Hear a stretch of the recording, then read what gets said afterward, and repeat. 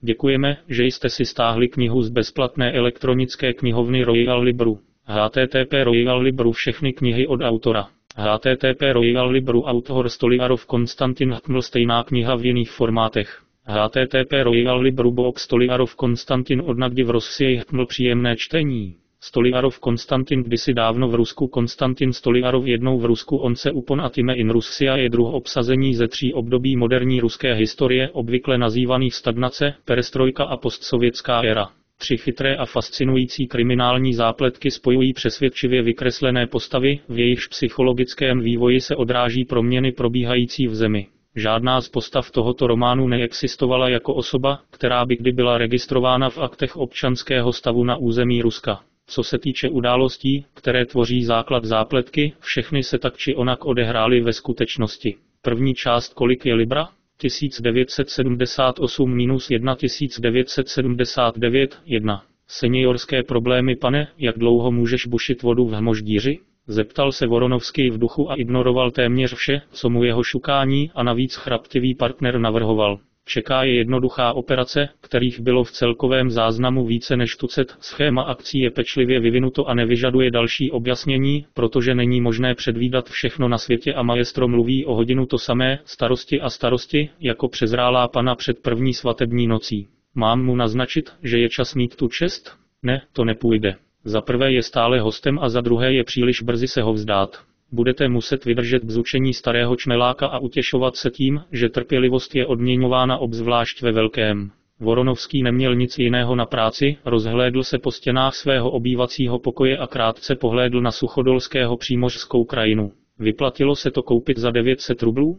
Moře tiché předbouří, temně šedé mraky zaplňující oblohu, skalnaté pobřeží, rackové, dlouhý člun s holým stěžněm a nedbale složenou plachtou, barevně oblečení, zaujatí muži a ženy, vypadající spíše jako bohatí rolníci než jako rybáři, vše řečeno spolu profesionálně, celkem slušně.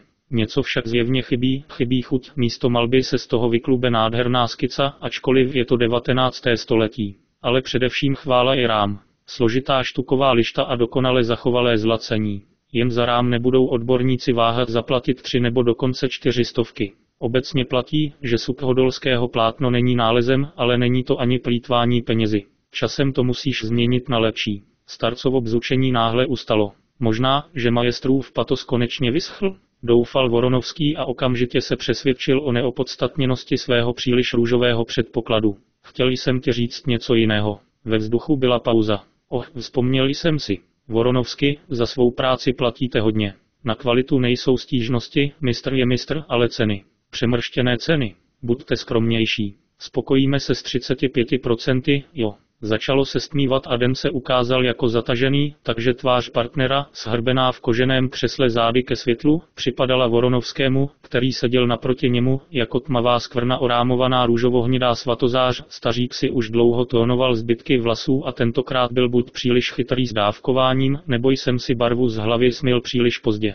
Jindy by se Voronovský usmíval, ale teď se na starého muže podíval s upřímnou sympatií. Jak jsou ubíhající roky k lidem nemilosrdné, berou jim nejen sílu, obratnost, zdraví, ale i inteligenci. Při vší úctě k tobě, jsi jen umělec starý muž, aniž by čekal na odpověď, znovu zašeptal. Asi stejně jako umělec, který byl pozván, aby hrál ve filmu. Předvídavě námitky, které však nenásledovaly, praštil dvakrát dlaněmi o opěrky. Hrajete roli a to je vše, zatímco já jsem scénárista i režisér filmu. Je to tak ne. Šílenství je stále silnější. Shrnul Voronovský svou řeč pro sebe. Lidé, kteří jsou ve stáří od přírody lakomí, se zpravidla stávají lakomými stále více a nekontrolovaněji a přivádějí chamtivost až k absurditě, jako bobseck v Balzacu. Majestra se ale nedá nazvat vytahaným lakomým chlapíkem, minimálně před rokem nebyl tento jeho výstřední nápadný. A předtím, z několika nezávislých a zcela spolehlivých zdrojů Voronovský věděl, že koncem 40. let tento starý muž a poté muž v nejlepších letech, který byl právem považován za magnáta podzemního obchodu, neochvějnou rukou vyhodil plechovku z palace Bridge do vodněvě zlisovaného kaviáru, až po okraj naplněný diamanty a smaragdy. Hodil to jen proto, že si v tu chvíli představoval, že je sledován. Byla to jen moje představa. A pokud se později zmínil o odhozené konzervě, pak bez stínu lítosti, s jakýmsi shovívavým úsměvem v koutcích úst říkají, kde jste dnes oproti nám, mohikánům. Ano, tak to plyne pozemská sláva, jak kdysi říkali staří římané. Promění se někdy on, Viktor Voronovský, ve stejný starý prp s Gobsekovým komplexem? Br. Pauza se protahovala. Budeme muset do případu zapojit Grigorianty, prolomil ticho starý muž. Pracuje stejně dobře jako ty.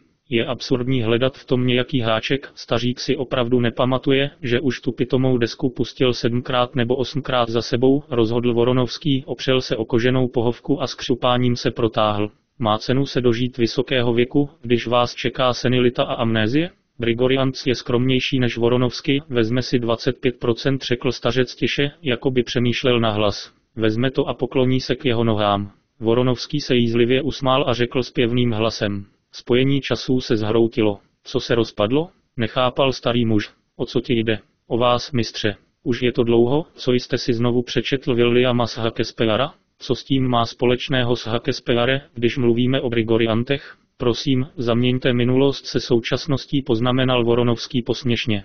Je to maličkost. Vaši skromní Grigorianty vyjdou zhruba za rok a půl, nebo ještě později.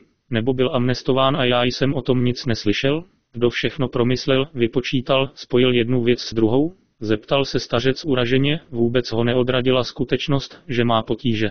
A slyšet, jak trvají na. Trvám na tom. Buď na půl, nebo tyhle hry nebudu hrát, přerušil ho Voronovsky drsně a očima ukázal na pouzdro u svých nohou. Můžete si vzít rekvizity, soudruhu režisére, on je také autorem scénáře. Děláš si ze mě srandu? Pliveš na mě, na mou práci? Vidíte, vážený. Žádná jména. Zaječel starý muž skřípavě. O můj bože, poslouchejte, mistře, kolikrát můžete opakovat to též. KGB ani policie se o mě vůbec nezajímají a své štěnice mi do bytu nedávají. Nepotřebuji tajně nahrávat naše intimní rozhovory na magnetickou pásku. Spoléhám se výhradně na paměť a navíc se uchyluji k vaší moudrosti. Nabírám toho po hrstech jako žíznivý cestovatel u potoka s pramenitou vodou. Pro větší přesvědčivost se Voronovský napřímil a gestem ukázal, jak na to. Spokojený? Opatrnosti není nikdy příliš mnoho, řekl stařec povzbudivě. Souhlasit. A taky souhlasím, že jsi plánovač kdekoliv. Každopádně ve svých 42 letech jsem nic podobného ještě neviděl, přiznal Voronovský. Ale i taky jsme si rozdělili poplatek rovným dílem, jinak odmítám. Kategoricky? Co když vám dám ne 35%, ale všech 40%? Proč potřebuješ tolik peněz? Vaše kuřata je neklují. Eh, Voronovský, Voronovský. Starý muž hlasitě povzdechl.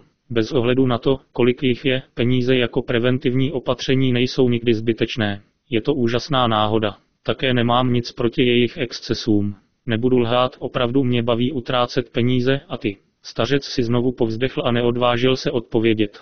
Majestro, proč být smutný? Nemáš důvod. Dům je plný pohár, až na to, že je málo ptačího mléka, milující manželka, pokud se nepletu, o 30 let mladší než ty, starostlivá dcera, vnuk, vnučka, zimní dača v Tarkovka, Voronovský uveden s náruživostí. Co ještě potřebuje jednoduchý sovětský důchodce, aby byl šťastný? Pouzdro. Když nemáte co dělat, rychle ztratíte zájem o život.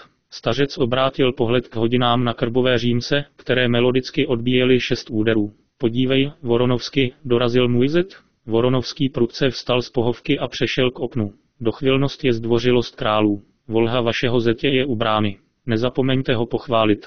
Mám chválit? Stařec s viditelným úsilím vstal, nadechl se a podíval se na Voronovského, byl o dvě hlavy vyšší, mám říct, že ten kretén zmokl? Přijde za mnou můj vnuk, včera nebo předevčírem, přesně si to nepamatuji, přijde a jemně se ptá. Dědečku, už jsi hledal?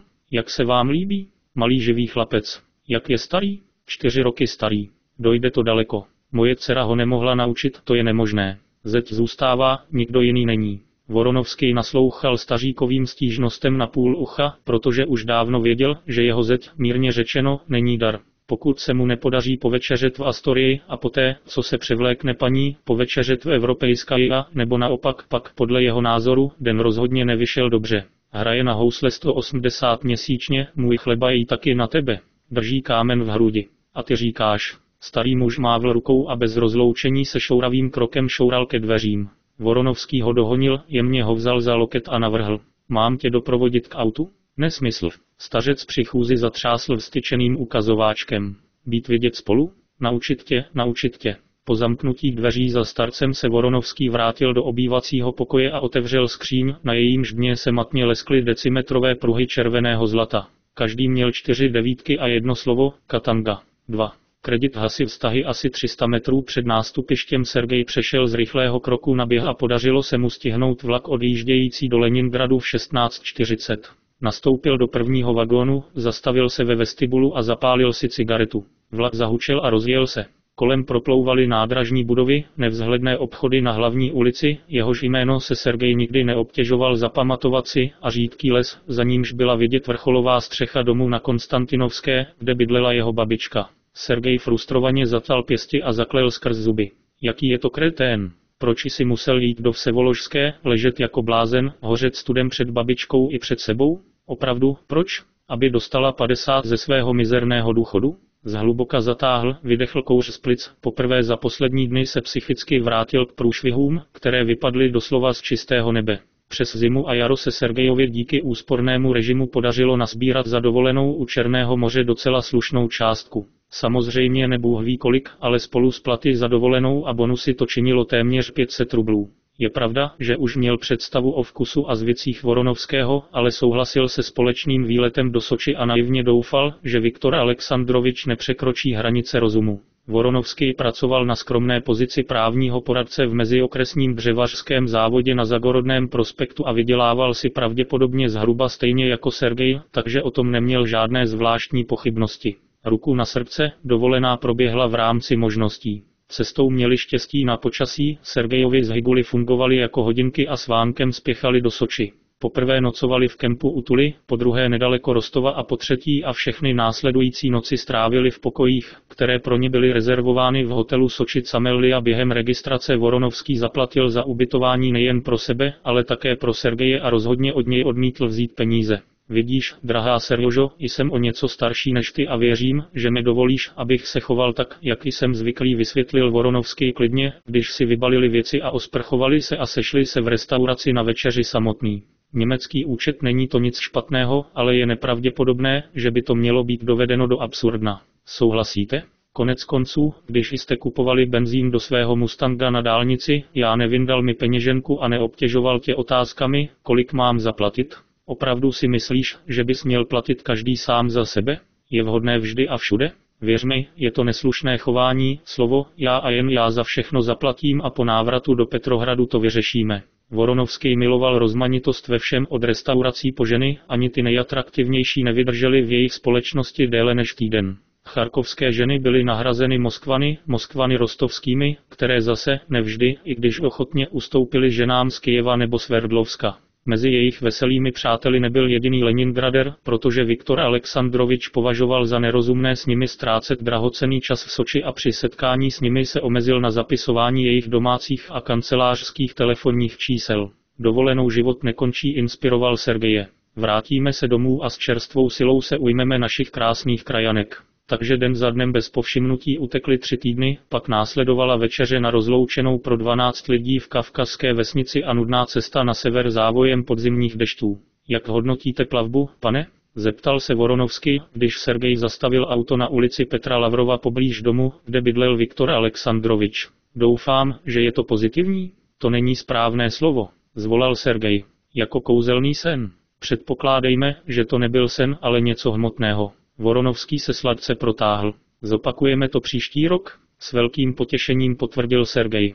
No, budu to mít na paměti. Voronovský zívl a zakryl si ústa dlaní. Táhne mě to na stranu, tak vyvažme rovnováhu a rozlučme se. Celkem jsem utratil čtyři tisíce, ale rozděluji na půl by bylo nespravedlivé. Utratil jsem něco za dárky a tak dále. To je tisíc za kruh, takže od tebe, má drahá, je to jen jeden a půl. Odeberme odtud benzín a další náklady na automobily, které činily řekněme na 200 rublů a 1300, prosím. Opravdu jsme tolik ztratili? Sergej byl zmíněným číslem zaskočen. Kam se podělo tolik peněz? Přesně tam, kam v netak vzdálených dobách jezdili třístěžňové plachetnice s podpalubím plným zlata, kadidla a koloniálního zboží poznamenal Voronovský filozoficky. Ženy byly vždy drahé a peníze, serjo, jsou jako voda. Vidíš, Viktore Aleksandroviči, mám jen 300 a já. Začal Sergej rozpačitě a vytáhl z pasu 650 rublových bankovek. Promiňte, nerozumím, odsekl Voronovský suše.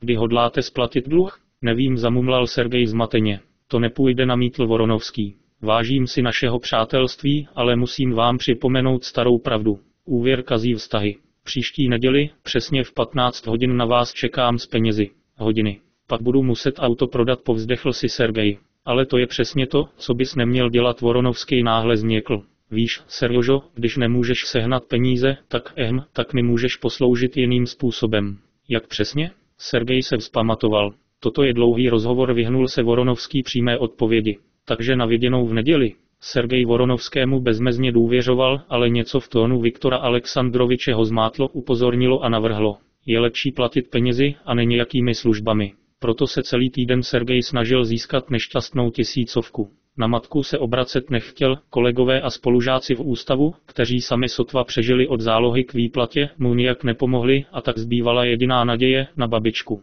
Dnes, hned ráno, zajel na nádraží Finliansky, zaparkoval auto nedaleko Leninova pomníku a nastoupil do vlaku, protože neměl nic lepšího, rozhodl se lhát o nehodě a pod touto omáčkou získat další peníze od jeho babička. Nezlob se, miláčku, utěšovala ho moje babička, když si vyslechl jeho lži. Bůh s ním, s tvými žiguly. Hlavní věc je, že ty sám jsi nebyl zraněn. Pán zjevně vyslyšel mé prosby a ochránil tě před ranami. Zítra půjdu do kostela a zapálím svíčku svaté Zinajdě, mé nebeské přímluvkyni. Pomůžeš mi na chvíli? Zamumlal Sergej a bolestivě se začervenal. Na co potřebuješ peníze? Podivila se babička. Nemáš auto pojištěné? Pokud nehodu nezaviníš ty, jsou povinni zaplatit celou částku. Sám jsi mi to řekl loni na jaře, když opilec člověče ti rozdrtil blatník v nákladňáku, dostal jsi z pojistky ještě víc, kolik stála oprava? To je pravda, povzdechl si Sergej. Ale víte, dokud nezanikne státní pojištění, uplyne hodně času a já chci auto co nejrychleji zrestaurovat. Přemýšlel jsem o tom, že bych si něco koupil, ale vidím, že potřebuješ víc. Babička vzala tašku a vytáhla odtamtud pět zmačkaných desetirublových bankovek. Tady, vezmi si to. Je to mladé a zelené, ty jsi řekl, aby se šel projít. Už ne. Sergej vytlačil a políbil ji na vrázčitou tvář. Babička, víc, co? Byl bych rád, má drahá, ale ne. Ty sám si nevezmeš peníze, které jsem si odložil na pohřby a probuzení, že? Sakra, co můžu dělat? Do setkání s Viktorem Alexandrovičem zbývá necelý den a on, Sergej, je stále na mizině. 3. Překvapení ve stejném vagónu příměstského vlaku, naproti dveřím vedoucím do vestibulu, se nudila o samotě krátkovlasá, kocourkovská, hubená blondýnka jménem Lena, která odjela z města navštívit přítele. Čtyři semestry tato kamarádka sdílela devítimetrový pokoj s Lenou na studentské koleji a na jaře se provdala za jejich spolužáka a přestěhovala se do Melnichny Ruchy, kde měli jeho rodiče vlastní dům a kde Lena, která trávila letní prázdniny s její matkou a otcem se nikdy nestalo a dnes tam byla přijata s radostí, přátelsky a všemi způsoby ji přesvědčovala, aby zůstala do pondělí, ale Lena nechtěla zůstat, navzdory srdečnosti majitelů jí něco v atmosféře tohoto domu nebylo srdce. Co? Samozřejmě to nebylo jejich do očí bějící bohatství, Lena ve svých necelých 20 letech ani trochu nezáviděla cizí zboží a vroucně věřila, že později, až vystuduje univerzitu, bude mít jistě vše, co ji neodolatelně přitahuje, snít před spaním lehký kožíšek z nadýchané přírodní kožešiny, elegantní pláštěnka vyrobená někde v zahraničí, krásné šaty, helenky, helenky a samozřejmě pár společenských bot na každé roční období, z italských sandálů s elegantními jehlové podpatky až nehorázně drahé, rovnou čtyři studentská stipendia. Světle béžové boty na platformě z bílé gumy. Lena zahnala lákavé vize, zavrtěla hlavou a znovu se zeptala sama sebe co jí bránilo využít pohostinnosti majitelů prostorného domu v Melních Nirucheo? Možná to bylo tou puntičkářskou důmyslností, s jakou dávali na oděv své úspěchy, skleník s růžemi a karafiáty, nemotorné prase nabobtnalé tukem, drůbežárna přetékající slepicemi, sklep se stovkami sklenic různých marinát, žemů a okurek, z brusu nová zděná garáž s třešničkou moskovit a nákladním přívěsem zakoupeným speciálně pro cesty na trh? Spíš ne. Jen se z jejich samolibosti jasně vynořilo nudné předurčení, do posledního detailu bylo vše předem naplánováno s depresivní pečlivostí, takže nezbyl prostor ani pro sebe menší překvapení. Jak můžete žít bez překvapení? Zemřeš nudou. Lena nechtěla toto téma rozvíjet. Vyhýbala se špatnému smýšlení o lidech, i když si to zasloužili. Navíc teď její myšlenky více zaměstnával vysoký mladík v elegantní pláštěnce, stojící ve vestibulu s cigaretou v puse. Tmavovlasý a tmavooký, s rovnoměrně jižanským opálením, vypadal přesně jako cizí akční hrdina. Ani ostrá vertikální vrázka u kořene nosu a ponurý odtažitý pohled ho vůbec neskazili, ale naopak působili na image silné osobnosti. Právě tento typ mužů na Lenu obzvlášť zapůsobil, ačkoliv o nich věděla jen z knih a filmů. A protože neměla stálého přítele, Lena by nevadila poznat tohoto muže, pokud ovšem on sám udělá první krok. Ale když Lena připustila tuto možnost, marně se snažila nedělat si iluze, až dosud se na nosič ani nepodíval. Takoví lidé si musí dávat pozor jen na dívky honosně oblečené podle poslední módy, zatímco ona. Lena sklopila oči ke svým starým zaprášeným teniskám s podomácku pletenými vlněnými ponožkami, vínům estonské výroby, na kolenou z puchýři, obnošeným typům bundy vyrobené ze syntetické tkaniny bologna. Jak může v ošuntělém oblečení konkurovat parádnicím? I přes její nenáročný outfit se však Lenu snažili poznat ale ne ten mladý muž z vestibulu, ale dva strašidelní pitomci, kteří se zřítili do vagónu na stanici Berndardovka, jeden tlustý, s oholenou hlavou, v kožené letecké bundě a botách na harmoniku, a druhý hubený, s vyčerpaným obličejem ve vrázčitém kostkovaném obleku. A noční můra začala. Saniaku, podívej, zaburácel oholená hlava a svalil se na lavici vedle Leny. Jak se ti líbí? Vonilo to tak špatně, že se Lena otřásla a instinktivně odešla. Ty jsi kladivo. Ujistil mě hubený muž, který seděl naproti, s vyplazeným jazykem. Vaše oko je vodováha. Hej, holka, posypeme nějakou známostí? Z hlubin letecké bundy se okamžitě objevila čtvrtina vodky. Oholená hlava zuby strhl folii, vyplivl ji na podlahu a podal láhe v leně. Tady, namoč si hrdlo. Lena dělala, že neslyší. Jsi pohrdavý? Skinhead přimhouřil oči. No, do prdele. Zasáhl hubený muž a v rukou kroutil Antonovským jablkem, které od někud přiletělo. Lek ho, nenech se mučit. Berto laskavě vyhrožovala leně oholená hlava. Ne, že. Hubeňovi došla trpělivost, vytrhl láhev oholené hlavě a přisál se na krk. Ale, ale, buď sticha řekla oholená hlava vyzývavě. Být v klidu. Hubený vrátil na půl naplněnou láhev a otřel si dlaní ústa s vlhký myrty. Jako v lékárně. Zatímco Skinhead dopíjel vodku, ten hubený vytáhl z kapsy nůž s pružinovou čepelí, rozřezal jablko na dvě části a masožravě mlaskl. Svačina pro štěstí. Samozřejmě, nemanufaktura souhlasil Skinhead. Protřepal zbytek vodky na dně a znovu podal láhe v leně. Napij se, nenech dobrotu přijít na zmar. Lena se krčila v rohu a horečně přemýšlela, co dělat, zatímco dva pitomci chroupali jablko. Telis, s úsměvem Skinhead jí hodil na klín jádro jablka. Tohle budete jíst pro řidiče. Lena se rychle rozhlédla po pomoci ale nebylo na nikde čekat, asi pět metrů, blíže středu vagónu, se k sobě choulily dvě smrtelně vyděšené stařeny, v protějším rohu podřimoval nebo předstíral, že dřímá starší občan v železničářské čepici a cizinec nebyl z vestibulu vidět. No, komu to říkám? Zahřměla oholená hlava a naplnila se hněvem. Lechtat peříčkem? Navrhl ten hubený mastným hlasem a namířil na Lenu tenkou čepel nože. Kam to chceš u pupíku nebo mezi kozama? Lena to, co se stalo, vnímala útržkovitě, se závadami a neúspěchy. Vyskočila a buď křičela, nebo se snažila křičet, ale nenechali ji, ruka s oholenou hlavou ji popadla za bundu a přehnanou silou ji přitáhla k sobě a dolů a přitiskl se k ní hrdlo láhve vodky, tvář. Otevři pusu, děvko. Stříkající sliny, skinhead si zabručel přímo do ucha a přitiskl Leninu hlavu ke kalhotám. Nech je jít, bylo slyšet nad ní. Do prdele, frajere. Skinhead vydal chraplavý zvuk v hrdle a odplivl si.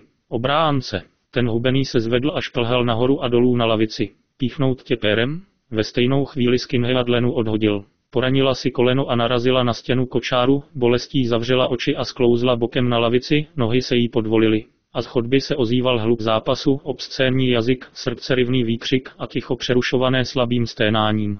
Lena otevřela oči a zprvu nevěřila tomu, co viděla. Oholená hlava ležela na jeho zádech a neustále vrtěla hlavou. Hubený muž, břepějící a sehnutý, zasténal, natáhl nepřirozeně pokrčenou paži dopředu a nad nimi se tyčil tmavovlasý cizinec z vestibulu. Mám přidat víc nebo to stačí? Zeptal se cizinec, jako by se nic nestalo, a díval se z hubeného muže na muže s oholenou hlavou. Oholená hlava se pokusila vstát, ale nepodařilo se mu to, oči se mu obrátily v sloup a jeho hlava klesla stupým žuchnutím zpět na podlahu. Cizinec si všiml plivance na jeho botě a přikázal hubené. Utři to, kreténe. Hubený muž zdravou rukou poslušně setřel lepkavý hlen. Všechno jasné dožadoval se cizinec. Hubený muž si prsty zatáhl za rukáv saka a začal s ním přes botu pohybovat tam a zpět, jako čistič bot obratně třímající sametovou látku. Dost. A teď, pryč odsud. Aniž by přestal žalostně sténat, ten hubený nějak pomohl oholené hlavě vstát, načež oni, aniž by se ohlédli, zmizeli ve vestibulu. Cizinec se otočil kleně a soucitně se zeptal. Cítíte se špatně? Už to prošlo, odpověděla Lena slyšitelně. A jak se máš? V pořádku. Nedošlo k žádným ztrátám na pracovní síle ani vybavení. Kromě. Utrhl knoflík vysící na niti. Děkuji, děkuji mnohokrát. Lena měla stále v hlavě hluk. Nesmysl má na něj její zachránce, mírně sklonil hlavu s rovnoměrným rozchodem a v žertu se představil. Sergej Holmogorov, Sovětský svaz. Leno. Elena Makarová. Chlápek se posadil vedle Leny a ukázal jí nůž, který sebral hubenci. Vtipný domácí produkt. Vezmete si to jako suvenýr? Co děláš? Lena strachem ucouvla. Dobře, nechám si to jako trofej. S těmito slovy Sergej odložil nůž a položil prsty pravé ruky na zápěstí levé. Lena se vzpamatovala ze šoku a začala chaoticky mluvit o své cestě do Melnichny Ruchy, o svých tamních dojmech, o tom, jak na zpáteční cestě nakonec dospěla k závěru, že měřený život bez jakýchkoliv překvapení není dobrý a tak skutečně strašné překvapení a Sergej zkontroloval své náramkové hodinky, přesně spočítal svůj tep a ne bez potěšení konstatoval, že je stále v dobré sportovní kondici. 76 tepů za minutu po letném boji se dvěma protivníky by uspokojil i toho nejvybíravějšího trenéra. Ne, nenadarmo srazil aroganci těchto opilých sráčů, čas od času je dobré pro vaše zdraví trochu rozproudit krev. A vyklubala se z ní milá holka, utáskaná, zelenooká, čistotná, skoro bez makeupu, taková domácká, dětsky důvěřivá. Slovo dalo slovo se dozvěděl, že Lena nastoupila do třetího ročníku Technologického institutu, bydlela na koleji na blagodatné Jilane a do Leningradu přišla studovat z města Uvarov regionálního centra v Tambovské oblasti, kde jejich rodina se přestěhovala před šesti lety z dálného východu v souvislosti s novým jmenováním svého otce, kariérního důstojníka v silách protichemické obrany. Její máma a táta jsou velmi dobří, laskaví, upřímní, nemůže to být lepší, stačí říct, že kromě jejího zvýšeného stipendia posílají každý měsíc dalších 70 rublů, což jí stačí k pohodlnému životu. Sergej poslouchal její mumlavý hlas a shovívavě se usmál. Zdá se, že opravdu žijeme v zemi zázraků, kterou obývají úžasní lidé, kteří svou nenáročností nemají obdoby. Pro lidi s normálními potřebami je to a něco rublů měsíčně almužna, pouhá vegetace, ale tahle Lena má ze všeho radost a musí věřit propagandistickým svinstvem o neomezených možnostech rozvinutého socialismu. Řeknou jí, že zítra triumfálně vstoupíme do komunismu, ona to vezme za své, i když v bohem zapomenutém vnitrozemí, odkud se právě vrátila z dovolené, není na pultech obchodů s potravinami nic kromě chleba, cereálí, těstoviny a konzervovaný huňáček v tomatu. Jsme kováři a náš duch je mladý, kujeme klíče štěstí. Jsem zvědavý, kolik vody uteče, než se přesvědčí, že ideály, či spíše dogmata, která se jí vštěpovala od dětství, se hustě mísí s bezskrupulózní lži. Nezabere to však mnoho času, dívka je čilá, všímavá, pohotová, párkrát se udeří obličejem o roh, porovná jedno s druhým a najednou uvidí světlo, stejně jako sám Sergej, vychovaný ve stejném komsomolském inkubátoru, spatřil světlo před dvěma lety. Promiň, Serjožo, strašně jsem si povídala, řekla Lena v rozpacích, když vyšli na nástupiště stanice Finliansky. Mlčel jsi a proto jsem. Kdo jsi, pokud to není tajemství? Stavební inženýr.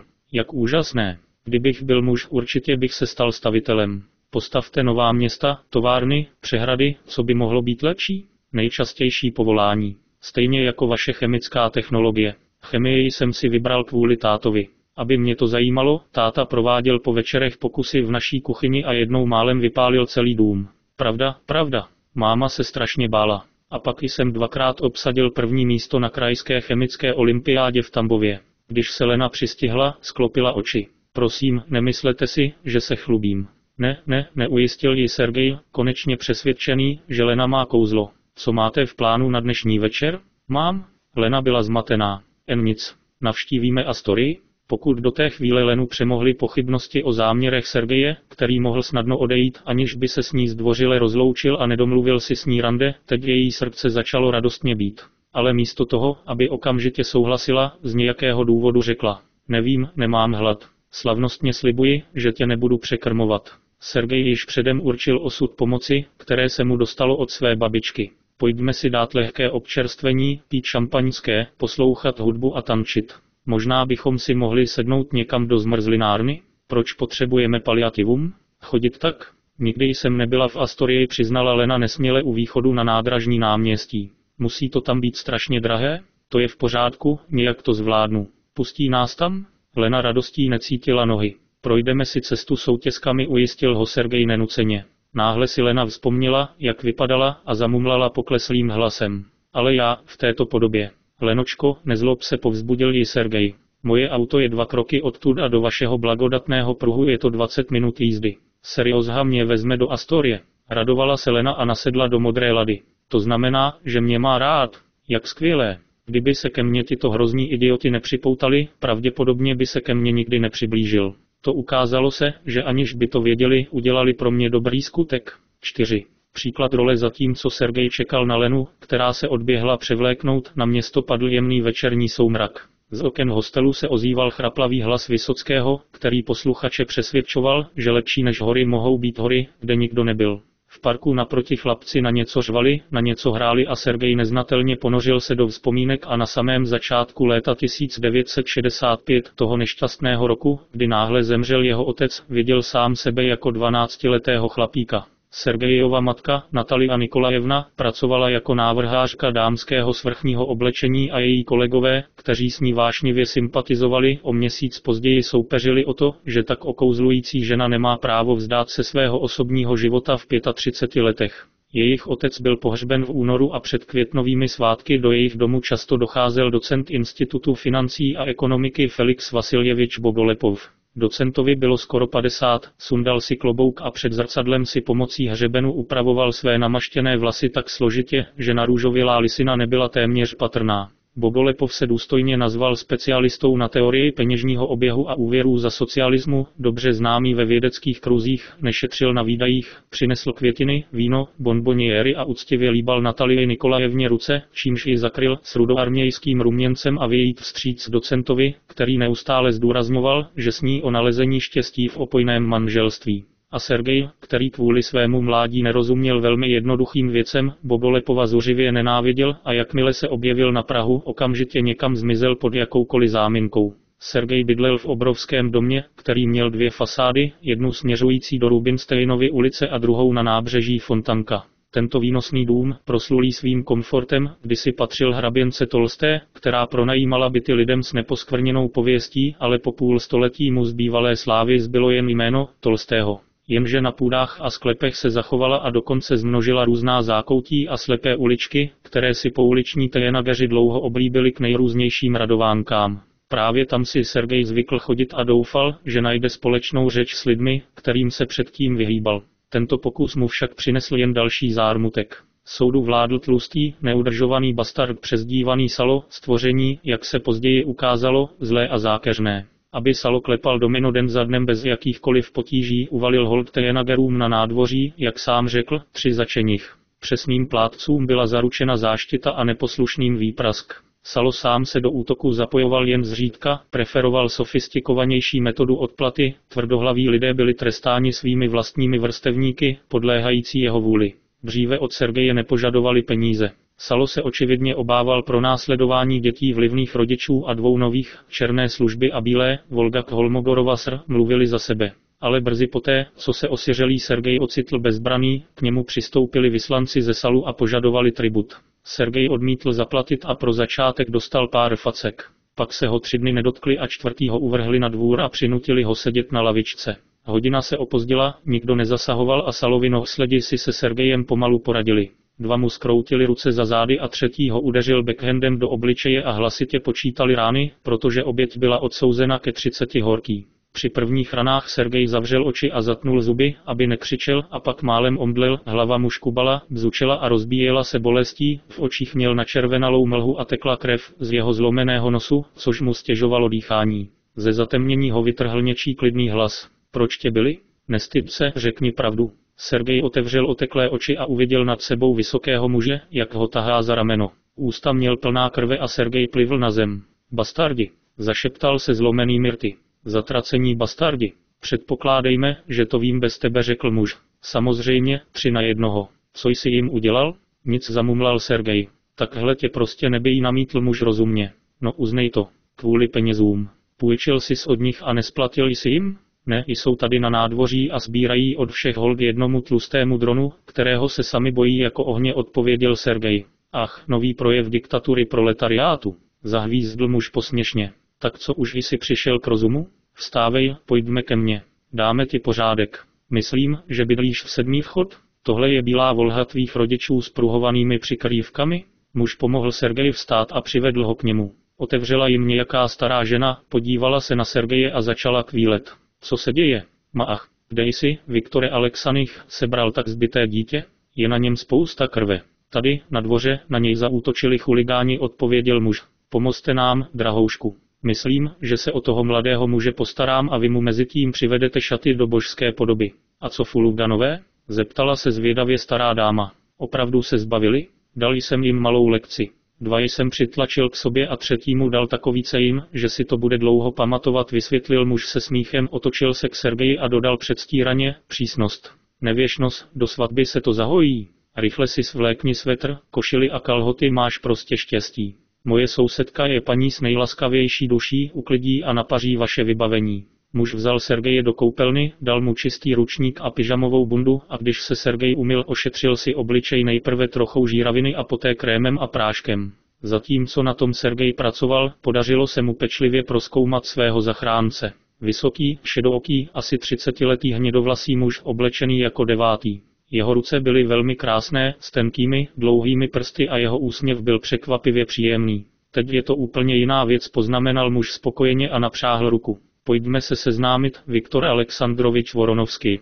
Holmogorov Sergeji, kdo jsou tvoji rodiče? Máma pracuje v model house na Něvském a otec. Sergej se odmlčel. Zemřel v zimě. Chápu, protáhl Voronovský. Promiň, nevěděl jsem. Pojď, Serjožo, dáme si s tebou šálek kávy. A sklenka benediktínky ti vůbec neublíží. Je to lehký likér. Abych tak řekl, pro dobrou náladu. Voronovský mu dal silnou kávu a řekl mu, že je právník, že je sám a miluje sport. Přesněji, knihy a sport. Knihy vám pomohou porozumět životu a najít své já a sport zlepší vaše zdraví, a což je nesmírně důležité, umožní vám chránit právě toto já. Člověk, drahý Serjožo, musí umět hodně poučil ho zamyšleně Viktor Aleksandrovič, ruční boj. Vězte, že je vždy lepší udeřit jako první, než čekat, když dostanete zásah. A také musíte umět přijímat rány. Jakmile se to naučíte, budete úplně v pohodě. Mimochodem, pokud zítra večer nejsi ničím zaneprázdněn, půjdeme na zimní stadion. Je tu finále městského mistrovství v sambo wrestlingu. Myslím, že se ti to bude hodit. Poučný rozhovor přerušil příchod staré ženy, která přinesla jeho věci. Sergej poděkoval jí a Viktoru Aleksandrovičovi, vypil další sklenku likéru na rozloučenou a odešel domů v dobré náladě. Druhý den Sergej spolu s Voronovským nadšeně sledovali průběh bojů na koberci zimního stadionu a po předání cen Viktor Aleksandrovič pozdravil muže v modrém cvičebním obleku s erbem s srna prsou, vzal si ho stranou a řekl, Pašo, malá prosba, vezmi si to, přiveď k sobě chlapa, udělej z něj chlapa. Tenhle, Paša kriticky prohlédl Sergeje od hlavy až k patě, trhl sebou a zeptal se, je ti, kolik je ti 14? 13 zalhal Sergej a z nějakého důvodu si přidal rok, to nepůjde. Paša obrátil pohled k Voronovskému. Víte, beru nováčky nestarší deseti let. Vytila, můj cyklus. Tři roky komplexního všeobecného tělesného tréninku, další tři roky speciálních kurzů a pak mat. Jedině tak to může vyjít. Bojovník se slušným potenciálem. Pašo, ty tomu nerozumíš. Voronovský se zazubil. Žádám tě, abys z něj udělal muže, než šampiona. Budu ti zavázán. Dobře, Vitio, dohodli jsme se. Paša poplácal Voronovského po rameni a už v pohybu řekl Sergej. Přijdeš v září. Zapamatuj si adresu. Cestou domů se Voronovský Sergeje podrobně vyptával na sala a o den později mu dal krutou lekci. Sergej u toho nebyl, ale celý Tolstojův dům bzučel jako v úlu a každý chlapec nadšeně vyprávěl ostatním o tak výjimečné události. Voronovský se vrátil z práce a přistoupil ke stolu, kde dominoví hráči poráželi kozu, vzal Sala za roh, na něco se ho zeptal a v mrknutí oka přes sebe trhl svou 100-kilogramovou mršinu. Pak zopakoval stejnou techniku, znechuceně si otřel ruce kapesníkem a odešel. Sádlo odsálo vodou a deset dní nestrčil nos do dvora. Sergeje se nejvíce dotklo to, že Viktor Aleksandrovič o tomto činu neřekl ani slovo. Červenci byl Sergej poslán do pionýrského tábora na Karelské šíji a když se v srpnu vrátil domů a především běžel k Voronovskému, už ho nenašel, ukázalo se, že se Viktor Aleksandrovič někam přestěhoval. Bylo mu trapné hledat Voronovského přes stůl s adresou, protože se bál, aby nevypadal rušivě. Koncem podzimu téhož roku 1965 se jeho matka stala občankou Bogolepova a odborný asistent se přestěhoval do jejich tolstého domu. Vztah mezi Sergejem a docentem se nikdy nezlepšil, pod jednou střechou se cítili nepříjemně. Uplynulo dlouhých pět let, než se bez lítosti rozešli, jakmile Sergej vstoupil do stavebního institutu, jeho matka Suše věcným způsobem navrhla, aby se natrvalo přestěhoval do Krasnaja ulice, do Bobolepova prázdného pokoje pro mládence. Po promoci dostal Sergej otcovu volhu. Pan docent nebyl v pohodě s technikou a zjevně se domníval, že toto široké gesto ze všech úhlů pohledu vypadá jako vhodné a praktické. Konec konců, Sergej je již dospělý, má řidičský průkaz a navíc si podle zákona může nárokovat část dědické hmoty vzniklé po smrti svého otce.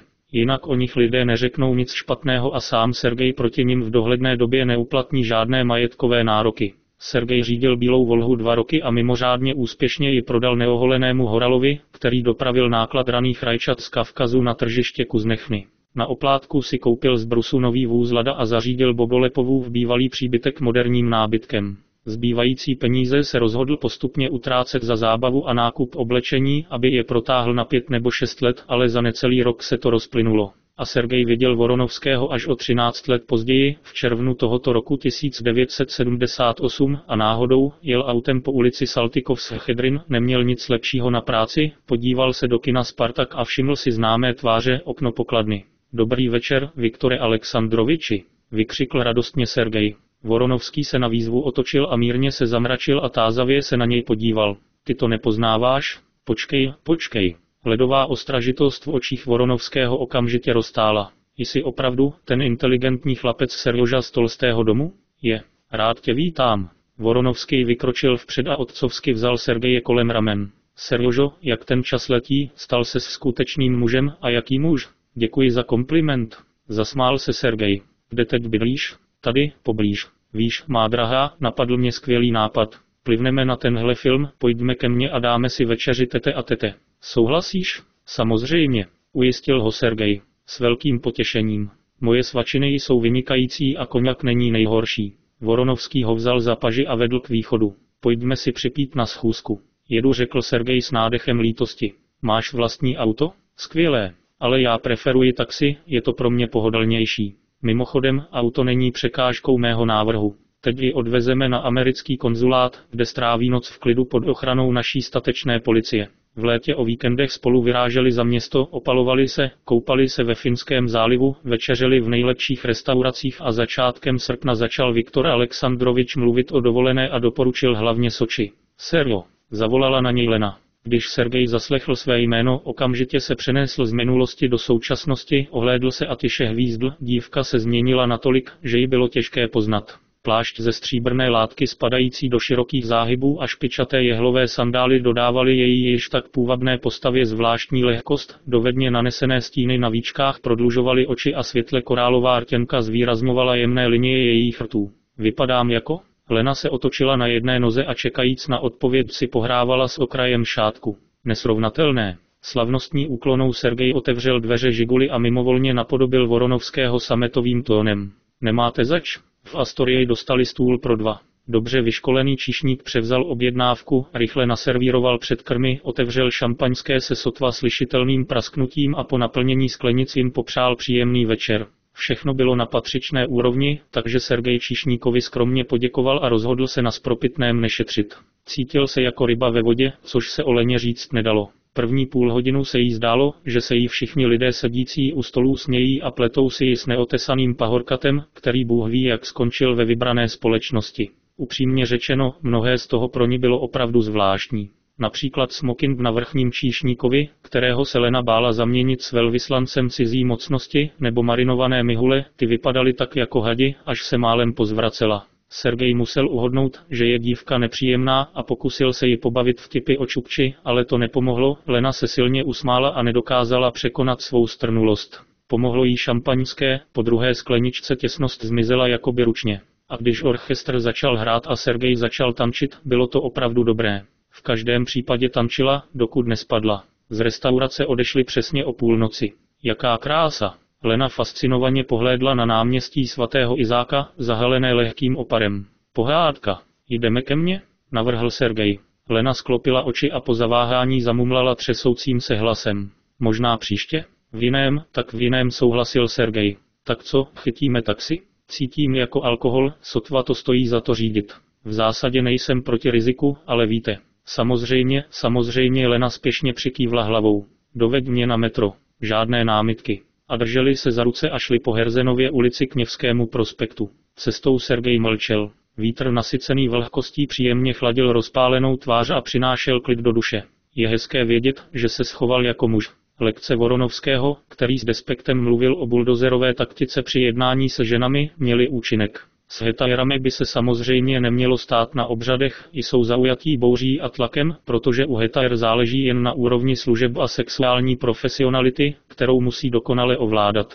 Pokud jde o slušné ženy, pak podle Viktora Alexandroviče každá z nich, jakožto potenciální matka, podléhá prastarému hnízdění, které pro moderní muže téměř není charakteristické. Už jen proto by si ženy měly vážit, obklopovat je pozorností, projevovat takt a zacházet s nimi s vynikající zdvořilostí. A naše sovětské ženy navíc potřebují být upřímně soucitné. Od mládí si oni, chudáci, ani nedokážou představit, co je čeká. Nejen, že budou muset pracovat na rovnoceném základě s muži, čeká je přemrštěná zátěž, nekonečné stát ve frontách na jídlo, rodit a vychovávat děti, prát, vařit, uklízet a rychlostí blesku okrádat své manželé ze svého platu, než ho vypijí nebo prohrají. Seriózho, jsi uražen?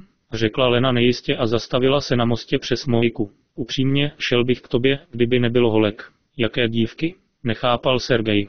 Naši, z hostelu. Nebudou spát, dokud vám neřeknu o Astorii. Sebrali mě, dali mi všechno nejlepší. Sandály dala Tania z fakulty mechaniky, šátek od Zhenia, moje nová sousedka, plášť od Firy, dárek od sestry z Izraele. Sergej se zasmál a přitáhl Lenu k sobě. Zabořila tvář do jeho hrudi a zeptala se.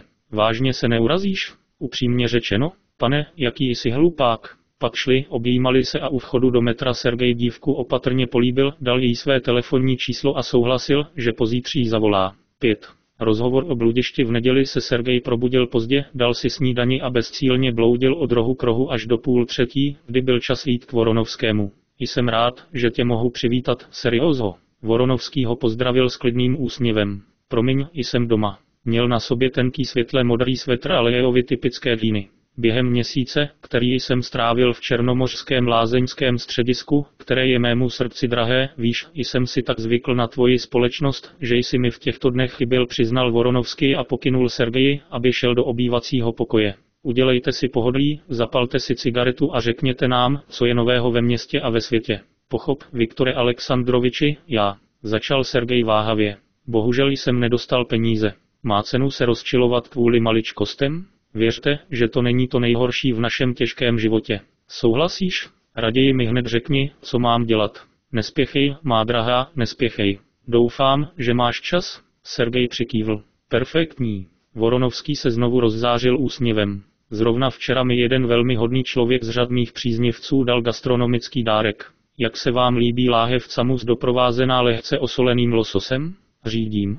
To není moc důležité, poznamenal Voronovský. Domů se dostanete taxíkem a váš Mustang stráví noc pod mými okny. Dokonale si vychutnáme dary přírody a popovídáme si o našich společných cílech a záměrech. Zatímco Voronovský prostíral stůl, Sergej sledoval jeho sebevědomé pohyby a pomyslel si, že Viktor Alexandrovič je skutečně mimořádný člověk. To je ten, kdo ví, jak skutečně žít.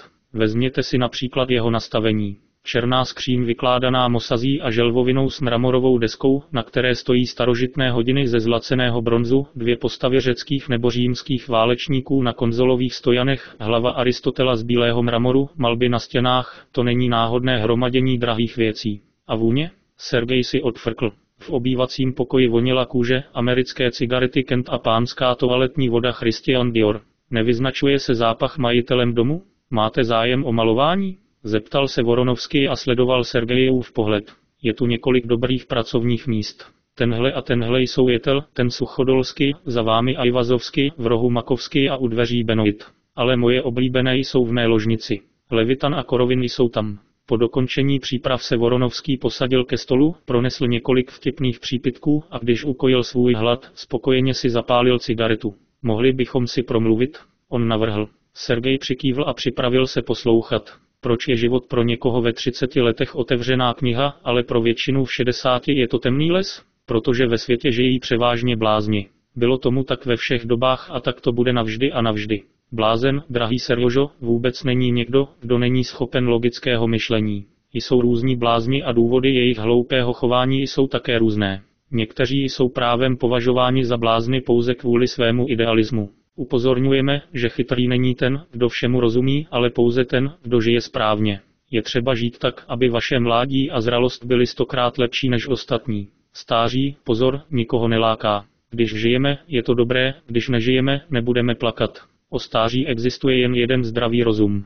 Mělo by být prosperující. Co je potřeba k tomu, abychom do dna vypili všechny slasti života? Peníze, hodně peněz, hodně. Jinak je pro chytrého člověka lepší, když se hlupákem narodí. Faktem je, že hlupák může být šťastný bez peněz, ale chytrý člověk nemůže být šťastný nikdy. Blázni jsou ideálním materiálem pro všechny druhy slibů. Někteří se snadno spokojí s horlivými ujištěními strany a vlády ohledně růstu jejich hmotného blahobytu, byť v nějaké vzdálené budoucnosti, zatímco jiní se dokonce spokojí s oním bronzovým směnkou, že jejich potomci budou žít v sytosti a spokojenosti. Co je nejvíce překvapivé. Čím nerealističtější jsou sliby, tím silnější je jejich hloupá víra. Nepřemýšlejí o tom, že sliby jim dávají právě ti lidé, kteří už dnes mají vše v naturálích, jak se říká, s celým rublem. Legrační, že odkud vzít peníze? Zeptal se Sergej přímo. Otázka v podstatě zní. K tomu se dostaneme, můžete si být jisti. Mezitím se napijme, protože v mnoha ohledech se oba díváme na život stejně. Voronovský potutelně mrkl a zvedl sklenici. Prosit. Pili a jedli plátky citronu s cukrem. Každý z nás vstupuje do života jako do labirintu, pokračoval Voronovsky. Obyčejný člověk tam bloudí a naivně doufá, že najde cestu ven, která prý představuje cestu ke štěstí a možná i štěstí samotnému. To je ale iluze na úrovni dětské pohádky, kde červená karkulka porazila šedého velka. Z labirintu nevede žádná cesta ven, to je řád předem daný samotnou lidskou přirozeností. A neměli byste si lámat hlavu hledáním Ariadnina vlákna. Proč? Pro chytré lidi není labirint zkouškou a zejména trestem, ale požehnáním, vynikajícím životním prostředím. Mimochodem, podle legend starých řeků, labirint je palác postavený Daedalem pro kréckého krále Midase. Chápeš nápovědu? Můžete žít jako král v palácích, ale k tomu musíte něco mít. Jistý univerzální klíč, který otevírá kouzelné dveře do královského paláce. Klíč, jak asi tušíte, by neměl být jednoduchý, ale zlatý. Ptal jste se, kde vzít peníze. Na život, o kterém jsem mluvil, jakýkoliv plat nestačí, i když jste akademik nebo maršál. Tak co chceš dělat? Řečnické otázky nepotřebují odpovědi, takže Sergej mlčel. Můžete jít do obchodu nebo do sektoru služeb, mít tam slušný zisk, můžete se věnovat obchodnímu zprostředkování, můžete si najít pozici, kde platíte úplatky a tak dále. Podobných metod je mnoho, ale všechny, drahý Seriozo, nevyhnutelně vedou k vulgární kriminalitě. Pozor! Jakmile začnete významně poškozovat státní nebo veřejné zájmy, celý těžkopádný kolos represivního aparátu otočí ústí zbraní vaším směrem. Nelegální činnost samozřejmě nemusí být odhalena okamžitě, ale věřte mi, je to otázka času. Nechají vás chvíli dovádět a pak vás vezmou na vidličku. Co se stalo? Zase slepá ulička? Sergejovi se obrat rozhovoru líbil. Pokud Viktor Alexandrovič shrábne spoustu peněz a přitom neporuší zákon, bude s ním obchodovat naprostá radost. Nyní přejdeme k nejzajímavější části. Voronovský znovu naplnil sklenice. Řekni mi, Serjožo, kdy jsi naposledy četl Zlaté tele? Vypadá to jako před třemi lety. Co řekl Ostap Bender o peněžním oběhu? Neřeknu to jistě. Sergej sebou trhl. Termín oběh peněz mu připomínal existenci docenta Bobolepova a nevyvolával pozitivní emoce. Zapomněl jsem poznamenal Voronovský s úsměvem. Marně. Geniální fráze. Ostap řekl shoře Balaganovové následující. Protože se po zemi potulují nějaké peníze, musí existovat lidé, kteří jich mají hodně. Spolu s tím je tu další nesmrtelná pravda. Všechny velké moderní majetky byly získány tím nejnečestnějším způsobem. A teď, má drahá, hodlám vést malý psychologický workshop. Pokud srovnáme obě pravdy, jaký je závěr? No, buďte odvážní. Nemám tušení, přiznal Sergej rozpačitě. Zdá se mi, že jste z nějakého důvodu skromný. Bůh je však s vámi. Dnes jsem laskavý a nebudu naléhat. Napijme se, abyste se v budoucnu mohli rychle orientovat ve svém okolí. Prosit. Po napití Voronovský udělal dva sendviče s lisovaným kaviárem a vymačkal na ně plátek citronu. To jsou mimochodem ideální sklenice na koněk. Nesnesu, když se koněk destiluje jako vodka. Také rád piju po malých doušcích podpořil Sergej a zakroutil stopkou vysoké křišťálové sklenice, která vypadala jako otevřená lilie. Jsi vkusný muž. Voronovský snědl sendvič a otřel sirty ubrouskem. To je jeden z důvodů mých sympatií k vám a tedy i k našemu současnému kolokviu. Takže existují bohatí lidé, ale jejich peníze páchnou. Jinými slovy, jejich kapitál nespadá pod zákonem chráněná práva a zájmy našich spoluobčanů. Chápeš pointu? Pokud se s nimi třeba dostanu do nějaké konfliktní situace, tak je to naše vnitřní záležitost. Stát, jak víte, je pokrk svých vlastních starostí a orgány zapojené do udržování práva a pořádku do tohoto druhu konfliktu nestrkají nos. Vyjádřil jsem se dostatečně jasně? Takže jste moderní Ostap Bender? Víte, to srovnání není úplně správné, řekl Voronovský s nádechem nespokojenosti. Ostap byl amatér a já, s vaším svolením, jsem profesionál. Jak to děláš? Vybuchl Sergej. Různými způsoby, má drahá, nerad se opakuji. Můj úspěch je založen na důkladné znalosti lidské psychologie, řekl Voronovsky. Peníze jsou úžasná věc. Když je jich hodně, změní vzorec chování. Boháč se proti své vůli stane nenasytným a touží za každou cenu zvětšit své vlastní bohatství. Pak při hledání přebytečného produktu stojí nos na nos na úzké cestě a nečekaně na mě narazí. Slušně se ukloníme, hezky si popovídáme o tom a tom a on se se mnou dělí o své bohatství. Bude plakat a chrochtat, ale tak či onak rezignuje na nevyhnutelné. Bez ohledu na míru chamtivosti si podnikatelé rychle uvědomí, že hra je ztracena a je lepší dát část, než prohrát celek. Zde je ve skutečnosti odpověď na vaši otázku. Co tě ještě zajímá, seriozo? Jak vybíráte objekty na útok? Konec konců, bohaté lidi nepotkáte na každém kroku. Dobrá otázka. Dnešní peněženky často zanedbávají rozumné maskování. Vzpomeňte si, jak jsem vás v Soči Intourist upozornil na některé jedince, kteří bezstarostně přes večer promrhali roční plat průměrného zaměstnance. Tvoří mou klientelu? Nyní pojďme k věci. Seriózho, potřebuji spolehlivého asistenta a rozhodl jsem se nabídnout vám tuto roli. Pokud vás zajímá, proč jsem si vybral vaši kandidaturu, rád vysvětlím. Jste ambiciózní mladý muž, který si uvědomuje, že žít z měděných peněz nemá smysl. Zároveň máte dobrodružnou dráhu. Všiml jsem si toho a jak asi tušíte, ocenil jsem to. A konečně jste kultivovaný člověk. S volnými penězi je pravděpodobnější, že se stanete epikurejcem než srabem nebo opilcem. Tak co, přijímáte nabídku? Sergej pozorně naslouchal Voronovskému a byl stále více protchnut myšlenkou na skvělé vyhlídky, které před ním jeho starší soudruh otevřel. Nejen, že bez problémů splatí svůj dluh, ale pravděpodobně bude mít množství peněz, o kterých se nikdy neodvážil ani snít. Nelze než dát Viktoru Alexandrovičovi, co mu patří. Je skutečně chytrý. Není děsivé si s ním sednout na největší zápas. Sergej nikdy nepotkal chytřejšího člověka a možná ani nikdy nepotká. Proto Sergej bez váhání odpověděl. Souhlasím. Viktore Alexandroviči, jaké budu mít povinnosti? Perfektní. Voronovský se usmál. Upřímně, nepochyboval jsem, že se dohodneme. A nestarejte se o povinnosti.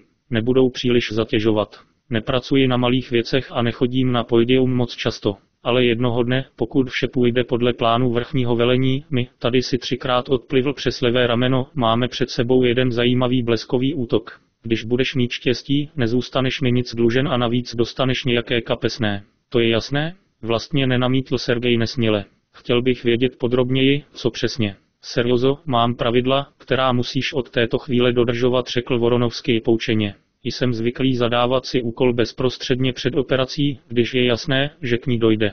Do budoucna mějte prosím na paměti. Jsem jemný člověk a nehodlám stvárňovat otce velitele, nicméně vyžadovat od vás bezpodmínečnou poslušnost při přípravě a provádění jakékoliv práce. Odpust mi, Viktore Alexandroviči. Nemyslel jsem si, že to je v pořádku, má drahá. Na všechno je prostě čas. A teď si dáme poslední drink, aby naše komunita byla úspěšná. Voronovského tvář se stala přísnou a jeho šedé oči se zúžily. Kromě inteligence, předvídavosti a odborné dovednosti závisí úspěch každého podnikání na mnoha faktorech, které nelze předem zohlednit. Nikdy nespoléhám na náhodu, ale upřímně řečeno, bojím se smůly, jako se staré vesničanky bojí ohně. Občas se stane, že nějaká maličkost úplně vyvrátí podrobný plán. Zvedněme tedy brýle, aby nás neopouštěla střízlivost myšlení a štěstí nás vždy provázelo. Při rozchodu Voronovský z nějakého důvodu vzal Sergeji jeho malou fotografickou kartičku, kterou měl v záloze v peněžence a laskavě ho doprovodil ke dveřím.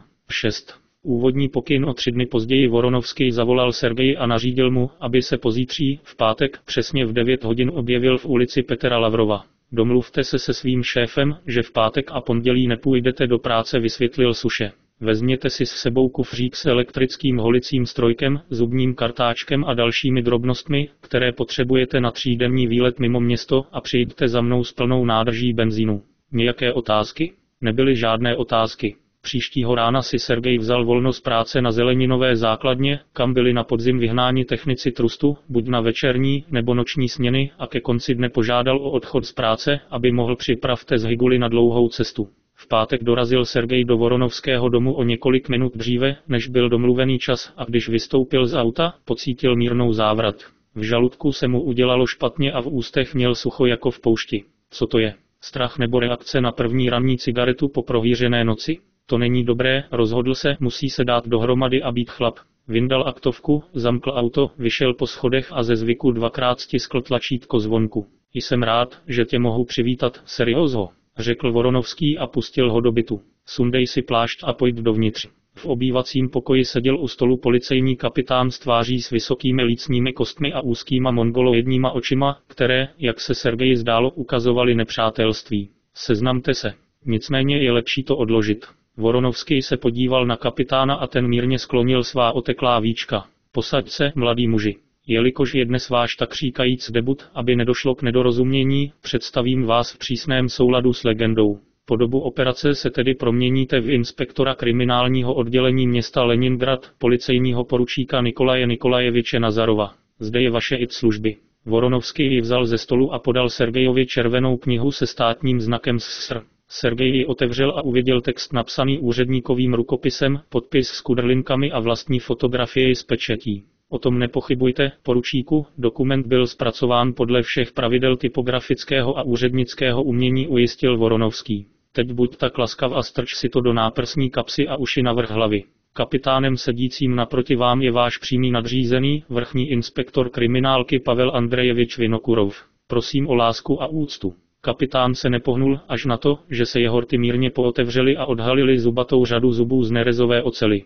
Pár slov o okolnostech operace pokračoval Voronovský. Kapitán si je toho vědom, ale neublíží mu, když si mě ještě jednou poslechne. Nedávno tedy do našeho pohostinného města přijel z jižních oblastí člověk, který měl v úmyslu nakoupit zlato v mincích a slitcích. Svět není bez dobrých lidí a tak mě Zlatokop oslovil a tak se stal naším klientem. Předevčírem jsem mu ukázal zboží a po delším jednání jsme se dohodli na ceně. Jak už to v takových případech bývá, přišel se na zboží podívat bez peněz. Obchod se uskuteční dnes v 11 hodin dopoledne. Požádám vás, poručíku, abyste se sem podívali. Voronovský položil před Sergeje linkovaný list papíru a kapitán si přisunul židli blíž. Toto je plán oblasti, kde se budou události odehrávat. Tady je ulice Maxima Gorkého, tady je Sydney Market, tady je kino Velikan a tady je Vedenská jiva. Vyznáte se v této oblasti? Docela potvrdil Sergej. Nejpozději v půl jedenácté sem s kapitánem zajedete a tady necháte své zhybuly. Potom samostatně přistupte k domu označenému na plánu číslem 1 a rozhlédněte se po okolí. Pokud je podle kapitánova názoru na shybce vše v klidu, sundá si čepici a vstoupí do prostředního vchodu domu označeného číslem 2 a náš mladý a pohledný poručík tudy projde a zastaví se a dívá se po ulici pouze ve směru svého pohybu. Je přísně zakázáno otáčet se a otáčet hlavu. Někde poblíž bude procházet náš klient, kterého by se nemělo bát. Voronovský se usmál. Přesně v jedenáct přijedu taxíkem a zastavím se tady, na čísle 3. Řidič vystoupí z auta, zvedne kapotu a začne se štourat v elektroinstalaci. Pro informaci. Taxikář je svůj chlap, ale o operaci samozřejmě neví. V tuto dobu klient přijde k autu, otevře zadní dveře, sedne si vedle mě a předá mi peníze. Jsou v bankovním obalu. Pro testování náhodně otevřu dvě nebo tři balení, ujistím se, že to není panenka a předám produkt klientovi. Všechny výše uvedené kroky nezaberou více než dvě minuty. Během této doby bude klient zaneprázdněn a je nepravděpodobné, že bude zírat na ulici. Proto, jakmile nastoupí do auta, jdete oba k zavřenému novinovému stánku označenému číslicí 4 a zaujmete výchozí pozici. Když řidič zabouchne kapotu, přiběhnete k taxíku a otevřete oboje pravé dveře. Poručík otevře přední dveře, posadí se vedle řidiče a řekne dvě kouzelná slova. Vyšetřování. Poručíku, máte nějaké otázky? Viktore Alexandroviči, co bude dál? Sergej spolkl sliny. Dále, má drahá, iniciativa zcela přechází do rukou kapitána. Voronovský si promnul bradu. Je možné, že budeme improvizovat. Udělejte, co přikazuji, zasáhl kapitán. Udělejte vše přesně, bez prodlení. Co bys měl mít s sebou, víš? Počkej, k tomu jsem se ještě nedostal, zastavil ho Voronovský. Pokud vše půjde podle plánu, bude mít na konci operace pouze jednu samostatnou akci. Jsem pro něj klidná, je to hodný chlap, nezbabilec. Uvidíme, zabručel kapitán. Až kapitán dokončí zpracování klienta, vy, poručíku, mu pomůžete najít cestu ven. Přirozeně, v tom nejdoslovnějším slova smyslu. Klienta bude nutné vyvést ven. Když jste se ujistili, že odešel na všechny čtyři strany, klidně jděte do Zhiguly. Oba jsme u vás asi za 10 až 15 minut. Pokud se z nějakého důvodu zdržíme, jděte za Petrem Lavrovem a počkejte před mým domem. Je úkol jasný? Samozřejmě odpověděl Sergej. Teď jen pár slov o nouzové situaci zamračil se Voronovský. Pokud se kapitánovi něco nelíbí a nesundá si čepici, vraťte se oba do auta zvlášť a okamžitě jedte sem. Ale tak, aby s sebou netáhl ocas. V tomto případě se provoz ruší, projedu taxíkem kolem místa srazu a hned se vrátím domů. Nějaké otázky? Kapitán si dlaní uhladil své řídké pološedivé vlasy a poškrábal se na temeni hlavy. Na co myslíte? Zeptal se Voronovský rychle. Viktor Alexanich, je ten klient špatný? Kapitán zakroutil ukazováčkem. Samozřejmě, že neposkytnu záruku, ale nevypadá to jako Dynamo, odpověděl Voronovský. Je na to trochu starý. Přesto se pozorně rozhlédněte. Jinak ne, odpověděl kapitán uraženě. Pojďme to zabalit. Obrátil se Voronovský na Sergeje, žádám vás, abyste vyprázdnili kapsy od nepotřebných věcí. To je jen pro případ, nikdy nevíte, co se může stát. Nechte s sebou hřeben, kapesník, cigarety, zápalky, řidičský průkaz a doklady od auta. Mimochodem, po příjezdu schovejte svůj průkaz a doklady k autu pod sedadlo Mustangu. Policejní poručík Nazarov pro ně nemá využití. Na oplátku ode mne dostáváte tyto hlavičkové papíry, použitý sešit a propisovací tušku v nominální hodnotě 35 kopejek. Malý detail, ale podstatný. Lidé, kteří slouží u policie, jsou skromní, nenároční lidé, protože špatně platí. Sergej si rozložil věci na stůl, vybral si, co si mohl vzít s sebou a dal si je do kapes. Podařilo se jim vypít šálek silné kávy a vykouřit cigaretu, než Voronovský vstal a řekl. Soudruzi důstojníci, je čas. Taxík tu bude v 10.30, ale ještě se potřebuji dostat do správné kondice. Nakonec se podíváme na hodinky. Na mých 9.47. Kapitán pohnul ručičkami hodinek a řekl Sergejovi. Nazarove, následuj mě. Nedriftujte, držte si oca s pistolí. Doufám, že jste nezapomněli mé příjmení? Zeptal se Voronovský kapitána. Nemusíš to kontrolovat. Při práci s klientem se nepřetěžujte. Rozuměl? S těmito slovy za nimi Voronovský zavřel dveře. 7. Akcelerace opustili vůz přesně tam, kde Voronovský nařídil a pomalu se přesunuli k bodu číslo 1. Kapitán šel napřed a Sergej byl 10 metrů za ním. Když se kapitán přiblížil k danému bodu, rozhlédl se, zamešleně stál a pak, aniž by se podíval na Sergeje, si sundal čepici a zmizel ve vchodu. Sergej prošel kolem a zastavil se u nástěnky. Pocítil mrazení, pevně si zapnul kabát a pomyslel si, co by se sebou měl dělat, Nejprve se podíval na šedou oblohu, hustě pokrytou nízkou oblačností, a pak se začal dívat na vzácné kolem jdoucí. Vedle něj běhali tři školačky z copánky, za nimi stařena s kabelkou a o minutu později Sergeje okamžitě vyhodil do tepla starší muž s bronzovou tváří v černé čepici a prošívaném bavlněném hábitu a upřeně se na něj díval, ho se zapadlýma, ostražitýma očima. Klient. Sergej se nedobrovolně přikrčil, odvrátil a předstíral, že ho nesmírně zaujal pestrobarevný plakát vyzývající obyvatelstvo, aby se naučilo profesi řidiče trolejbusu. Východní muž přišel blíž, zastavil se vedle něj a zdálo se, že čeká na nějaký signál. Když Sergej za sebou slyšel astmatické dýchání starého muže, nevydržel to a zíral na něj. Potrhaný obličej a nemrkající pohled majitele čepice paralizovali jeho vůli. Mešita, jak se tam dostat? Zaskřehotal stařec. Sergej okamžitě nepochopil, co východní muž potřebuje. Jděte doprava, pak doleva a pak rovně podél Maxima Gorkého. Dostanete se na Kirovský prospekt a je to velmi blízko, vyhrkl jedním dechem. Východní muž už dávno zahnul za roh a Sergej stále nestál ani živý, ani mrtvý. Po zádech mi stékaly kapky potu a v hlavě se mi točila jediná myšlenka, jak odejít bez povšimnutí a už se nikdy v životě nesetkat ani s policejním kapitánem Vinokurovem, ani s Viktorem Alexandrovičem Voronovským. Slyšel však skřípění brzd a koutkem oka si všiml, jak taxikář zvedl kapotu a do auta se vrhl zavalitý, tlustý muž v obrovské šedé čepici. Ale vzal to s nadhledem, protože všechno, o čem Voronovský na briefingu mluvil, mu úplně vyletělo z hlavy. Z inhibičního stavu ho vyvedlo prudké zatlačení dozad a tichý výkřik. Nazarove, budeš zývat později. Sergej dohonil kapitána u novinového stánku a postavil se vedle něj. Připravit se, přikázal kapitán a při zvuku zabouchnutí kapoty postrčil Sergeje vpřed. Pojďme. Současně doběhli k taxíku, otevřeli dveře a vtrhli do kabiny. Sergej vrazil řidiči pod nos svůj policejní průkaz a z plných plic zakřičel. Kriminální vyšetřování. V těch sekundách udělal vše přesně podle plánu, protože jednal společně s kapitánem a nestihl se vyděsit, ale jakmile byl v autě, zase o něm měl úžasem. Ze žaludku se začala zvedat lepkavá vlna chladu a stoupala do krku, ale pak ho povzbudil vítězný hlas kapitána. Ach, starý přítel, sleduji tě už dlouho, morozli, ale ty ses z toho pořád dostával. A co je to s tebou za chlapa? Podvodník? Jsem pastor. Zaječel zlatozubý tlustoch v čepici, sevřený mezi Voronovského a kapitána. Savsemský pastýř. V tomto městě nikoho neznám. Neznáte nikoho? Zeptal se kapitán sarkasticky. Chudák, proč se sakra třel s morozlim? A, sal byl v taxíku, myslel jsem, že mě odvezou, odpověděl tlustý muž a nadechl se. Trochu jsem se ztratil. Ztracený? Ach ne ne ne. Nenechte se unášet, teď vám pomůžeme dostat se na správnou cestu. Kapitán se otočil na taxikáře. Soudruhu řidiči, rychle nás odveste ke služebnímu vchodu Kinadiant. A ty, Nazarové, zaznamenej nastavení soudruha řidiče. Zatímco si Sergej zapisoval do sešitu příjmení, jméno, rodokmen, rok narození, místo práce, číslo auta, pracovní telefonní číslo a domácí adresu řidiče, taxík dojel k obrovi a zastavil vpravo od hlavního vchodu. Vyjít.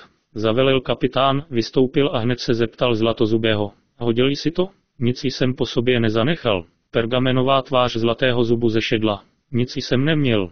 Jo, Kapitán se sehnul, zvedl nákupní tašku ležící u tlustochových nohou a slastí hvízdl. Páni, Nazarové, podívej. Na okamžik otevřel tašku, aby Sergej ani řidič nic nevěděli. Ulov, kuře sneslo vejce. A nejednoduché. Přísahám, nic jsem nevzdal. Žalostně zaječel zlatozubí. Jsem pastor. Co máš? Kapitán popadl starou koženou tašku od Voronovského, nahlédl dovnitř a ukázal obsah Sergejovi, v sudých řadách tam ležely pestrobarevné balíky peněz. No, Morozli, konečně jsi skončil. Soudruhu řidiči, jsi volný. V případě potřeby vám zavolají. Nazarové, vezmi jejich věci, jdeme. Taxikář se rozjel a všichni čtyři vyšli po širokých schodech a zastavili se před zavřenými dveřmi. Kapitán zatáhl za kliku a stiskl tlačítko zvonku. Tři nebo čtyři minuty se nikdo neobjevil, pak se dveře mírně otevřely a Sergej uviděl malou ženu s bundou přehozenou přes ramena. Kapitán vystoupil vpřed, odhalil svůj průkaz totožnosti a představil se. Vrchní inspektor kriminálního vyšetřování kapitán Vinokurov, kdo jsi? Administrátor ve službě. Je na místě ředitel nebo zástupce? Režisér je v kině, ale zástupce ještě nedorazil, bude blíže polovině dne vysvětlila žena. Co chceš? Potřebujeme volný pokoj pro operativní práci na půl hodiny, řekl kapitán. Pojďme do ředitelny, navrhla žena. Je to ve druhém patře. Vzala je nahoru a zeptala se. Už mě nepotřebuji? Jdi do práce, pustil ji kapitán. Ředitelská kancelář byla prostorná, zakouřená a pěkně ošuntělá, závěsy byly plné skvrn, čalounění opotřebované a tapety vybledlé a odlepovaly se od stěn. Morozli, stůj v rohu. Ne tak, čelem ke zdi. Kapitán zvýšil hlas. Voronovský jeho požadavek bez pochyby splnil. Kapitán přistoupil ke stolu, zvedl telefon a vytočil číslo. Soudruhu podplukovníku? Hlásí se kapitán Vinokurov. Valutový obchodník Morozli byl zadržen, jsme v kině obří. Přesně tak, Důkazy jsou, je tu svědek. Pošlete autogaz s konvojem. Vítejte. Asi za 20 minut? Jo, všechno mám. Zlatozub zavrávoral a málem upadl. Sergejovi se ho podařilo chytit pod paže a posadit na židli. Kapitán přimhouřil oči, zavěsil a prstem na zlatozubého pokynul. Dokumenty na stole. Vyštěkl kapitán a zamračil se na něj. Rychle, moc se nevzrušuj. Zlatozub těžce vstal, vytáhl pas a začal blábolit. Tavarský kapitán, Soukromé slovo, jsem absolutně pastor. Přišla moje nejmladší dcera Meduchylis i emu palto hatel vynesti. si sal, obchodní dům hat. Občane náčelníku, ten muž vám něco říká, zasáhl Voronovský. To je poprvé, co ho vidím.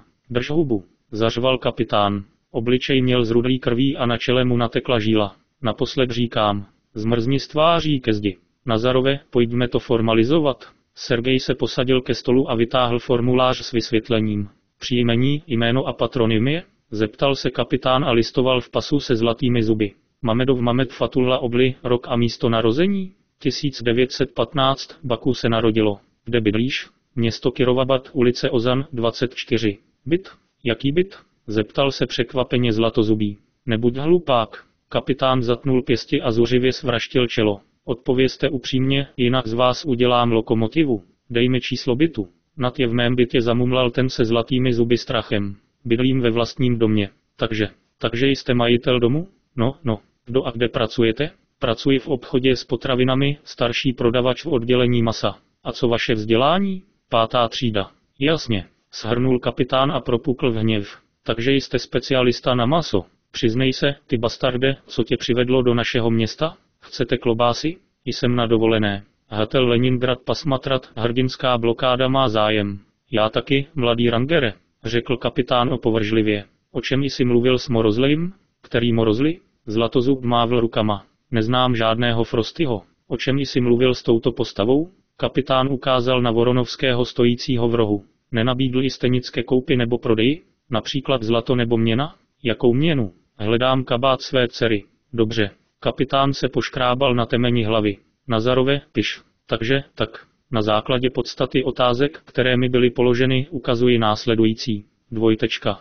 Na státní dovolené jsem přijel do Leningradu, abych si odpočinul a koupil si dámský kabát dcera. Tečka. 15. září 1978 ráno jsem se šel projít a v 11 hodin 2 minuty jsem přistoupil k osobnímu taxi státní poznávací značky LEK 27-74, kde byl pro mě neznámý cestující, sedí. Tečka. Můžete se mnou držet krok? Požádal jsem o odvoz do obchodního domu, který prodává dámské svrchní oděvy a po obdržení souhlasu cestujícího jsem nastoupil do auta. Tečka. Neznámý občan s ním nezačal konverzovat mě o cizích tématech a neprováděl se mnou žádné transakce, nenabízel jsem zlato ani měnu. Období. Než se auto dalo do pohybu, byl jsem zadržen zaměstnanci kriminálního vyšetřovacího oddělení města Leningrad, abych našel odhalit mou identitu. Tečka. Zapsal jsem si to? Správně, Pavle Andrejeviči, hlásil vesele Sergej. Pojďte sem.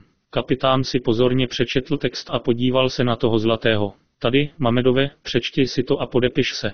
Zlatozub vytáhl z kapsy brýle, sundal si čepici a začal číst, neslyšně šeptal svými rty. Sergej si všiml, že jeho plešatá hlava je celá pokrytá kapkami potu. Vezměte pero a napište. Bylo to správně zapsáno z mých slov. Přečetl jsem to já. A podepište se níže nařídil kapitán a rychle vyplnil formulář. A také se zde podepište.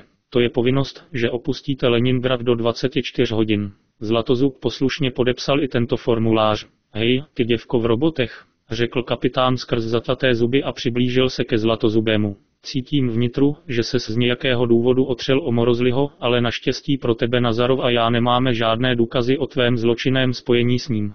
Vypadni odsud jako párek a modli se ke svému Alláhovi, aby se mi znovu nedostal do očí. Nazarove, buď kamarád, jdi na benzínku a zároveň ukaž řezníkovi, kde je východ. Sergej se stupoval po schodech vedle toho zlatozubého, který se na něj díval a zeptal se, kterým směrem byste měli jít? Moje dcera si chce koupit kabát, zamumlal a otřásl se. Pak jděte 300 metrů a tam, na rohu, uvidíte autobusovou zastávku. Na ulici se zlatozubý muž rozběhl s hbitostí, která byla na jeho věk a velikost neočekávaná. Sergej předstíral, že si zavazuje tkaničku a všiml si, jak se zlatý zubatý muž rozhlédl kolem, nasedl do taxíku a odjel směrem k Dobrolubovově třídě.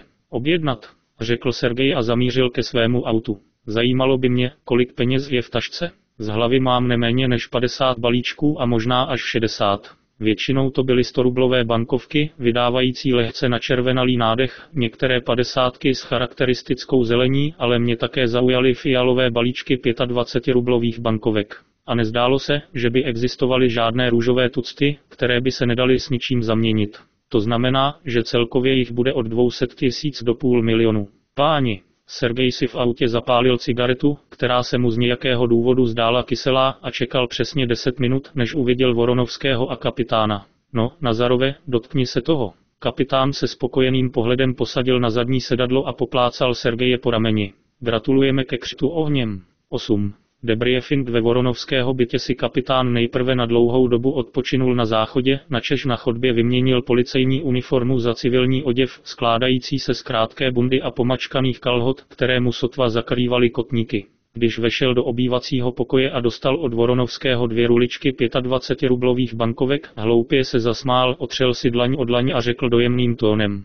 Viktore Alexaniche, bylo by užitečné trochu pojmout přijímání. Nazarove, jak se máš? Oba spěcháme, odpověděl Voronovský zamračeně. Mám ti dát sklenici vodky? Bylo by lepší, kdyby to bylo červené. Nepiju alkoholizovaná vína, odsekl Voronovský. Tak tohle, jak se jmenuje? Kapitán se poškrábal vzadu na hlavě. Tak zelený, hustý, lepkavý. Chartreuse? Voronovský se odvrátil od kapitána a skryl svůj úsměv. Kolik ty mám nalít? 150 gramů v samotné barvě. Co si dáš k svačině? Voronovský otevřel bar a naplnil velkou sklenici benátského skla až povrch likérem. Nakládaná okurka? Ne. Kapitán vytáhl z kapsy karamel tuzik a zašustil obal. Vždy mějte připravenou svačinu. Tady, přijmi přijímání. Voronovský před něj postavil sklenici. Pijte na své zdraví. Kéž oni, bastardi, zahynou přes noc. Kapitán posunul obočí ke kořeni nosu, zhluboka se nadechl a jedním douškem vyprázdnil sklenici. Uh. Když kapitán odešel, Voronovský otevřel hromádku 100 rublových bankovek, napočítal tři tisíce, tiše je položil před Sergeje a zbytek peněz vložil do tašky a odešel do ložnice. Po návratu se posadil vedle Sergeje, zapálil si cigaretu a zeptal se. Doufám, že si nestěžujete na výši poplatku? O čem to mluvíš, Viktore Alexandroviči? Sergej si položil ruku na srdce. S obdrženou částkou, která s přihlédnutím ke splacení dluhu Voronovskému činila dobrou polovinu nákladů na novou ladu, byl skutečně docela spokojen.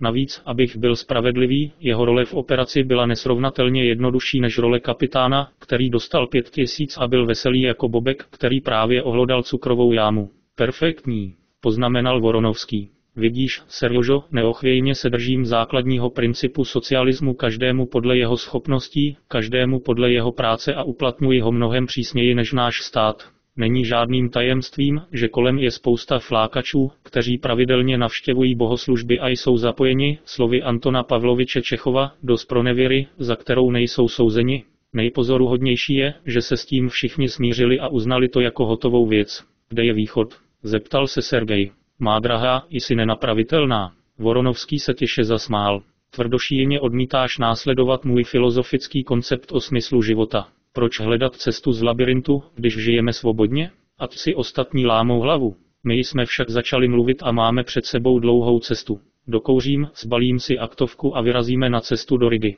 Je úkol jasný? Co tam budeme dělat? Po úspěšné operaci vždy na dva tři dny změním klima. Navíc v Rize musím mít jeden dlouhý rozhovor a telefon bohužel neslouží jako ideální prostředek komunikace mezi obchodníky. Ne všichni moji partneři mají inteligenci a kulturu, aby mohli konverzovat ezopským stylem. Pochopili jste pointu? Sergej přikývl. Báječné. Voronovský opatrně uhasil cigaretu. Dejte mi deset minut, abych se připravil a jak říkali hrdinové občanské války. Pojďme. O čtvrt hodiny později odbočil z ulice Čajkovského doleva na nábřeží Fontanka a Sergej odbočil k Voronovskému. Viktore Alexandroviči, mohu se zeptat? Vítejte. Jak se vám podařilo identifikovat tlustocha se zlatými zuby? Základní. Psychologický vzorec chování našeho klienta byl zřejmý, se všemi jeho omezeními to podle mého názoru není zdaleka poprvé, co kupuje zlato a ví, co to stojí. Jakmile jste nás zadrželi v taxíku, okamžitě si uvědomil, že jeho finance zpívají romance a vznášejí se do naprosté dálky. Proč by za nimi měl plavat? Pokud by klient zlato nebo peníze uznal za své, skončil by na 10 až 15 let ve vězeňské cele. Mimochodem, trest smrti je stanoven i za měnové zločiny. Jeho blábolení o kabátu pro dceru vypadalo jako kravina a skuteční kriminalisté by ho nikdy nepustili z ruky. Jedním slovem, naším úkolem bylo vytvořit uvěřitelnou situaci zadržení, což provedl kapitán za vaší účasti. Kapitán zvládl všechno s A plus poznamenal Sergej. Jako skutečný policista. Ví o tom. U policie sloužil 15 let a byl odtud vyloučen za zneužití pravomoci. Takže náš kapitán býval skutečným kapitánem? Ne, poručíku. Byl povýšen na kapitána vaším pokorným služebníkem. Voronovský se ironicky uklonil. Seriozo, ani si nedokážeš představit, jak byl šťastný. Teď si říkám, že je čas, s ohledem na jeho délku služby, povýšit ho do hodnosti majora. Sehnat nové ramenní popruhy není problém, bude tam i čistá vložka na IT, takže do léta očekávejte nějakou zábavu. Zajímalo by mě, pro koho pracuje? Vedoucí soukromé ostrahy v nějaké továrně. Vyhovuje mi, že je ve službě 24 hodin a 3 dny má volno. Proč jste varoval předem, aby na klienta příliš netlačil? Sergej to nenechal. Když ho bylo nutné vyděsit, proč bylo nutné odložit kapitána? Otázka v podstatě z ní připustil Voronovský. Vidíš, Serjožo, náš kapitán není bez zvláštností. Od normálních lidí se liší svou zběsilou, skutečně patologickou nenávistí k bohatým, zejména spekulantům. Kdyby dostal volnou ruku a lehký kulomet, střílel by po spekulantech zleva i zprava bez dnů volna nebo přestávek na oběd. Náš dnešní klient je možná Turek, ale neměl by to přehánět.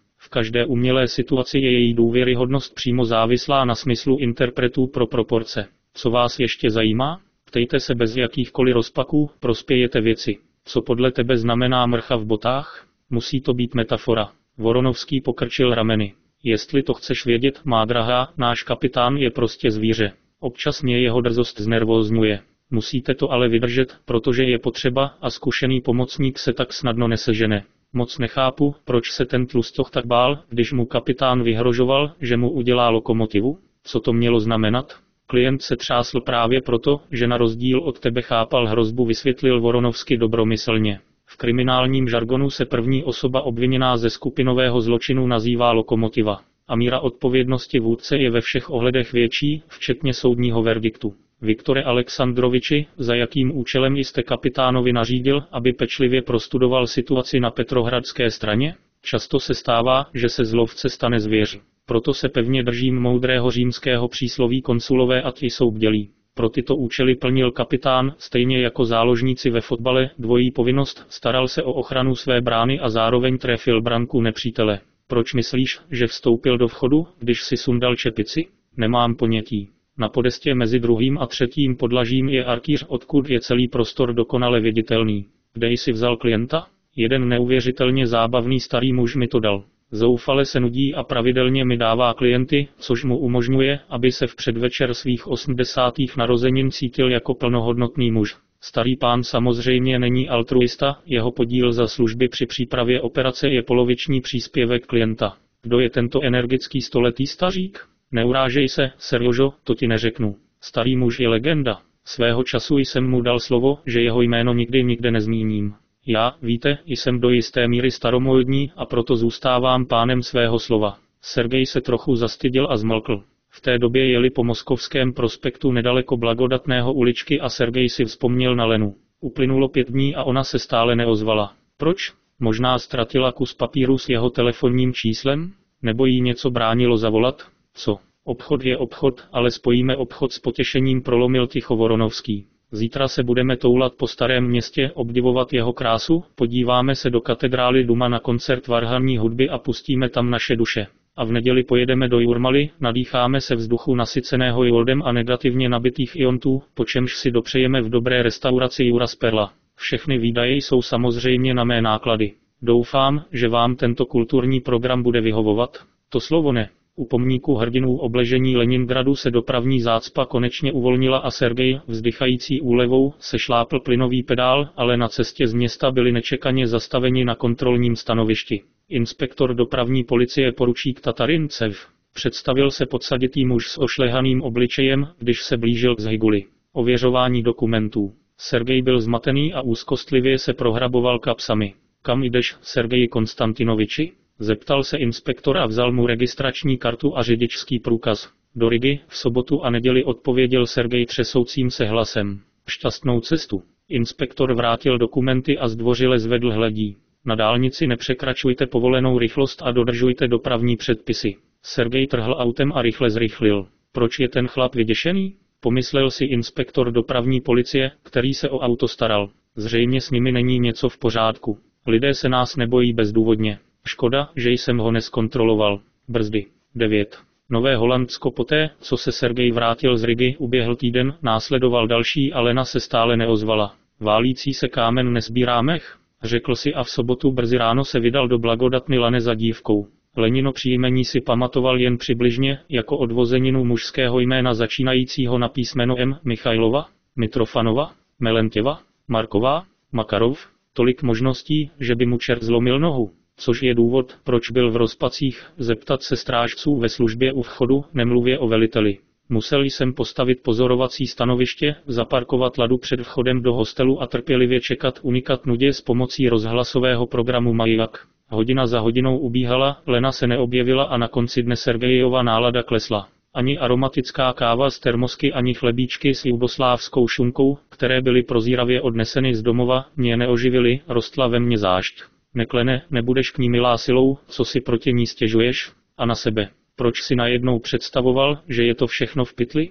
Lena mu volala v pondělí do práce. Seriózho, ahoj. Poznáváš mě? Helen?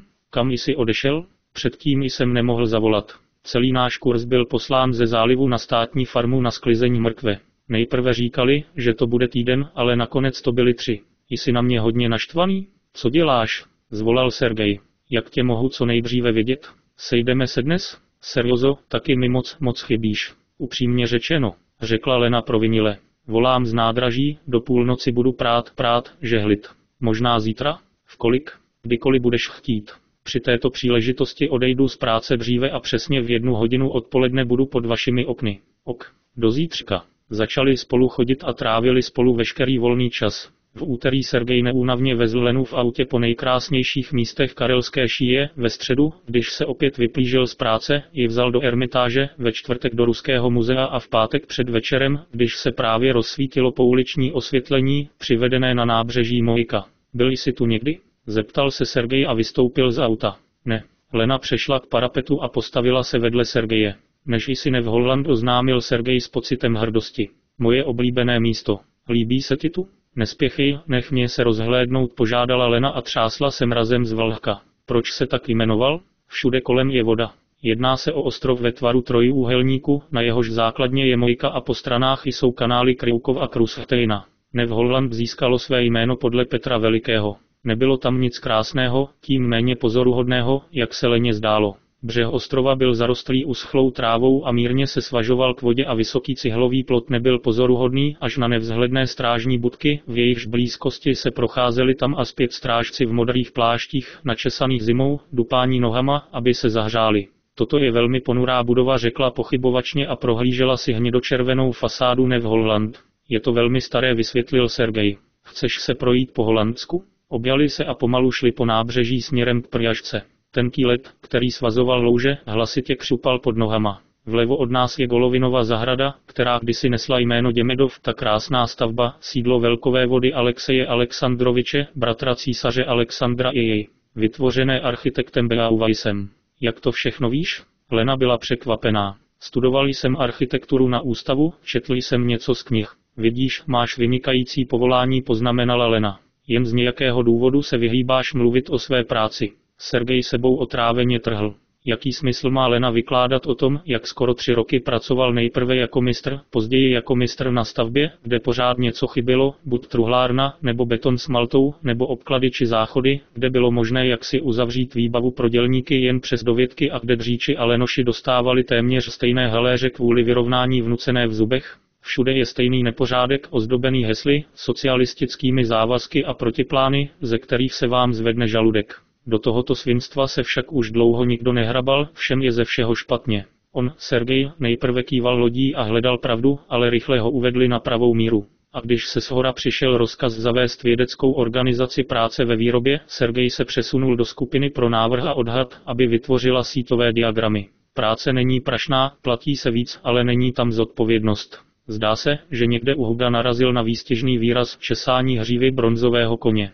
Máme tím naloženou polovinu země, ale není tu žádná nezaměstnanost. O tom se samozřejmě nahlas nediskutuje, u lidí se spustí put sebezáchovy nebo, jak říká Voronovský, efekt naplácané zadnice geneticky předávaný z otců na děti. Jak se cítíš? Zeptal se Sergej, když kráčeli podél Kriukovského kanálu poblíž budovy druhé námořní posádky.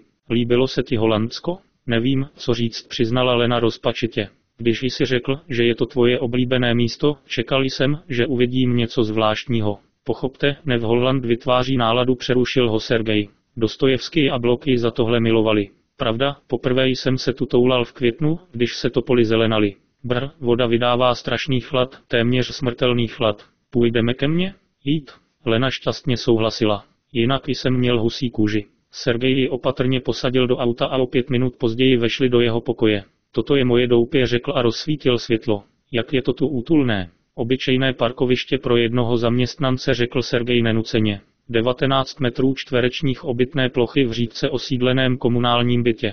Proč to děláš? Zeptala se Lena zmateně. Upřímně, opravdu se mi tu líbí. Všechno se učí srovnáním poznamenal Sergej filozoficky a zapnul magnetofon s nahrávkou Gers Hvinovir Rhapsody in Blue. Po ubytovně vypadá každé více či méně snesitelné bydlení jako rajský příbytek. Jakou úžasnou knihovnu máte?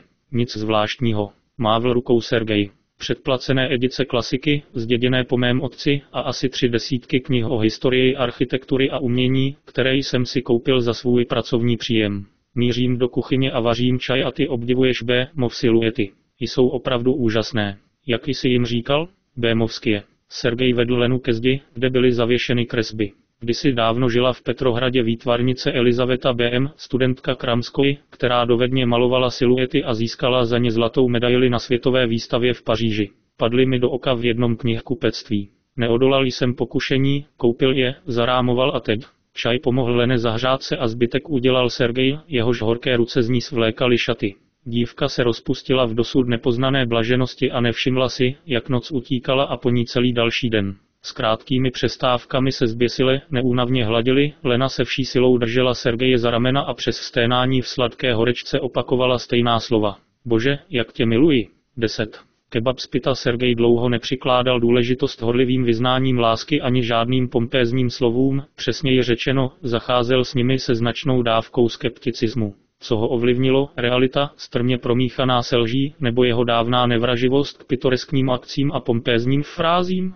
S největší pravděpodobností obojí. Faktem ale zůstává, že si Leny vážil jako nikdo předtím.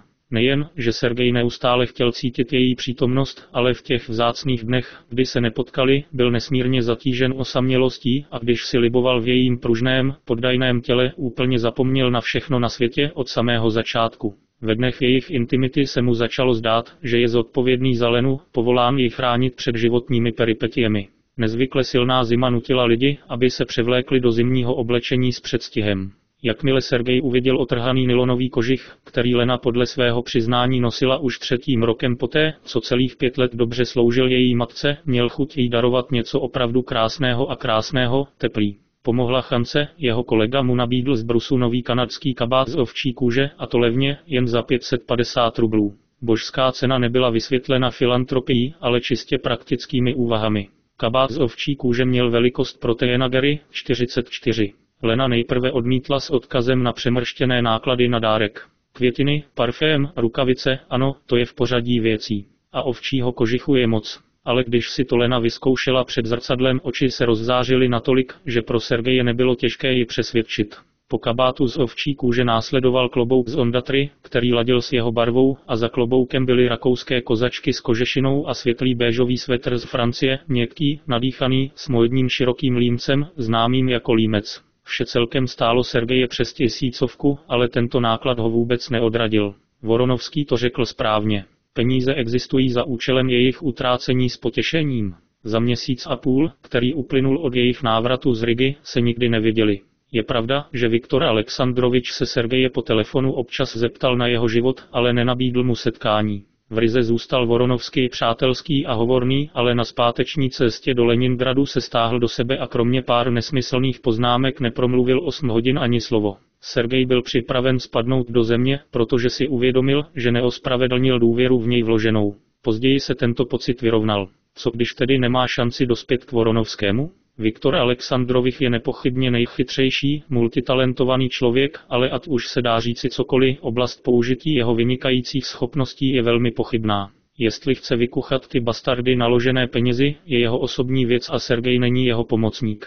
Peníze jsou samozřejmě velká síla, ale kromě nich, díky bohu, má život ještě nějaký smysl. O další měsíc později, stalo se tak v sobotu 16. prosince, šli Lena a Sergej odpoledne do Gostinyho dvora a koupili mu finský třídílný oblek v barvě Marengo a k němu kožené rukavice s flaneletovou počívkou. Když šli nakupovat na Sadovaja, rozhodli se na v návrh vyprat své nové oblečení v restauraci. I přes poměrně brzkou hodinu, bylo teprve půl třetí, se před metropolem již tvořila fronta. Serjoško, víš, co mě napadlo? Lena rychle promluvila. Pojďme do obchodu s potravinami Elisejevsky, vezměte si chutné jídlo a jděte k vám. Uvidíte, domy jsou lepší než metropol. Ne, choď takhle. Sergej nesouhlasil. Svět se k metropolu nepřiblížil jako klín. Pojďme do Baku. Co když je tam taky čára? Stěží. Proč si to myslíš? Mám k tomu dobrý důvod významně se usmál. Ale přesto, v Baku jsou ceny strmější. A ty chceš zbytečně utrácet peníze?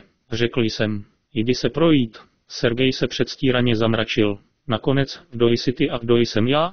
Já jsem záložní důstojník, zatímco vy jste jen nevycvičený vojín. A v předpisech izraelské armády je velmi důležitý odstavec. Voják nemá právo radit svému důstojníkovi. Omotaný kolem hlavy? V reakci na to se Lena hlasitě zasmála a na okamžik mu přitiskla hlavu na rameno. Prošli podzemní chodbou na opačnou stranu Něvského prospektu a brzy se přesvědčili, že se Sergej ve svých předpokladech nemýlil. A když on, podpírající Lenu za paži, vstoupil do sálu, okamžitě na něj zavolali. Sergej se po hovoru otočil a uviděl Voronovského sedícího vedle nějaké ženy a vyzývavě mává rukou. Seriózho, nemáš zač? Radostně zvolal Voronovský a vyšel jim vstříc od stolu. Troufám si doufat, že neodmítnete rozdělení společnosti? Zatímco se vzájemně seznamovali, Lena se na Voronovského podívala všemi očima. Hrdý kočár velké plnokrevné hlavy, přímý pohled šedých očí obklopených sotva viditelnými vrázkami, bezvadný střih drahého obleku, bílá košile s tenkým černým pruhem, vkusně zvolená kravata z přírodního hedvábí a většina, co je důležité, neokázalá pohostinnost, kterou tento extrémně zdvořilý muž projevil, na ní okamžitě udělala silný dojem.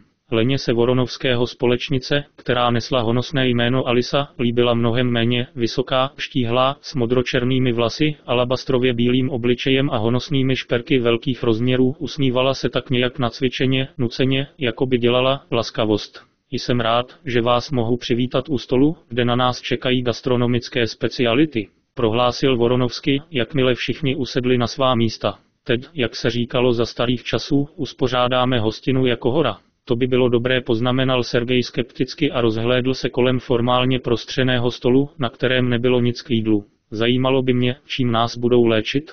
Neřeknu to jistě, protože sám nevím, odpověděl Voronovský s okouzlujícím úsměvem. Důležitá je další věc, nyní místní kuchyni dominuje jeden z mých příznivců a zkušenost mi říká, že ani důstojný manžel nestratí tvář ve špíně. Neuplynula ani minuta, než dva šikovní čišníci položili na stůl obrovský cupronický talíř s oválným víkem od zátku pět lahví růžového vína, položili talíře pita chleba a každému z hostů naservírovali omáčku naplněnou hustým tmavě hnědým kapalina, kterou Lena ani Sergej nikdy předtím nevěděli. Můžeme začít? Voronovský zvedl víko, oh, fantastický kebab. Na míse, obklopené cibulí nakrájenou na kroužky a jemně nasekanými bylinkami, ležel kopec masa opečeného na jehlech, nad nímž stoupala pára s pronikavou vůní povzbuzující chuť k jídlu.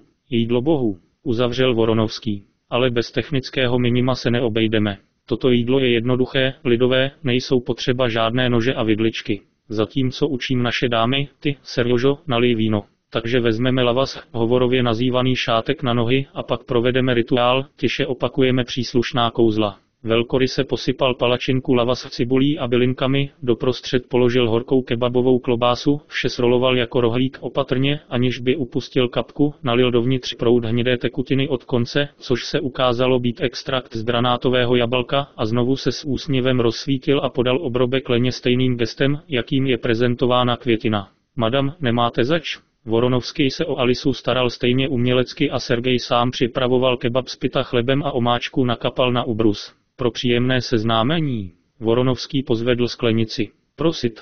Když Lena vyzkoušela lákavé jídlo, byla potěšena. Konsolidace. Vykřikla. V životě jsem nejedl nic chutnějšího. Serjoško, chutnalo ti to? To slovo ne. Zamumlal s plnou pusou. Victore, jsi kouzelník. Alice podporována. Nejsem to já, kdo je kouzelník, ale Arshak, pod jehož moudrým vedením byla tato milost připravena na mít žvíkací Voronovsky. A pak, když příběh proložil vtipnými gruzínskými tousty, vyprávěl o tom, jak cestoval po celém Kavkaze na služební cesty, jak zkoušel širokou škálu jídel z místní kuchyně a metodou pokusů a omylů nakonec zjistil, že ta nejchutnější byly khinkali a kebab s lavashem ve schátralém stavu, podobném v dřevníku, zakouřené jídelně v Avlabaru, v arménském koutě Tbilisi. Khinkali? Zeptala se znovu Lena. Co to je? Zjednodušeně řečeno, velké knedlíky pohotově vysvětlil Voronovský. Pravé khinkaly se také jí výhradně rukama, protože se nedají propíchnout, uvnitř je kromě masa i vývar. Jak se tam dostane, je pro mě stejně nepřístupnou záhadou jako struktura bonbónových polštářků s měkkou náplní. Pro pohodlí jedlíků se khinkaly vyrábí pomocí pipety speciálně určené pro uchopení prsty. Pokud bude příležitost, určitě vám je pohostím. Seriozo, jak sháníte víno Kemshirin? Zářit. Pochválil Sergej a znovu usrkl ze své sklenice. Na rozdíl od vodky, příteli, tady je lepší obrácené pořadí, doporučil mu Voronovský. Nejdřív si dáte jídlo do úst a pak to zapijete vínem. Během poklidné konverzace se hromada masa znatelně zmenšila a když na podnose zbylo jen pár kousků, potichu se k němu přiblížil asi 50-letý muž s ostrým obličejem, v bílém hábitu přes nahé tělo a ve vysoké kuchařské čepici, stůl. Nějaké připomínky ke kuchyni? Zeptal se hrdelním hlasem. Arshaku, drahý, o čem to mluvíš? Voronovský vstal a pevně mu potřásl rukou. Můžu vás požádat, abyste si k nám na chvíli přisedl? Neptej se, Viktore Alexandroviči, já nemůžu odmítl kuchař s úklonou. Tak mi dovol, abych se ty napil. Voronovský vzal láhev vína a naplnil čistou sklenici, kterou prozíravý čišník naservíroval včas. Věř mi, Arshaku, ocenil jsem jak Kemshirin, tak Narsharab. Zajímalo by mě, co můžeš říct o Jeseterovi na rožni? Kuchař, polichocen chválou, sklopil oči. Vybral jsem pro vás ty nejštavnatější kousky. Viktore Alexandroviči, smiluj se, prosila Lena. Kde je tolik, praskneme. A ty, Arshaku, jaké je tvé druhé jméno? Samsonoviči navrhl Voronovský rychle. Arshaku Samsonoviči, smiluj se. Lena se obrátila na Alici o pomoc. Řekni jim. Viktore, prosím, nepočítejte se mnou. Alice vstoupila do rozhovoru. Já taky přidal se k ním Sergej. Kdybych tak měl ještě jeden žaludek. Jak to? Na tváři šéf kuchaře bylo vidět zklamání. Z hlouby mého srdce. Arshaku, pro nás muže je mé slovo zákonem přerušil ho Voronovský. Ne všechny najednou, nechme je se teda stranou pro budoucnost.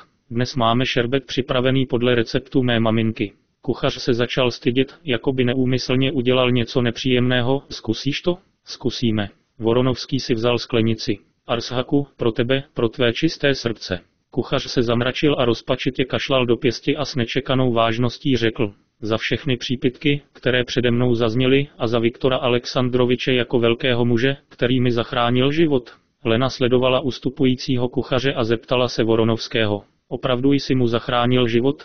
Vidíš, Leno, kavkazští lidé mají sklony k přehánění, odpověděl Voronovský s jemným úsměvem.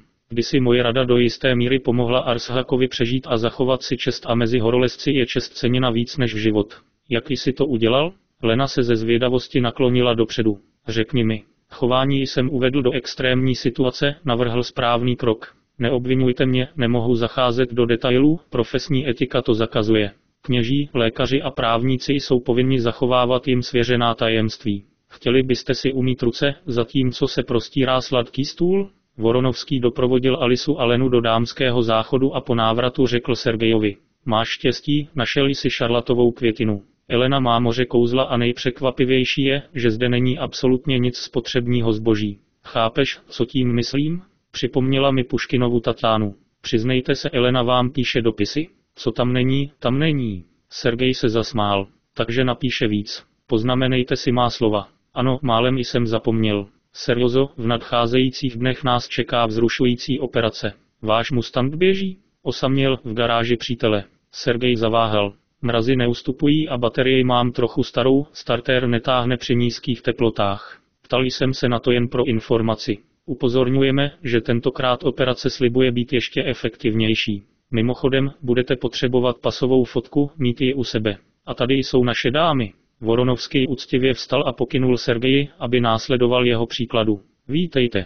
Na uklizeném stole se jako mávnutím kouzelného proutku okamžitě objevila miska s pudinkovými koláčky, žbám šerbetu a malé šálky turecké kávy.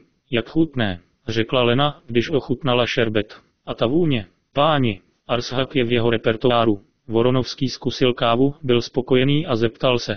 Leno, byla jsi v Tallinu? Ne, a co? Zatímco jsi čistil peří, Seriozha a já jsme na něco přišli. Pokud budete souhlasit, celá společnost oslaví nový rok v hlavním městě Estonska. Vyrazíme 29.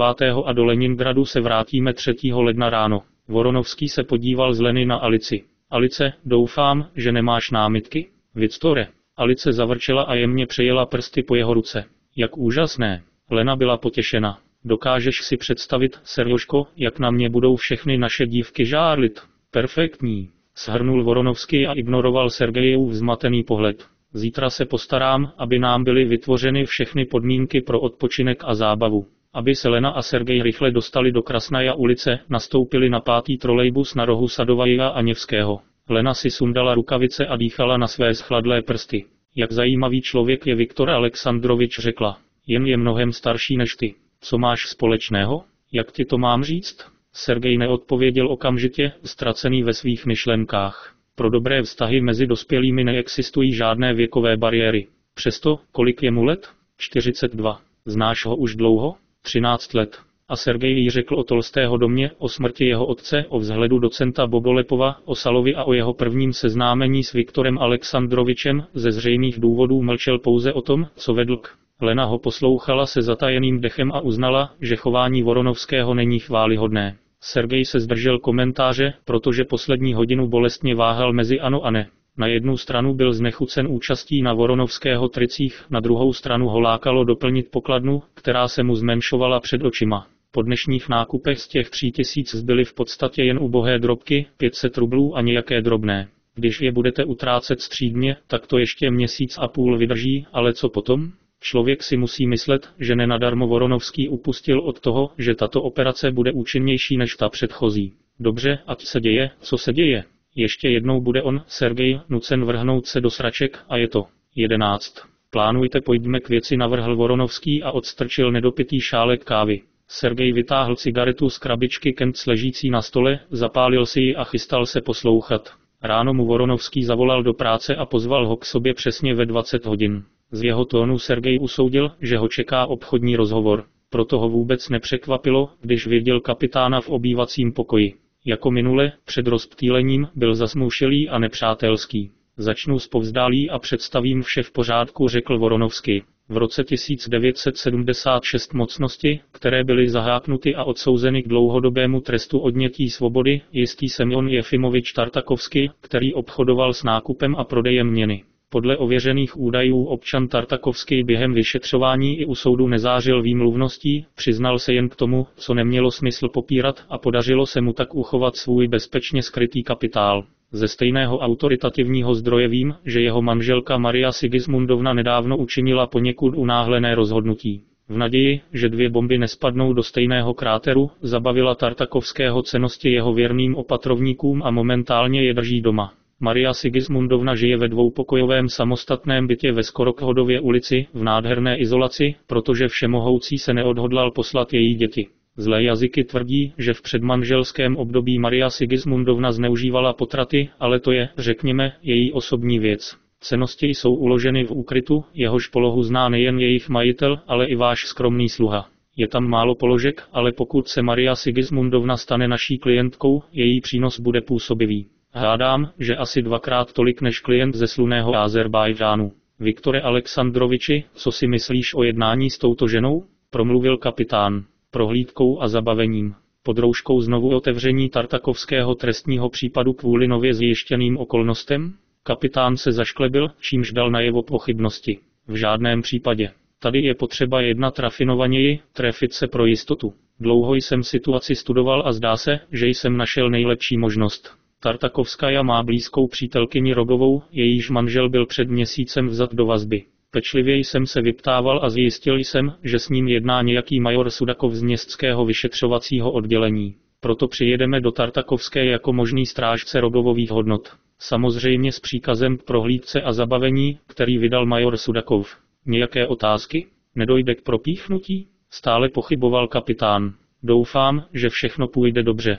Jaký má důvod mlčet, když neschovává cizí harampádí? Kapitán přimhouřil oči. Trh se otevře, až se jí ukážeme se svědky. Záleží na tom, co nám říká, namítl Voronovský. Je důležité, aby následně nepodala stížnost na oddělení vyšetřování nebo státní zastupitelství. A vím, že Tartakovská si nebude stěžovat. Proč? Vy, kapitáne, podceňujte, kdo ona je vysvětlil Voronovský trpělivě. Náš budoucí klient už dávno není holka a zná pravidla. Pravděpodobně nemá rogovy hodnoty. V tomto smyslu se nemá čeho bát. Ale až vy a já kež objevíme a představíme její obsah, ona nemrkne okem a věci odmítne, aby neublížila svému milovanému Semionovi. Drž si kapsu širší. Sarkasticky kapitán. Nespoléhám se jen na zdravý rozum, ale také na spolehlivé informace, řekl Voronovský rozhodně. Stále nemůžete vrátit cenosti, které se dostanou do rukou policie a můžete se dostat do, jak se říká, do mnoha problémů. Náš zákon není nic. Uvidíme. Kapitán se nevěřícně usmál. Načrtl jsem tedy obecný obrázek tečkovaným způsobem a nyní přejdu přímo k detailům operace. Mám vyhlášku, za čtyři dny, 25, prosince pondělí, provedeme prohlídku. Voronovský vytáhl ze složky list papíru a přistrčil ho ke kapitánovi. Tady je plán jejího bytu. Zde je chodba, vlevo je kuchyň, vpravo společné prostory a zde jsou dveře do průchozí místnosti. Jsou nějaké otázky ohledně plánu? Pojďme dál. Naše role jsou rozděleny následovně. Vy, kapitáne, budete vůdcem skupiny, já budu vaším podřízeným a Sergej bude svědkem. Vezmeme druhého svědka do protějšího bytu. Žije tam osamělá stařena a vdova ve středním věku s dospělým synem, v současnosti sloužící v armádě. V neděli vdova, která pracuje jako průvodčí na oktabrské železnici, odlétá letadlem a domů se vrátí až v úterý, takže stařenka bude sama. Co když půjde do kina? Zeptal se kapitán. V zimě vůbec nechodí ven. Doufám, že víte, co je to boží pampeliška? Uhu zamumlal kapitán. Pro jistotu o dvě patra výše je ještě jedna stará žena, ale my dáváme přednost té první, už klíbl se Voronovský. Je schátralá a navíc je klientovi dobře známá. Zapomněli jste, jak probíhá pátrání? Urážíš mě. Budeme pracovat obvyklým způsobem, abychom nevzbudili podezření. Vy, jako vedoucí skupiny, se píšete protokol, ale pamatujte. Zabaven je pouze obsah keše. Vše ostatní je zahrnuto v inventáři, ale nepodléhá zabavení. Tohle nepotřebujeme. Voronovsky se obrátil na Sergeje. Jste svědek, tedy úplně cizí člověk, v souladu s požadavky trestního řádu, přitahován policií ke splnění občanské povinnosti. Během operace se proměníte ve Stanislava Nikolajeviče Iljina, rovněž narozeného v roce 1953, rovněž Rusa, rovněž povinného vojenskou službu, rovněž svobodného, ale žijícího na Grazhdance a pracujícího v inženýrském výzkumném trustu. Máte pasovou fotografii? Dáme ji sem. Pokuta. Přirozeně nás neznáte a znát nemůžete, náhodou jste prošli kolem domu Tartakovské a souhlasili s pomocí v reakci na naši žádost. Zatím je vše jasné, soudruhu? Sergej přikývl hlavou. A teď k tomu nejdůležitějšímu pokračoval Voronovský, aniž by spustil oči ze Sergeje. Během hledání musí být Tartakovská a neustále v kuchyni, nemluvit s nikým po telefonu, jedním slovem se chovat tak, aby nám nezasahovala do práce. Někdo tu pro ní musí být, tak to svěřuji tobě. Buďte ležérní, buďte k ní zdvořilí, ale příliš nemluvte. Klient je dle mých informací velmi společenský člověk, tak doufám, že se nebudete nudit. Pamatujte si, že po dobu operace jsem vyšetřovacím inspektorem Vasilijem Vasiljevičem Potapovem a on. Ukázal Voronovský na kapitána, je stále Pavel Andrejevič Vinokurov. Je úkol jasný? Přesně tak ujistil ho Sergej. Výborně. Pak jste oba volní a v pondělí se s vámi sejdeme přesně v 17.30. Voronovský vstal a dal jim jasně najevo, že se mohou rozejít. Viktore Alexandroviči, jsi si jistý, že tato žena bude v pondělí večer doma? Zeptal se kapitán už na chodbě a vyndal z věšáku otlučenou klapku z ovčí kůže s látkovým vrškem. To je moje starost, řekl Voronovský. 12. Vyhledávání a zbavení v pondělí Sergej přišel do Voronovského ve stejnou dobu jako kapitán, dostal pas na jméno Iljin a se zájmem zabořil svou tvář do nejnovějšího čísla časopisu Amerika, zatímco kapitán se převlékl do policejní uniformy. Sergej se téměř neznepokojoval, protože úkol před ním byl jednoduchý a jeho role byla omezena na sledování akcí ostatních. Jediná věc, která ho částečně znepokojovala, bylo, zda nebude poplatek, který mu náleží, příliš nízký. Viktor Alexandrovich opakovaně zdůrazňoval, že platí podle práce a není jedním z těch, kteří házejí slova do větru. Z domu odešli kolem šesté a když se jim podařilo chytit taxi, byl Sergej doslova promrzlý na kost. No, jakou zimu si asi takhle nebudete pamatovat? Pomyslel si cestou na Petrohradskou stranu. Jeli jsme mlčky. Na len filmu Voronovský požádal o zastavení auta, zaplatil řidiči a pokynul jim, aby vystoupili. Je to tady blízko vysvětlil a zvedl límec starého polosezónního kabátu. Taxikář je pár očí navíc. Je lepší trochu zapracovat nohama, než pokoušet osud. Tartakovská bydlela ve třetím patře. Vystoupili po spoře osvětleném schodišti, prosyceném zatuchlým zápachem koček a ocitli se na prostorném prostranství mezi dvěma byty, které Sergeji na první pohled připomínaly dětské pohádky o bohatých padouších a chudých spravedlivých. Šalouněné elegantní černou koženou materiálu, levé dveře arrogantně jiskřily mosaznými detaily, zatímco pravé byly místy pokryty matnou, oprýskanou tmavě hnědou barvou. Stará žena je vpravo pobídl Voronovský tichým hlasem. Neměl bych nic říkat, řekl kapitán a stiskl tlačítko zvonku. Zvonek už dávno přestal zvonit, ale za dveřmi nebylo slyšet ani hlásku. Kapitán úkosem pohlédl na Voronovského a znovu dlouze zazvonil. Tentokrát se za dveřmi ozvalo zašustění kroků. Uplynula však nejméně minuta, než se dveře s rachotem otevřely a na Prahu spatřili se schlou stařenu s uslzenýma očima. Jsme od policie, babičko řekl kapitán. Potřebujeme občanku z Heved Alexandra Alexejevna. Budu z Heved odpověděla stará žena přátelsky. S čím jsi přišel? Máme na tebe žádost, babičko vysvětlil kapitán. Existuje případ. Přišli jsme prohledat vaši sousedku Marii Sigismundovnu Tartakovskou, protože zoufale potřebujeme svědky. Ten chlap díky němu souhlasil. A vy, občane Ževede, také neodmítejte, pomozte sovětské vládě. Ach, jaké je to neštěstí pro nešťastnou Marii Sigismundovnu. Stará žena byla smutná. Dobře, babičko, souhlasíte s tím, aby vám bylo rozuměno? Zeptal se Voronovský podbízivě. Vidím, synové, horší to být nemůže, postěžovala si stará žena a přiložila si k očím kapesník. Glaukom překonal. Neboj se, Alexandro Alexejevno ujistil ji Voronovský. Sedněte si v klidu na židli a až budeme všichni hotovi, podepište protokol a s Bohem. Pražce? Pokud je to nutné, pak je to nutné, odpověděla stará žena poslušně. Počkej chvíli, hodím si šál a vypnu plyn. A pak jsem dal do ohně krupici. Jakmile kapitán zavolal Tartakovskou, okamžitě za dveřmi odpověděl hluboký ženský hlas. To jsi ty, Klarochko? Otevři to, nařídil kapitán. Policie. Dveře se tiše otevřely a Sergej uviděl rusovlasou ženu v bílém svetru a tmavě šedých manšestrových vínách. Co se děje? Zeptala se žena arrogantně a ustoupila pod tlakem kapitána, který k ní přistoupil.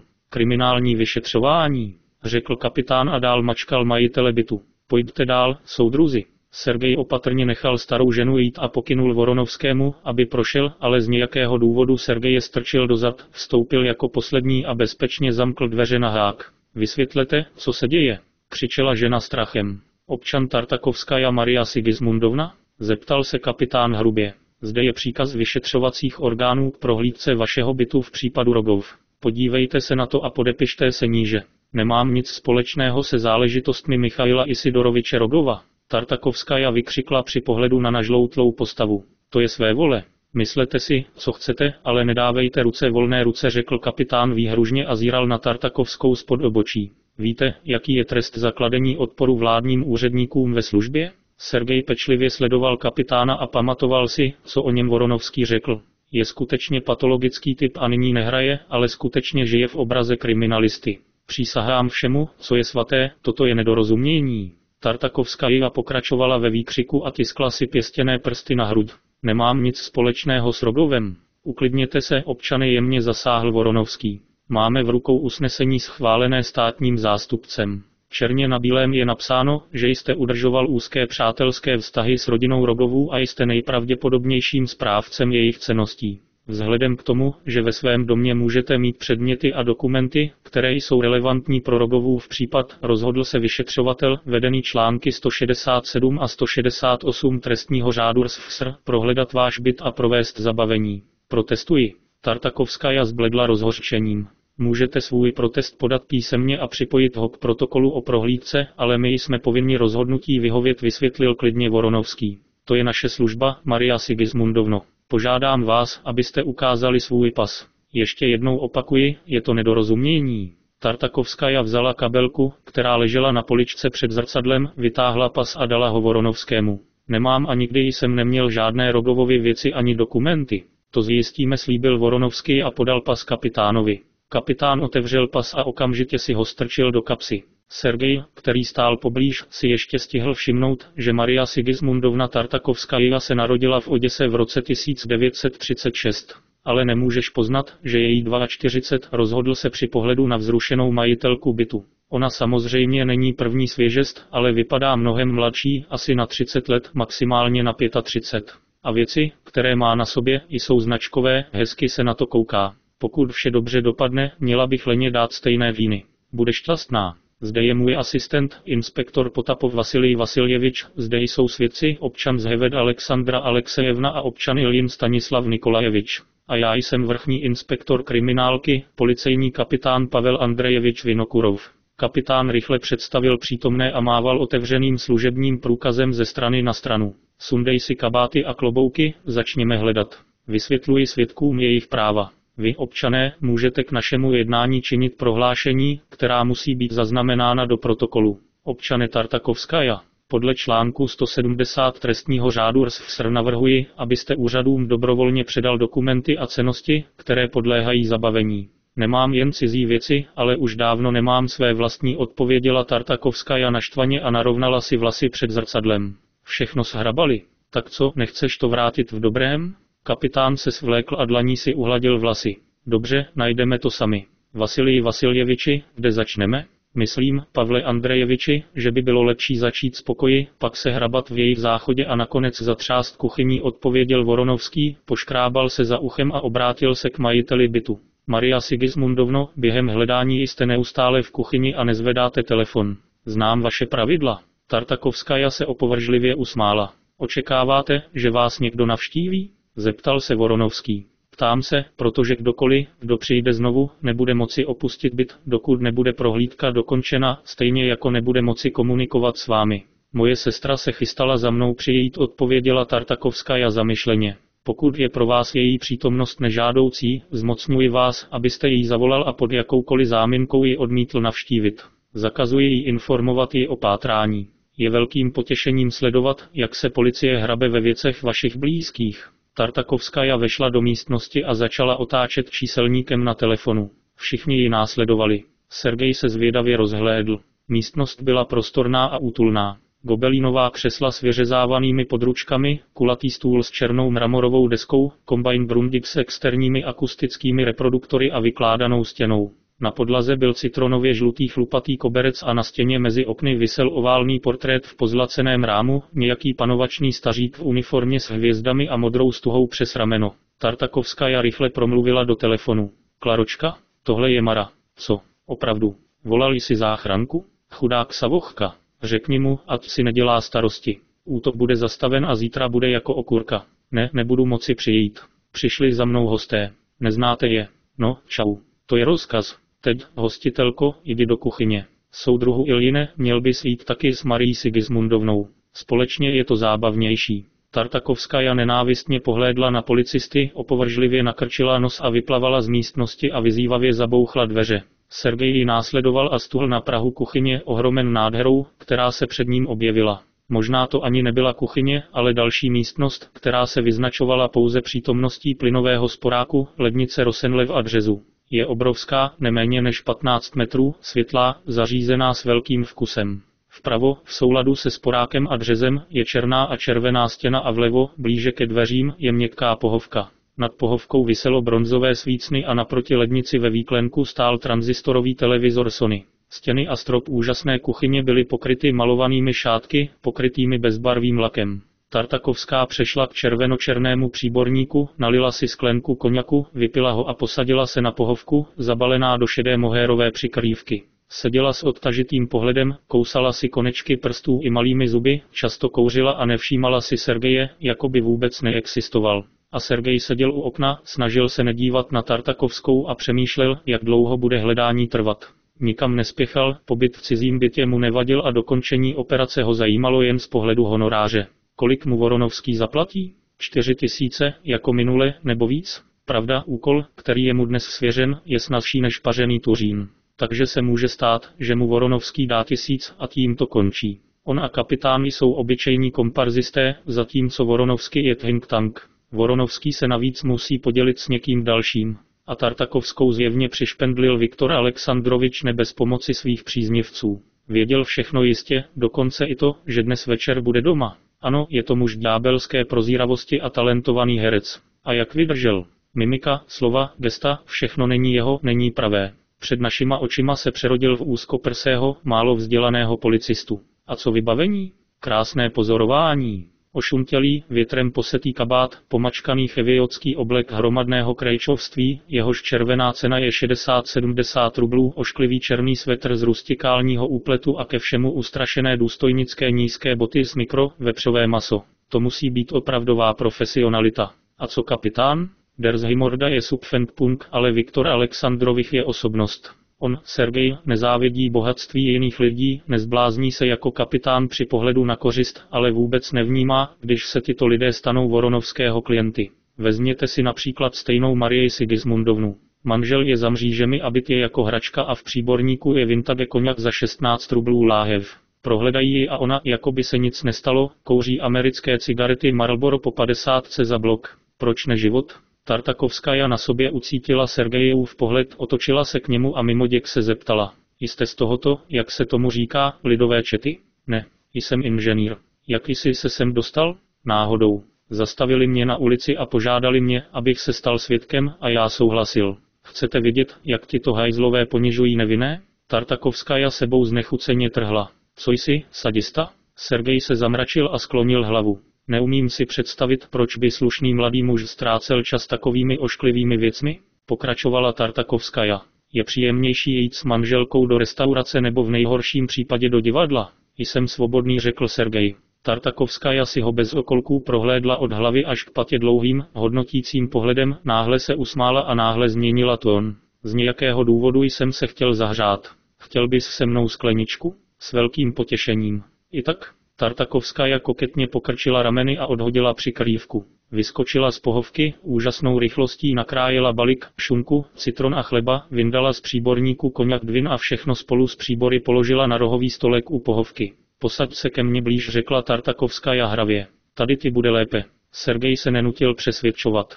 Nelíbí se mi, když jsou muž a žena odděleni stolem zavrčela Tartakovská a přitiskla si Sergeje loket ke své bujné hrudi. Opravdový muž by měl se vzrušením poslouchat, jak se ženské srdce chvěje. Ty jsi maličkost, pomyslel si Sergej a snažil se nesmát na hlas. Jsi otrlé zvíře. Sejdeme se? Tartakovská přistoupila ještě blíž a polila Sergeje vůní francouzské kosmetiky. Jmenuji se Mara, Marochka. A ty? Stanislave Sergej mírně zakopl a téměř vyslovil své skutečné jméno. Budu tě říkat Stasik. Zvolala Tartakovská a naplnila úzké sklenice. Co si myslíš o slaměných vdovách? Dáme si drink? Sergej sáhl po sklenici a úkosem pohlédl na Tartakovskou. Při bližším proskoumání ani prvotřídní kosmetika nedokázala skrýt odlesk šedě u kořínků jejich obarvených vlasů, povadlou kůži pod očima a vrázky na krátkém krku. Ano, stáří neutečeš, pomyslel si Sergej a vychutnával si vonavý koněk. Nalijte si ještě trochu a sněste balík, odpověděla Tartakovskaja. Jsem slabá žena, o něco starší než ty, a ty jsi mladá, silná, je pro tebe dobré se osvěžit. A ty se těm hajzlům, co se prohrabávají v mých věcech, zvedá žaludek, ale ty bys měl být dobře živený. Zřejmě si jsou jisti, že si ponecháváte cizí majetek, řekl Sergej a doufal, že takový obrat konverzace zpomalí sexuální pokroky slaměné vdovy. Proč bych pro boha skrýval rogovovi cetky? Tartakovská udělala velké oči. Proč k vám přišli? Idioti a pitomci. Nezajímá je klid čestných lidí. Tak se nemáš čeho bát. Jediná věc, která mě znepokojuje, je tvoje přítomnost, Stasiku přiznala Tartakovská šeptem a znovu se přiblížila k Sergeji. Položila si hlavu na jeho rameno a začala prsty na jeho pravé ruce. Mám ti povědět osud? Odvážná ruka. Její majitelka je obdařena magnetickou silou otáčet hlavy ubohých žen. Co ho čeká? Věštění se však nekonalo a Sergej nepoznal svou budoucnost, protože za dveřmi byly slyšet kroky. Kapitán a Voronovský vstoupili do kuchyně, za nimi stará paní Zhevet. Tartakovská se okamžitě odtáhla od Sergeje a ostražitě zírala na ty, kteří vstoupili. Vasily Vasiljeviči, podívej se, jestli je něco v kuchyni, a já si sednu, abych si udělal minuty, řekl kapitán unaveným hlasem a klesl na židli. Venku už je noc a my ještě musíme do Litejny. Nezdá se, že by to tu mělo být. Voronovský si dřepl vedle kuchyňské skříňky, kterou otevřel. Jejich pokrmy, cereálie, těstoviny, sklenice dřemu, různé hurda burdy. Je to jiný způsob, jak to vyjádřit, poznamenal kapitán zamyšleně a vložil mezi formuláře vyhledávací zprávy list uhlového papíru. Vzpomeňte si, jak jsme se orientovali při přeškolování. Jeden mazaný spekulant v si ukryl zlaté mince v solených rajčatech a diamantech ve sklenicích s merunkovým dřemem. Vyndal semínka a místo semínek vložil oblásky. Vyplatí se jim rozbít banky? Voronovský promluvil s pochybnostmi v hlase. Myslím, že tam nejsou žádné cenosti. Buď přítel, stále se na ně dívej ve světle. No, soudruzi policajti, co říkáte? Zeptala se Tartakovská sladkým tónem. Jste přesvědčeni, že vaše úsilí bylo marné? Byli jsme přesvědčeni o tom, co bylo potřeba, vyštěkl kapitán. Občane, nezasahuj do práce. Nekřič. Tartakovská ho oblehla. Nic nenašli, tak se rozhodli vybít si vztek na bezbrané ženě? Nenašli jste to? Zeptal se kapitán posměšně a vytřepal obsah papírového sáčku na stůl. A co je to? Sergej vstal a uviděl ozdobné zlaté figurky, hvězdu s drahými kameny, tři tmavě červená marocká pouzdra a několik balíčků peněz převázaných lékárnickou. Tartakovská smrtelně zbledla a v naprostém zmatku zašeptala. Nechápu. Hoď mi tyhle věci. Přerušil ji kapitán. Není to ten, kdo byl napaden. Nikdy v životě jsem je nevěděla, zamumlala Tartakovská pokleslým hlasem.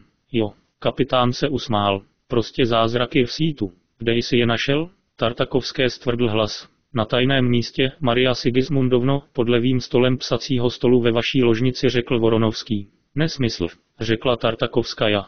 Je zajímavé, jak dívky tančí čtyři v řadě. Kapitán se rozzlobeně zašklebil. Vasilij Vasiljeviči, jak se vám líbí? Počkej, pojďme na to v klidu navrhl Voronovský a zavřel dveře skříně. Posadil se ke stolu vedle Sergeje, vytáhl z kapsy zmačkaný balíček s hybky a zapálil si cigaretu. Poslouchejme, co nám říkají. Nedávno jsem koupil tento stůl v obchodě s nábytkem a nevěděl jsem, že tam je nějaká tajná přihrádka, vysvětlila Tartakovskaja. Přísahám všemu, co je svaté. Ach ne ne ne, zachechtal se kapitán.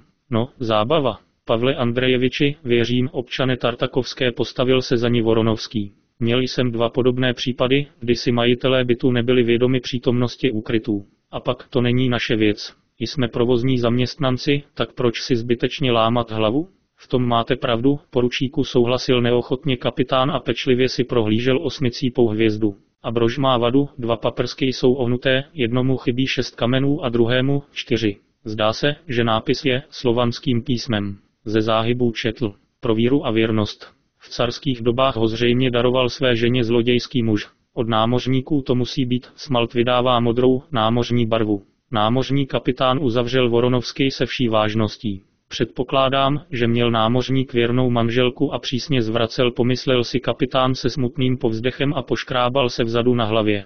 Naše larvy se nevyrovnají. Právě teď jsem zapadl do služebny, máme tam reproduktor, oslovil Voronovský z nějakého důvodu starou dámu Ževet. A u oběda jako obvykle odvysílají koncert na přání rozhlasových posluchačů. A víte, žalostně zpívali píseň přesně ze stejného historického období jako tato brožura.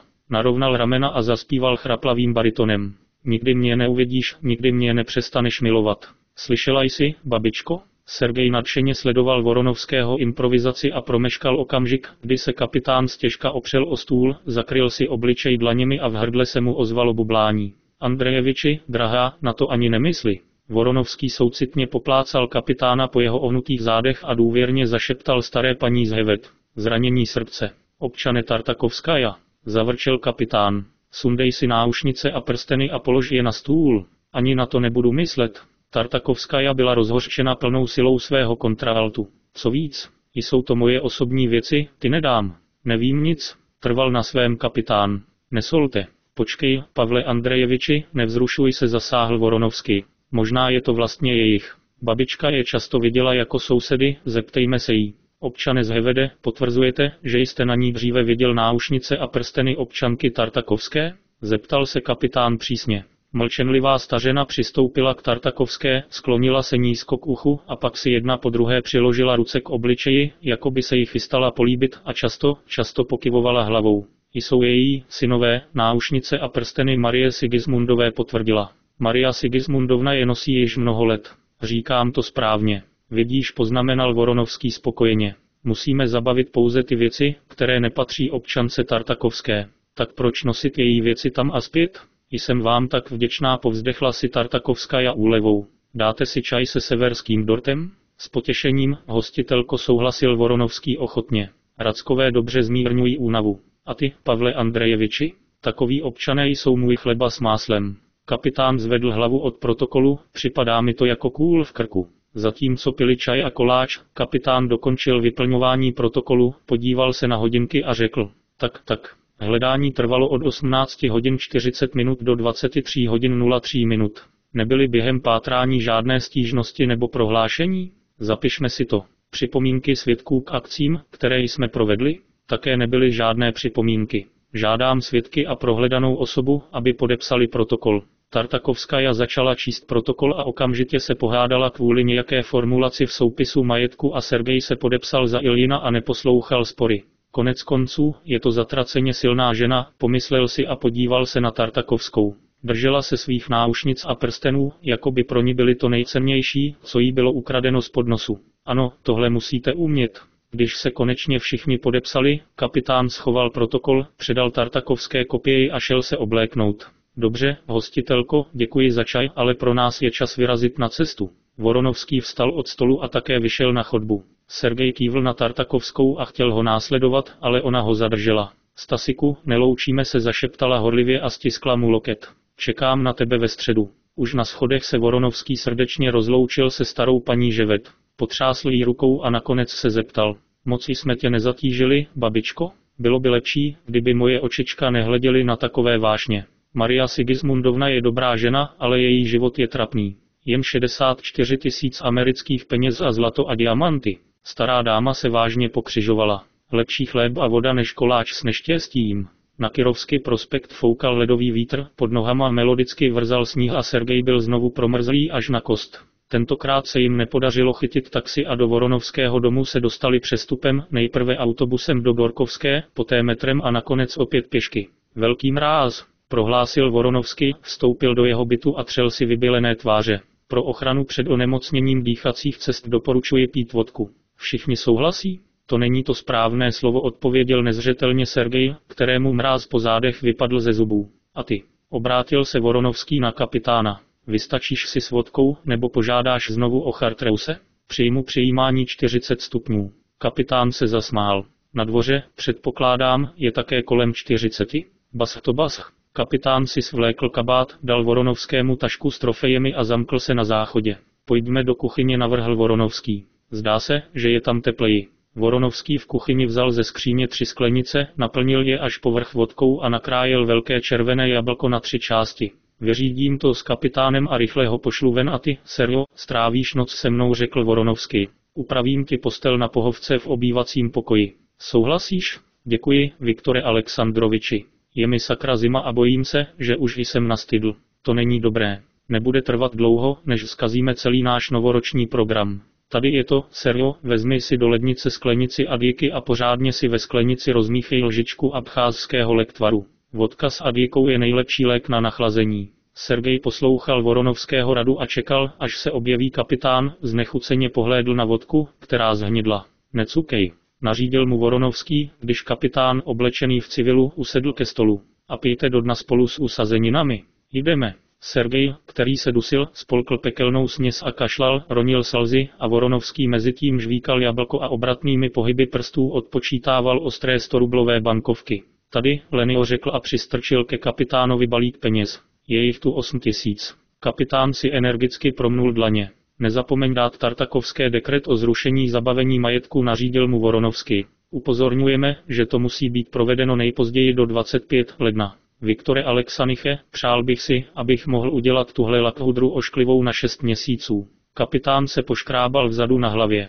Je příliš brzá, ta mrcha v botách. Dejte si to na nos. Nedovolím žádné libování. Voronovský přerušil velitelským tónem. Usnesení jí můžete sdělit neosobně, ale prostřednictvím zheveda. Vyberte si čas, kdy Tartakovská nebude doma a dejte to stařeně proti podpisu, zařizuje? Je to zameteno. Kapitán vstal. Takže poběžím? Utíkej, už tě nepotřebuji, pustil ho Voronovský. A ty, mladý muži, zůstaň pozdě, máme si o čem povídat. Po odeslání kapitána se Voronovský vrátil do kuchyně. Netušil jsem, že máš takový dar proměny, prohlásil Sergej nadšeně a na půl oči, když Voronovský odpočítával svůj podíl. Váš outfit, slova, zmačkaný balíček z hybky a ke všemu úryvek z rockové opery Juno a Avos, vrchol umění. Teď budeš vědět. Voronovský se zazubil. Tady je vašich šest tisíc, kolego. Děkuji mnohokrát. Sergej byl s poplatkem velmi spokojen a chtěl pokračovat v rozhovoru. Viktore Alexandroviči, kdo vám dal Tartakovskou? Serjožo, jsem unavený a chce se mi spát. Zítra mám v 10 ráno arbitráž, potřebuji se vyspat, abych byl ve formě. Buďte trpěliví zbývající tři dny a v Tallinu si budeme hodně povídat. 13. Novoroční zábava na plošině v Tallinu je potkal vysoký postarší estonec s černou holí. Jmenoval se Karl Richterovich, ale Sergej nezachytil jeho příjmení. Gratulujeme k bezpečnému příjezdu do hlavního města Estonska, řekl a pečlivě vyslovoval každé slovo tak, aby bylo okamžitě jasné. Člověk přemýšlí ve svém rodném jazyce a teprve potom vytvoří frázi v ruštině. Rád vás vítám, drahý Karle Richteroviči. Voronovský se rozzářil úsměvem. Jak se cítíš? Jak se říká v takových případech tady v Rusku, ani nejistý, ani slabý. Někdy bolest téměř nevnímám a někdy nemůžu spát bez drob. To je velmi špatné, protože si na ně zvyknete. Upřímně s vámi soucítím. Voronovský přikývl a okamžitě se pustil do práce. Doufám, že je s hotelem všechno v pořádku? Spíš ne. Karl Richterovič se provinile usmál. Neměl jsem možnost pro vás sehnat luxusní byt, dali mi jen dvě junior suites v 17. patře hotelu Viru. Je objednán novoroční stůl pro čtyři osoby v nočním klubu a oni dnes večer tě očekávám v baru Mundi. Voronovský sebou trhl. Je tu příliš mnoho cizinců a důležitých hostů z Moskvy odůvodnil se Karl Richterovič. Pan ministr třikrát osobně telefonoval řediteli hotelu, ani to nepomohlo. Jdeme k východu, čekají tam dvě auta. Ve slavnostně strohém vestibulu hotelu Věru požádal Karl Richterovich o vyplnění karet hostů, vzal pasy a předal je samotnému správci, přičemž něco polohlasně vysvětloval v estonštině.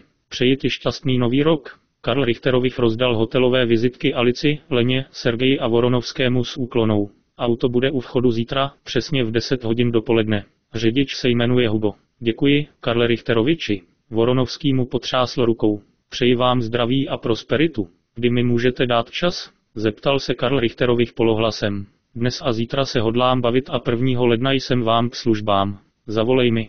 Jen nemoc brzy, někde blíž k poledni. Přesně v jednu hodinu odpoledne sešla společnost na Voronovského signál dolů ke grillbaru a pohodlně se usadila u prostředního pultu, kde mladý muž v jasně červené čepici a saku stejné barvy vařil smažené kuře před jejich očima a podával spolu s hranolky. Když se Voronovský nasytil, objednal si kávu a solené mandle.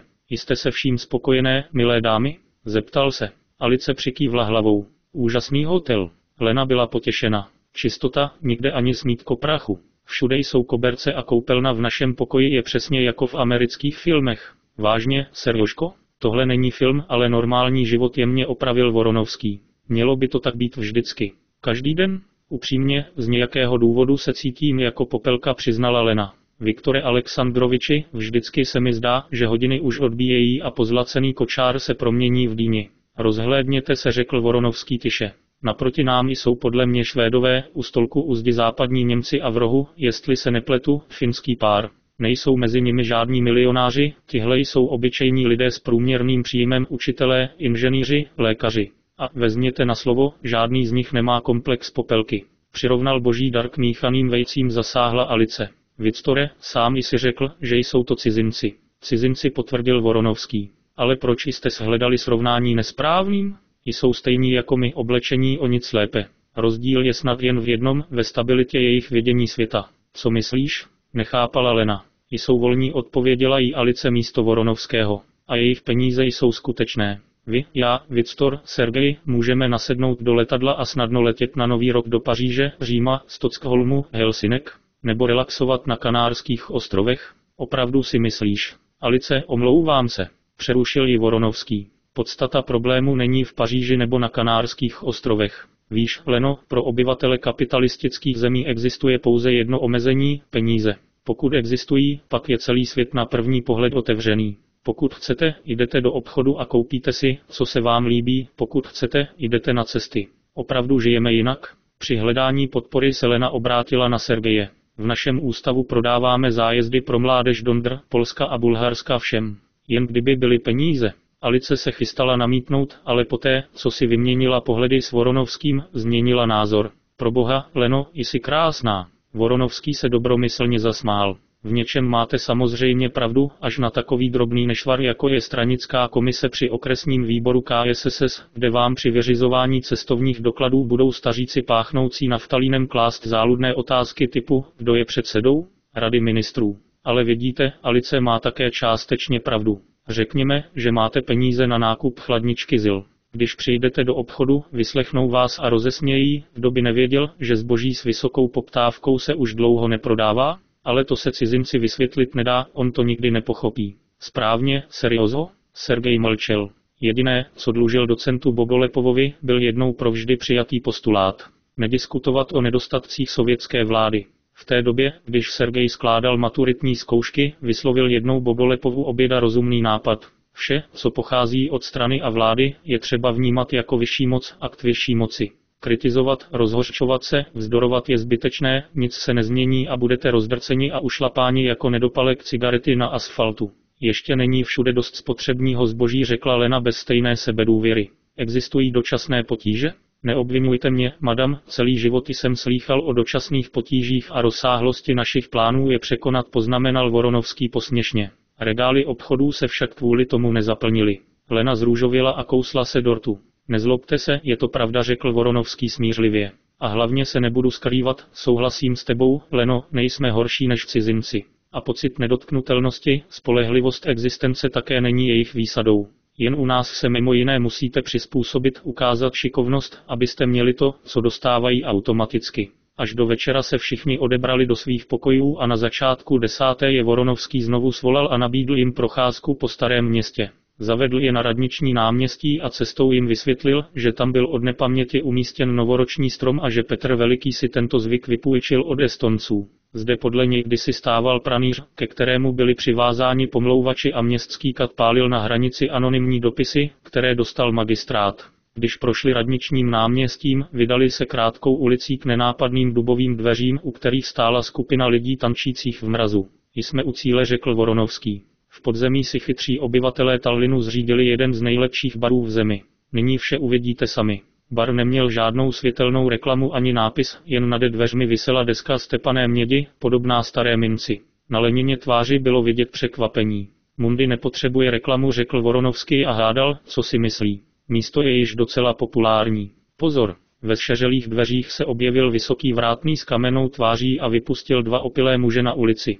Dva hosté mohou vstoupit, oslovil frontu nepříliš laskavě. Jsme od Karla Richteroviče, řekl Voronovský panovačně a vykročil vpřed. Vše jasné? Jste čtyři? Vrátný, který uměl být zdvořilý, když bylo potřeba, změnil tón. Pojďte dál, čekali jsme na vás. Pozor, máme strmé schodiště. Dole jim vrátný pomohl se svléknout a ukázal na prázdný stůl. Bar byl potemnělý. Malé světlo pod pultem osvětlovalo barmanovo pracoviště a na stolech hořely stearinové svíčky. Zatímco Lena a Alisa zvědavě prohlíželi stěny pokryté kůží z divočáků, Voronovský si prohlédl barmana a přistoupil ke stolu s podnosem zcela naloženým nejrůznějšími koktejly. Nektar a ambrozie, jídlo bohu řekl. Nemáš zač? A tady jsou posily. Barman postavil na stůl pánev sloveckými klobásami, štědře je polil ginem a přinesl zapálenou zápalku. Nad pánví tančili na modralé plameny. Exotické. Sergej spolkl sliny. Jak to chutná? Olízneš si prsty, ujistil Voronovský. A ještě něco, to asi ode mě nečekejte, tohle není baku s hostinou v kavkazském stylu. V mundě pouze pijí a tančí. Zkusil koktejl, schválil a mrkl na Alici. Co, příteli, zatřeseme starými časy? Společnost se vrátila do Viry ve tři hodiny ráno. Lena, rozplývající se v Sergejově náručí, nemohla dlouho usnout z přemíry pocitů a snila jen o tom, že její blaženost nikdy neskončí a za zdí ve vedlejší místnosti Alice, do pasu přikrytá dekou a opřená o polštář, pozorovala Voronovského, který kouřil u okna a nepřítomně hleděl do noční tmy. Victore, proč nechceš, abych se k tobě nastěhoval? Promluvila nejistě. V Komarově se cítím tak osaměle. Alice, aniž by se Voronovský otočil, dal jí jasně najevo, že nemá náladu na vysvětlování. Nebudu do ničeho zasahovat, výš pokračovala Alice s prosbou v hlase. Každá žena chce dítě, alespoň jedno. Viktore, ty. Alice. Otočil se o půl otáčky. No, proč přelévat z prázdného do prázdného? Druhý den ráno po švédské snídani nasedli do auta, které poslal Karl Richterovič a vydali se na prohlídku. Voronovský se bravurně vypořádal s povinnostmi průvodce, ukázal jim Piritu, památník Rusalka, Kadriorgův park a nakonec je zavedl do kostela Oleviste na ulici Laj. A pak už v hotelu se rozdělili. Ženy šly ke kadeřníkovi a muži do finských lázní. Po horké sauně si Voronovský a Sergej zaplavali v bazénu a zabaleni do froté prostěradla seděli v relaxační místnosti se sklenkami českého piva. Serjožo, vzpomínám si, že tě zajímalo, kdo nám dal Tartakovskou začal Voronovský. Říkám vám, že autorem projektu rozvoje jeho zlatonosných obzorů je ten samý stařík, o kterém jsem mluvil v září. Skvělý dědeček. Byl to genius, ale je úplně pryč, přiznal Voronovský smutně. Je čas odsloužit za něj vzpomínkovou bohoslužbu. Mrtvý. Horší. Voronovský usrkl piva a položil sklenici na podlahu. Nakonec se zbláznil kvůli chamtivosti. Na rozdíl od tebe jsem kdysi studoval stařeckou demenci v kurzu soudní psychiatrie a něco o ní rozumím. Při předkládání části příspěvku Marie Sigismundovny, která mu náleží, mi starý pán udělal divokou scénu, protože jsem ho oklamal. Pamatujete na hvězdu z diamanty, nad kterou náš kapitán ronil lakomou slzu? Rozhodně. Pro vaši informaci, Serjo, toto není brož darovaná manželce nějakého námořníka za neposkvrněnou manželskou věrnost, ale prostě nejvyšší vyznamenání ruské říše, řád svatého Ondřeje prvozvaného apoštola. Kolik to bude stát? Sergej byl zvědavý. Těžko říct. To je nejen materiální, ale i historická hodnota. Hvězda SV. Ondřeje prvního zdobila korunované hlavy a nejvyšší představitele státu. Každému, kdo ji císařským dekretem obdržel, byla v tabulce hodností automaticky udělena hodnost třetí třídy, tedy generál poručík v armádě, viceadmirál v námořnictvu a tajný rada ve státních službách. Kromě SV. Ondřeje I. v carském Rusku byla ještě jedna diamantová hvězda, řád svatého Alexandra Něvského. Starý pán mě tedy otravoval s nožem na krku, abych mu dal druhou hvězdu Alexandra Něvského a nějaké smaragdové přívěsky, které jsme u Tartakovské také nenašli. Bez ohledu na to, jak moc jsem se snažil dokázat, že se mílí, stařec tvrdošíjeně vzdoroval a chrlil naprosté nesmysly. Typický obrázek stařecké psychózy. Vydržela jsem a vydržela a pak jsem to nevydržela a poslala ho do háje. Takže se s ním rozešla? Starý muž není zdaleka můj jediný příznivec, takže ty ani já nezůstaneme bez práce. Víš, Serjožo, měl jsem iluzi, že dlouhodobá spolupráce umožňuje po důkladném prověření člověka vyvinout trvalou důvěru, ale vidím, že jsem se mýlil. Je to kvůli tvému dědečkovi? Ne. Zblázním se někdy? Viktore Alexandroviči, já tě nepoznávám. Závědím ti, Serjožo řekl Voronovský po odmalce. Ve srovnání se mnou ti zbývá 17 let aktivního života a našel jsi vzácnou dívku. Souhlasíš? Lena je velmi dobrá. Nemoc dobré, ale úžasné. Ale vy, moji milí, nestrácejte hlavu a v každém případě držte jazyk na vodítku. Vezměte prosím na vědomí, že nenadarmo napsala Shota Rustaveli. Neměli byste svým ženám věřit ani malé tajemství. Voronovský vstal a shodil prostěradlo. Pojďme to zabalit. Musíte spát dvě nebo tři hodiny, abyste oslavili nový rok plně vyzbrojeni. Do nočního klubu šli v půl dvanácté. Docela slušné publikum. Když se Voronovský rozhlédl po sále, posadil se jako mistr ke stolu naloženého lahodným občerstvením. A kuchyně, jak se zdá, nás nesklamala. Takže, moji drazí, pojďme si za poslední rok připít. Děkujme mu za všechno dobré, co nám přinesl. Prosit. Několik minut před půlnocí Voronovský s výrazem spiklenců požádal všechny, aby zavřeli oči a nekoukali, a pak řekl ležérním tónem. Dědeček Mráz nás oslavil skromnými vánočními suvenýry. Sergej otevřel oči a uviděl před sebou hnědý elektrický holicí strojek, Alice dostala šňůru perel, Lena lahvičku francouzského parfému Klima a sám Voronovský plnicí Peromont Blanc se zlatým hrotem. Viktore Alexandroviči, proč jsi tady? Lena se styděla. Upřímně, to je zbytečné. Alice vstala a beze slova políbila Voronovského na tvář. Stížnosti a prohlášení pracovníků neadresujte mě, ale dědečkovi Frostovi. Vtipkoval Voronovský. Serjo, připrav šampaňské. Sergej vytáhl z vědra sledem láhev a zručně, se sotva slyšitelným prasknutím otevřel šampaňské. Když zazněla zvonkohra, Voronovský vstal a vážně řekl. Šťastný nový rok. Nechť všechny strasti a strasti zůstanou v minulosti.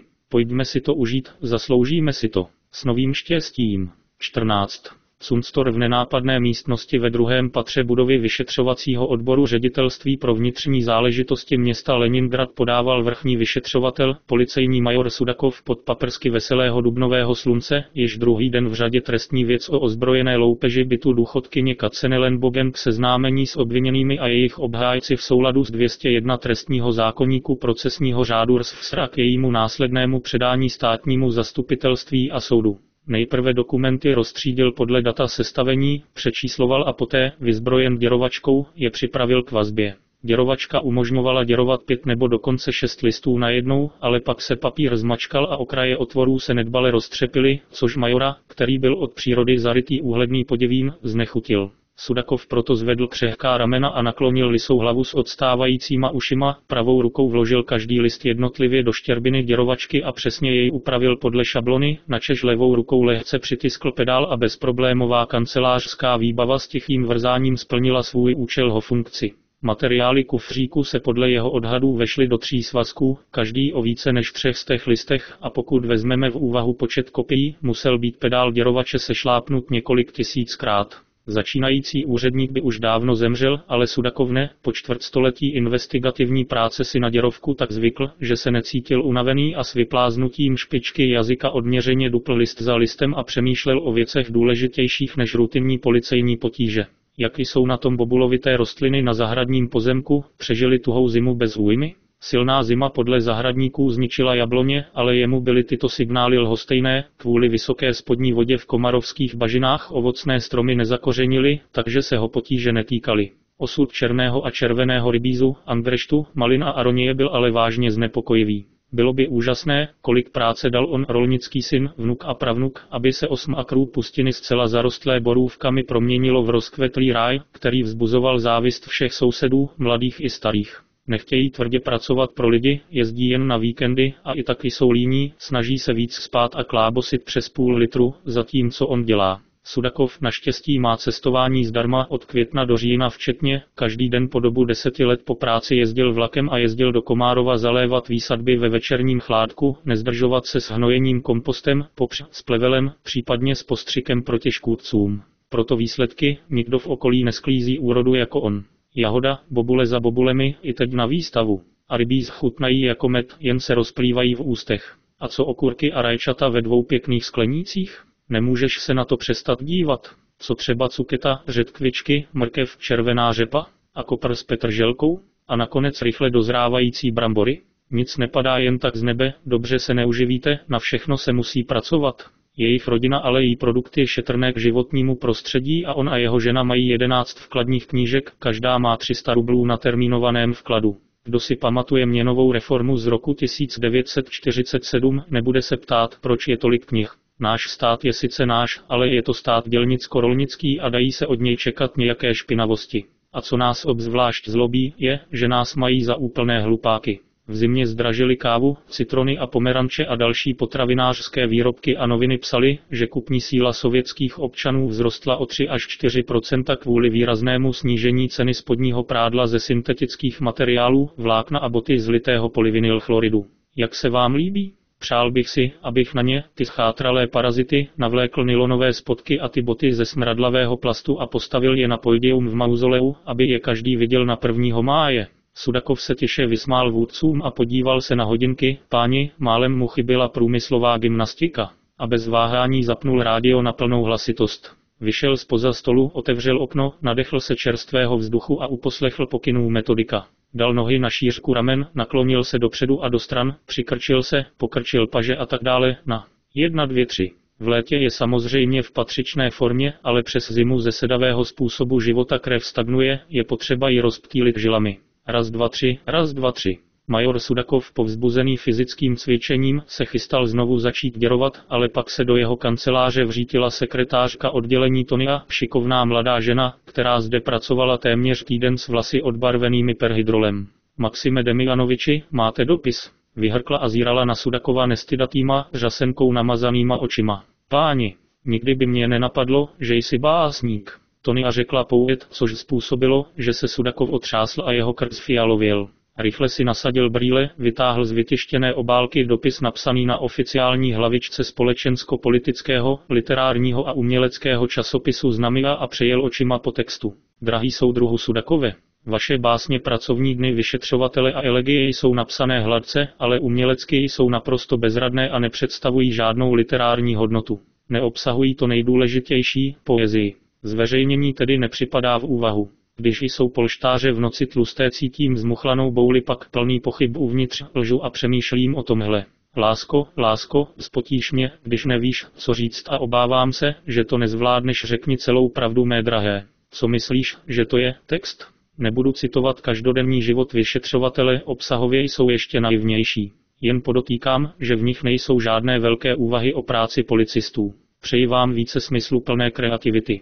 Pozdraví jménem redakce časopisu. A pak, úplně dole ve formuláři, byla inkoustová klikatá. Tonia už dávno odešla a zanechala za sebou štiplavý zápach ženského potu a zarmoucený Sudakov stuhl na židli a opřel si čelo o kost palce. Obě básně skutečně napsal loni na podzim pro administrativní nástěné noviny na celou unijní policejní den, ale nikdy ho ani ve snu nenapadlo poslat je do Moskvy. Mezitím pečlivé proskoumání razítek na obálce a detailů formuláře svědčilo o pravosti dopisu. Co by to znamenalo? Opravdu měli ve své skupině stejně smýšlejících lidí černou ovci? Nějaký cynický odpadlík, který se mu rozhodl zesměšnit majore Sudakove. Nechce se mi tomu věřit, ale skutečnost je tvrdohlavá. Molda omlazování personálu za poslední dva roky značně změnila personál oddělení vyšetřování, nepočítaje vedení, z veteránů, kromě samotného Sudakova, zůstal pouze podplukovník Lev Klimentjevich Maleshko, jeho spolužák a vedoucí oddělení a místo vysloužilého bizona vystřídali mladí lidé, všichni jako výběr sebevědomých absolventů vysokých škol, kteří z vyšetřování ničemu nerozuměli, ale měli ostré jazyky.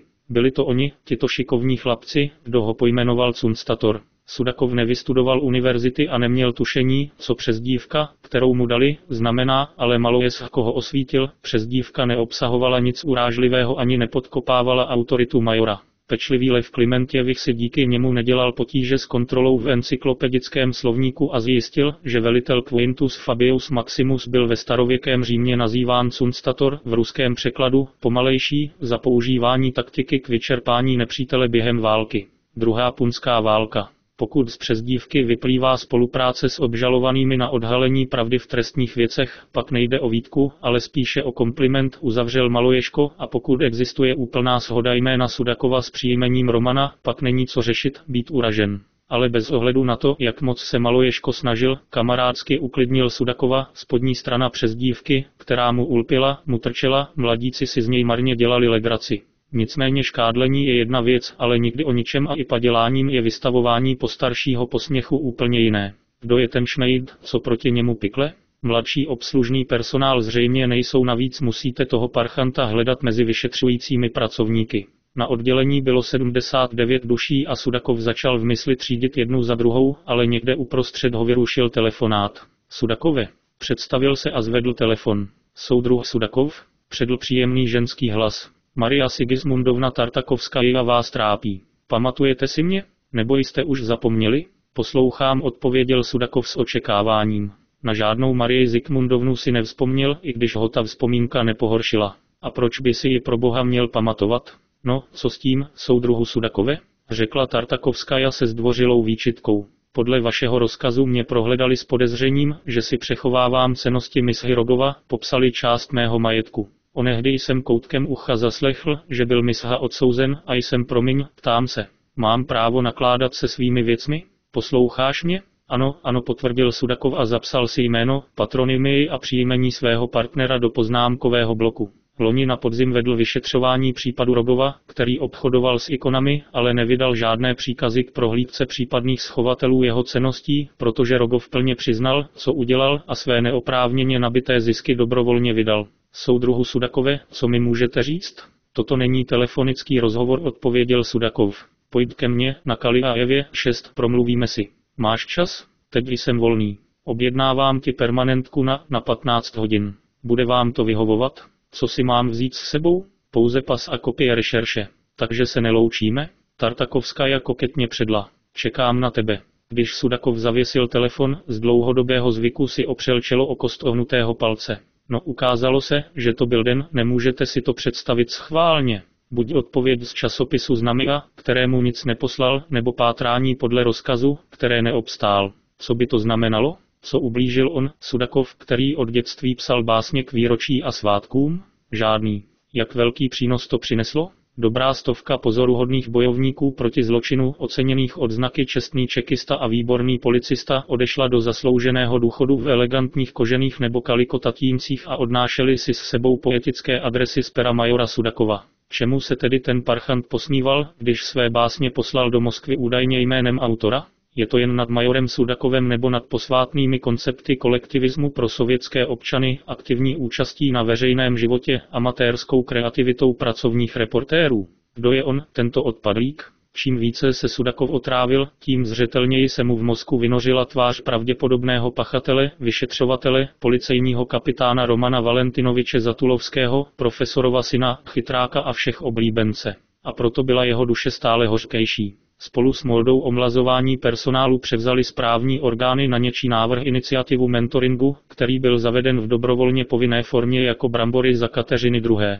Ke každému vrchnímu vyšetřovateli byl na příkaz vedení přidělen certifikovaný nováček, aby si postupně osvojil dovednosti a poté specifické jemnosti vyšetřovací práce. Tak co když on? Sudakové, plete si kriminalistiku s kriminalistikou? Tyto vědecké požitky jsou v každodenní práci zbytečné, ale umí i jiné věci, které na univerzitách neučí, o kterých nemají ani páru. Pokuste se získat plnohodnotné svědectví od negramotného Tatara, který říká nevím, než dostal otázku. Ano, i když jste stokrát doktorem nebo kandidátem právních věd, stejně ničeho, co by stálo za to, nedosáhnete, jen si uděláte ostudu, zatímco on ano. Sudakov hledal, za což byl opakovaně dáván svým kolegům za příklad. Právě tuto investigativní moudrost celé dva roky velkoryse s čistým srdcem předával Romovi Zatulovskému a co za to dostal? Černý nevděk. Jelikož je práce mimo jiné vyšetřovatele nemyslitelná bez zábran, Sudakov překonal své rozhořčení a zaměřil se na to, jak nejlépe Zatulovského chytit a přesvědčivě, podle všech pravidel, přišpendlit oběma lopatkami ke koberci. Vše se musí dělat potichu, bez publicity, bez přitahování pozornosti úřadů, které odsuzují vnitřní hádky bez ohledu na to, kdo má a kdo ne. Z profesních důvodů nemá smysl věci předčasně dešifrovat, ještě jako detektiv na krajském oddělení se Roma Zatulovský zblížil a seznámil se svými vrstevníky z kriminálky, kteří měli agenty na starosti. Ohýbají se dozadu a to pomáhá řešit zločiny a, abych byl upřímný, umožňuje Sudakovovi odložit odchod do důchodu o rok nebo dva. Vyšetřování zahájí navázáním spojení mezi Zatulovským a Tonyou, protože Tonya vytiskne korespondenci, která jim přijde a mimochodem po předběžné dohodě s ženatým kapitánem měla být zřejmě první seznámit ho s odpovědí z časopisu Znamila. Je třeba jednat na čerstvých kolejích, aniž bychom je zdržovali. O polední přestávce si stihne sednout do jídelny vedle Zatulovského, zahájit nezávaznou konverzaci o ženách, nezávazně přejít k Tonie a pak 15. Komplexní oběd, aby se člověk dostal do jídelny, musel se jít dolů, vyjít ze vchodu vyšetřovacího oddělení ven a přejít diagonálně Kaljajevovu ulici, což Sudakov udělal o pět minut dříve než obvykle. U vadného popelářského vozu zpomalil a ujistil se, že není nápadný svým kolegům, rozhodl se stát stranou a čekat na Zatulovského. Brzy se vzchopil a všiml si kudrnatých vlasů Romů s ostrým nosem, který se vádně podobal Alexandru Sergejeviči Puškinovi, Alexu Dakovově zlosti nebyl Zatulovský sám, vedle něj se kolébal jako kachna při chůzi, korpulentní a bělovlasý podplukovník Malojejesko kráčel u sedle. Jindy by Sudakov rád poobědval s Lvem Klimentjevičem, ale dnes se ukázalo, že jeho spolužák je překážkou a já jsem v jeho přítomnosti nechtěl mluvit o ženách. Sudakov se k ním připojil u vchodu do jídelny, zvedl tác a postavil se do fronty, aniž by se účastnil živého rozhovoru, jehož téma mu bylo hluboce lhostejné, ba nepříjemné. Poté, co si vybral stanovený oběd za 50 rublů, skládající se z vitaminového salátu, ukrajinského borště s pampuškou, nakrájeného stelku s vejcem a komplexní přílohou a sklenice kompotu z proužky pomerančové dužiny, zhltnul jídlo koncentrovaným koukni se. Mezitím Zatulovský nadšeně se spoustou podrobností pokračoval ve vyprávění Maloješkovi příběhu, který zná nejen Sudakov, ale pravděpodobně celá leningradská policie. Krátce před svým přesunem z regionálního oddělení na oddělení vyšetřování Roma a jeho žena Ina pro tuto příležitost koupili mládě opice a pojmenovali ho Edith. Krmili Edith z bradavky, protože dostali od dětské kliniky povolení poskytovat kojeneckou výživu, což vyžadovalo oficiální petici policejních orgánů adresovanou městskému zdravotnímu oddělení, takže jim opice doslova vyrostla v náručí. Nyní je plně dospělá, schopná reprodukce, ale velmi kompaktní, bez ocasu je její délka pouhých 46 cm. Edith je strašně chytrá, všemu dokonale rozumí. A oči jsou prostě úžasné, stejně jako lidské. Jeho žena i samotný Zatulovský se do Edith zamilovali a jejich šestiletá dcera Zhenia ji zbožňovala. Edith je úžasně čistotná, sama chodí na záchod, mistrně používá toaletní papír, je nesmírně skromná a na veřejnosti se objevuje pouze ve froté kalhotkách rumunské výroby. Třetí takové kalhoty její Zatulovský koupil předevčírem v obchodním domě Passage za 2 rubly a 17 kopějek. Omylem jsem uložil účtenku. Edith se umyje a nedělá jí žádné potíže. Přirozeně ji potřebuje krmit. Její hlavně syrovou zeleninu a ovoce přednost dává nikoli nedostatkovým banánům, ale bramborám a mrkvi. Navíc jí málo, v průměru 45 kopejek za den. Jinými slovy, je to jen o 20% dražší než držet vyšetřované osoby ve vazební věznici Kresty. Edith nemá blechy. Maloješko poslouchal Zatulovského s neutuchajícím zájmem, hrdelně se uchechtl opičím dováděním, což způsobilo, že se jeho propadlé, pudrově bílé tváře třásly jako želé a kladl sugestivní otázky, čímž otevřel cestu novým detailům, které z Romu vylétly jako stuha ústa cirkusového klauna. Zvědavost Maloježka, který o Edith slyšel více než jednou, se Sudakovovi zdála pochopitelná a odpustitelná. Laskavý podplukovník byl muž, za prvé bezdětný a za druhé vášnivý milovník domácích mazlíčků, který z nějakého důvodu jeho manželka, Luisa Francevna, neupřednostnila. Sám Sudakov, který měl syna Filipa narozeného v roce 1953, nyní v hodnosti strážného nadporučíka sloužícího v raketových silách za Kavkazského vojenského okruhu a kastrovanou kočku Tarzana, v tomto ohledu nebyl zbaven života a buďte upřímní, opice opovrhované. Po večeři všichni tři vstali a vyšli na ulici, kde se k Sudakovově velké radosti ukázalo, že je Maloješko nucen opustit. Ve 14.00 byl Lev Klimentjevich, jak se ukázalo, očekáván na katedře za boj proti krádežím socialistického majetku. Oba vyšetřovatelé, starší i mladí, zůstali o samotě a pomalu odcházeli domů a pak hnal se za okamžikem pravdy, Sudakov udělal chybu, které opožděně o tři minuty později litoval. Rome, to je to. Začal a okamžitě se zastyděl. Už dlouho se chci zeptat, vyměnit si názory. Na co se mám zeptat, soudruhu majore? Odpověděl pohotově Zatulovský. O naší nové dívce. Tony, jak se ti líbí? V jakém smyslu? V ženských. Sudakov byl v rozpacích. Kdybys byl svobodný, tak bys. Zatulovský pohlédl na Sudakova soucitně jako lékař na školačku, která náhodou otěhotnila. Ano nebo ne, jen upřímně? Sudakov ze sebe silou vymáčkl. Promiň, Maxime Demianoviči, úplně ti nerozumím. Mátla mu, nohy, tohle, tamto, co myslíš? Zeptal se Sudakov s nadějí. Stojí to za to? Všechno je mezi námi. Přísně důvěrné? V mírně přimhouřených očích Zatulovského tančili čerti. Hrob, Sudakov zaklel. Obecně jde o obchodní záležitost, v tomto případě závislou především na hranici znechucení odpověděl zamyšleně Zatulovský. Jak se máš v tomto smyslu? To je normální, řekl Sudakov pokleslým hlasem a nechápal, o čem mluví.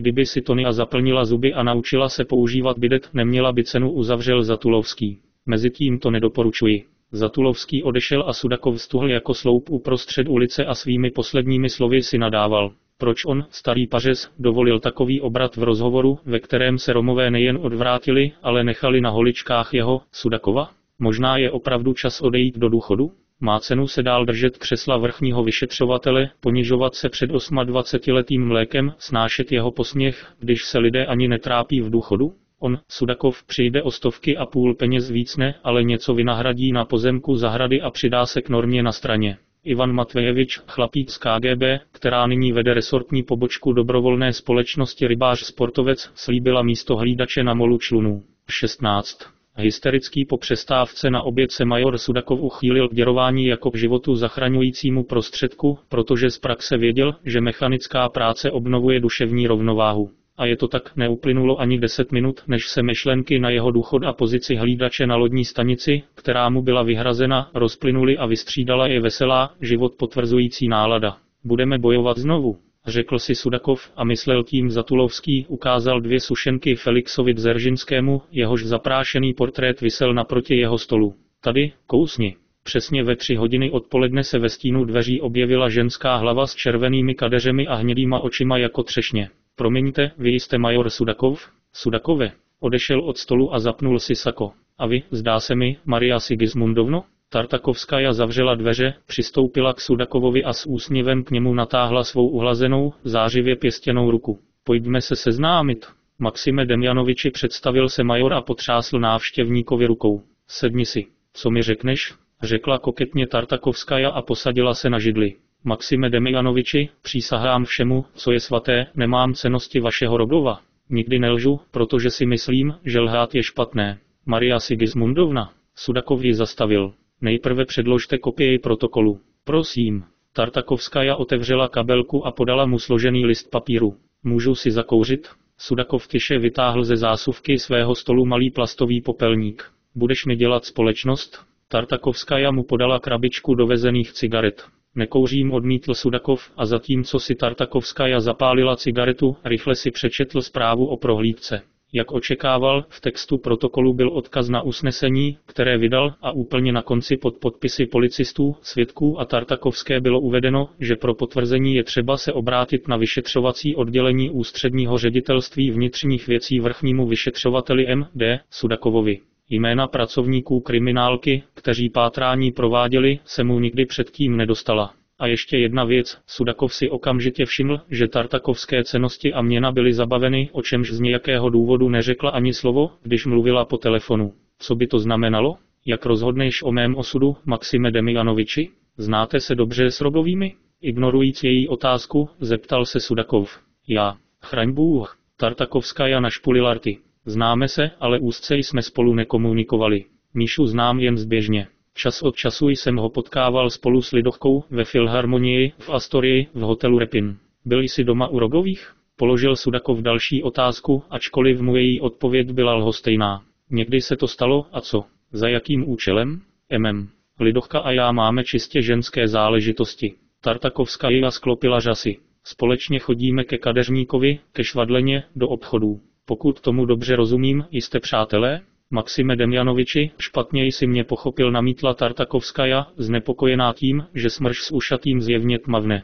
Mohu tedy prodat část svého majetku? Je to vaše právo. Jsem vám tak vděčný. Není za co děkovat. No, víš, teď jsem se naučil rozumět životu a lidem. Tartakovskaja se naposledy potáhla, uhasila cigaretu a vstala. Už ti nebudu brát tvůj drahocený čas a zmizím. Nespěchejte, Maria Sigismundovno požádal Sudakov. Ještě mám pár otázek. Pro boha, Maxime Demianoviči. Tartakovská ladně klesla do křesla. Bál jsem se, že jsi se mnou už promarnil spoustu času. Kde pracuješ? Já. V gos strachu. Pojišťuji život a zdraví občanů proti smrti a nemoci a majetek proti požárům, povodním a jiným živelným pohromám. Pokud nejste pojištěni, sepišme smlouvu. Formuláře mám s sebou. Jak jste placeni za svou práci? Sudakov pokračoval v kroužení kolem dokola. Za kusové ceny. Čím víc se jistím, tím víc dostanu. Proč tě to zajímá? Zvědavost? Vlastně ne. Sudakov se odmlčel. Proč jste se nezeptal na nic o cenostech, které vám byly zabaveny? Vysvětlila jsem nejčistším ruským jazykem svým soudruhům z kriminálního oddělení, že peníze a cenosti mi nepatří, řekla nespokojeně Tartakovskaja. Tohle ti nedali? Řekněte nám o hledání co nejpodrobněji. Pro boha, Vaši detektivové objevili ve starém psacím stole skrýž obsahující velkou diamantovou brož, náušnice se safíry a diamanty, mužský prsten s velkým opálem, 6 zlatých figurek, 64 tisíc dolarů a 15 tisíc bundesmark. Když mě kvůli nálezům kontaktovali, v klidu jsem jim vysvětlil, že je vidím poprvé v životě. Jak to? Je to velmi jednoduché. Stůl jsem koupil před rokem, nevěděl jsem o keši, nedokážu vysvětlit její původ, odpověděl Tartakovská věcným tónem. Je možné, že tyto věci tam ležely od carských dob. Kdo to může vědět? Německé bankovky jsou v oběhu od 50. let poznamenal Sudakov. Kde a za kolik si koupil tak nádherný stůl? Stůl? Zeptala se znovu Tartakovskaja. V sekáči na rohu Marat a Razie z Haja za 600 něco. Kde je tvůj manžel? Můj manžel, MM, v nápravné pracovní kolonii v Nižním Tabilu, to jsi nevěděl? Tartakovskaja předstírala překvapení. Myslel jsem, že máte lepší informace i když o mého manžela se starala jiná instituce. Proč byl odsouzen? Podle článku 88, část 2, na 13 let vězení. Jak dlouho je ve vězení? Třetí rok. Povzdechla si Tartakovskaja. Maxime Demianoviči, přísahám všemu, co je svaté, měna ani tchotkes nejsou naše. Všechno od nás bylo odklizeno, i když byl Seny a zatčen. Tenkrát hledání trvalo dnem i nocí a ráno odnášeli obrazy, bronz, stříbro a křištál, o mých špercích nemluvě.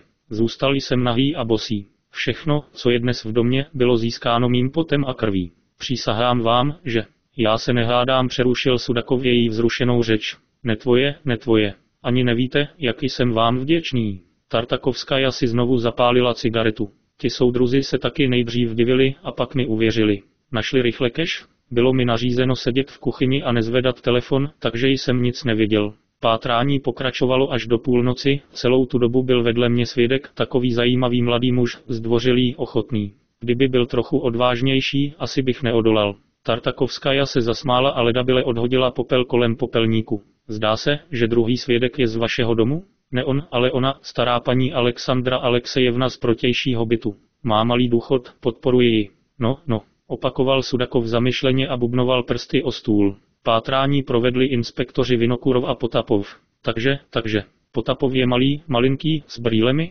Co děláš? Tartakovská překvapeně pohlédla na Sudakova. Vasilij Vasiljevič je pohledný muž. Vysoký, svalnatý, zdatný. Pokud kývne, každá žena ho bude následovat i na severní pól. Ale není hrdinou mého románu. Věřím, že pro muže je nejdůležitější jeho mysl, nevzhled. Ale Vasilij Vasiljevič není příliš chytrý, protože je dobrý pouze na vyhledávání lidí.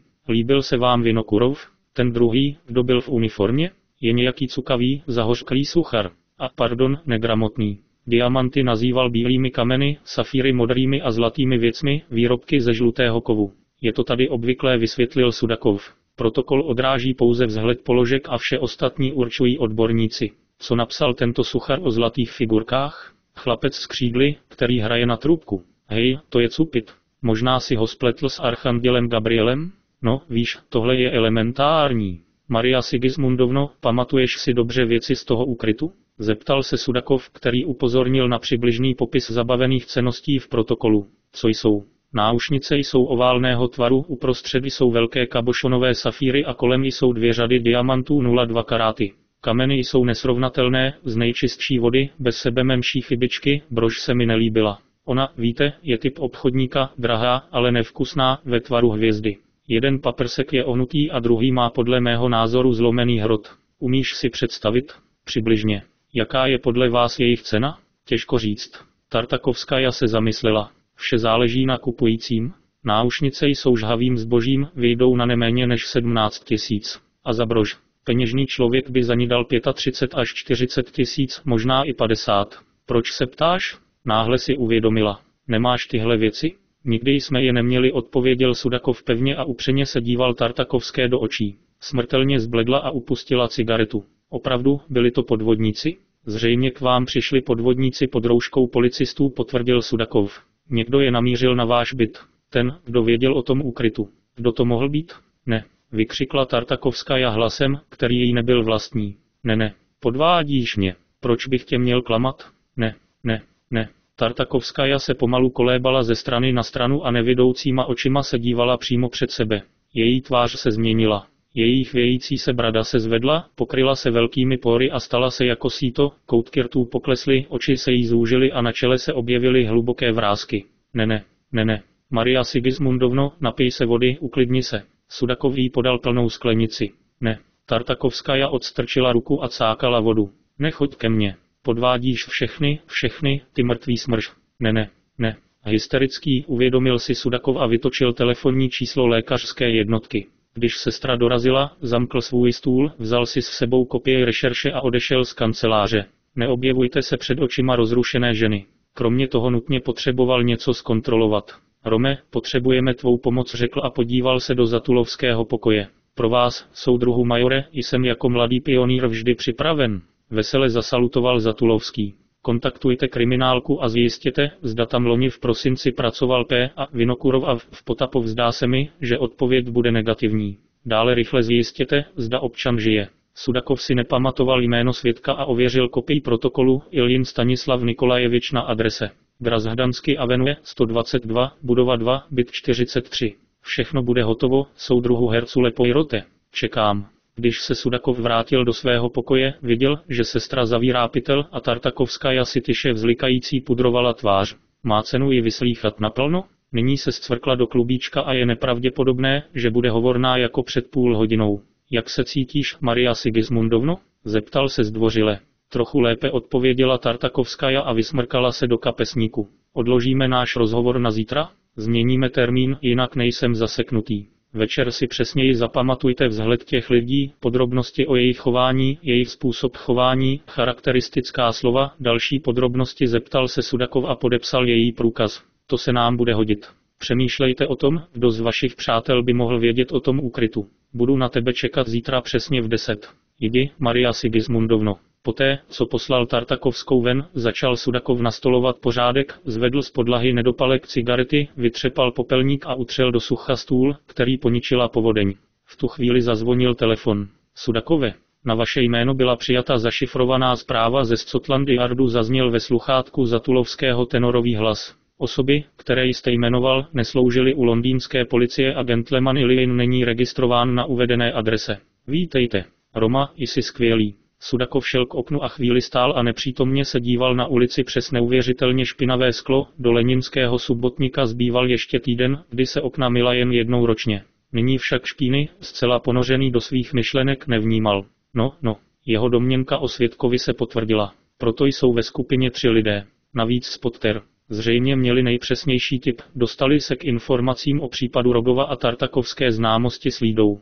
Jeden z podvodníků byl v policejní uniformě a měl patřičné formy. Tartakovská je ostřílená dáma, není v pozici, aby se hledal nový produkt chování hledačů jí nepřišlo divné. Ano, ano, ten případ zorganizoval někdo chytrý, ale on sám zůstal v zákulisí. Její manžel byl odsouzen podle 88, část 2. Případ se proto projednával u městského soudu. Musíte si případ vyžádat a prostudovat. Proč dnes zhořkla a vztekla se? Vždyť se zdá, že jsem se s prohrou už dávno smířil. No tak, no tak, zřejmě zahořkla, protože ten, kdo ji zradil, byl jí velmi blízký člověk, od kterého nikdy nečekala, že dostane nůž dozad. No, no, pokud se potvrdí i poslední domněnka, pak nic zítra od ní neuslyšíte nic zajímavého. Tyto lidé mají dvojí dno, podle jejich vlčích zákonů se všechny konflikty řeší potichu, bez odvolávání se na vyšetřovací orgány. No, budete si muset dát rozum, práce je práce. Sudakov odešel od okna, posadil se ke stolu a sepsal usnesení o zahájení trestního stíhání pro trestný čin podle 147 podvod a 194 neoprávněné přidělení hodnosti nebo pravomoci úřední osoby trestního zákonníku.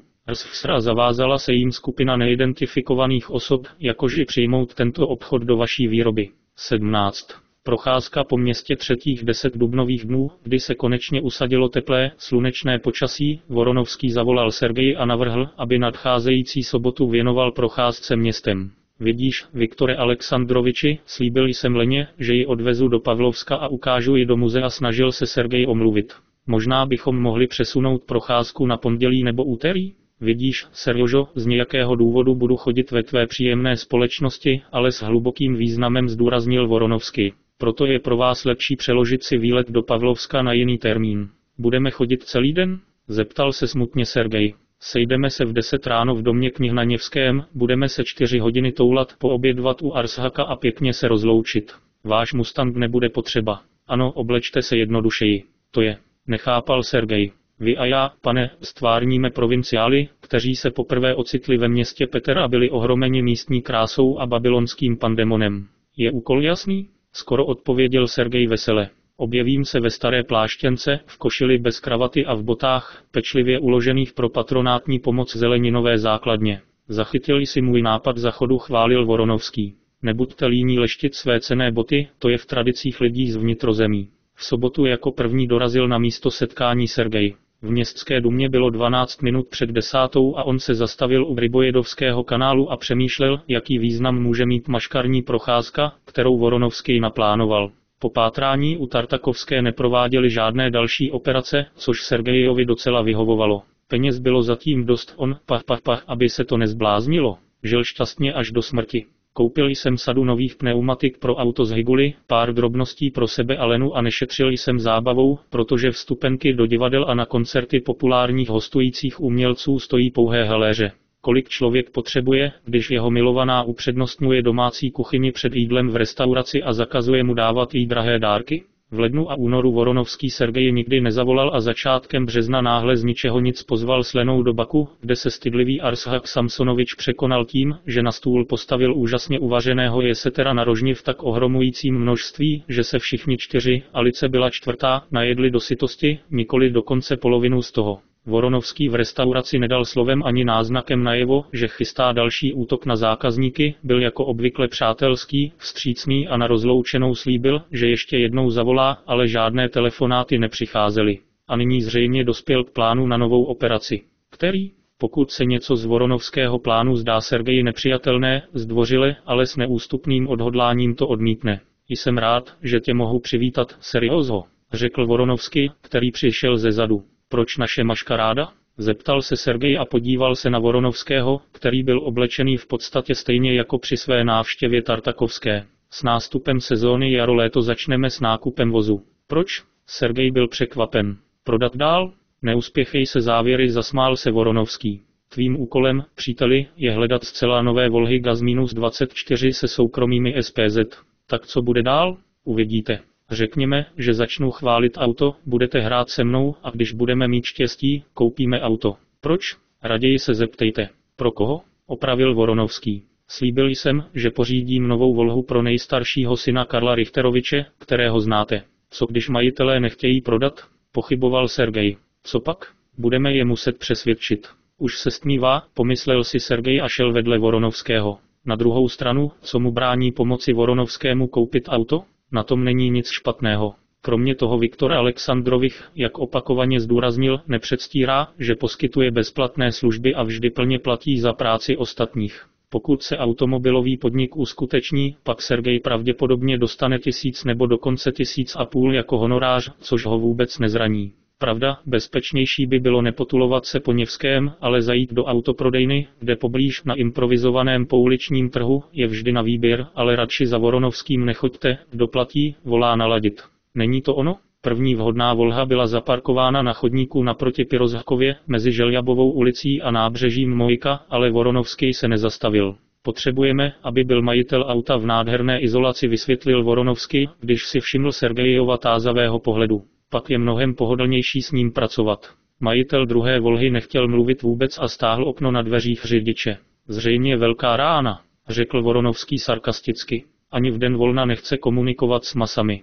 Na Gobolově ulici potkali třetí novou Volhu. Za volantem seděl asi čtyřicátník s břichem a zřejmě na někoho čekal. Je to nádherné auto, řekl Voronovský s chvěním v hlase a přistoupil k majiteli ze strany vozovky. A barva je jen sen. Puzan samolibě zamrkal očima a mlčel. Ne auto, ale palác na kolech pokračoval Voronovský ve chvále. Podívej, seriózho, ani jeden škrábanec. Vaše zrcadlo ve skříni se leskne. Sergej přišel blíž a viděl, že Puzana překypuje píchou. Dává 130? Zeptal se Sergej nevinně, podíval se na tachometr a všiml si, že Volha má na je to pouhých 5000 kilometrů. 130 za hodinu? To břicho nevydrželo. Ano, ze srandy dává 150. A ještě je nějaká rezerva pod pedálem. Nestroj, ale bestie.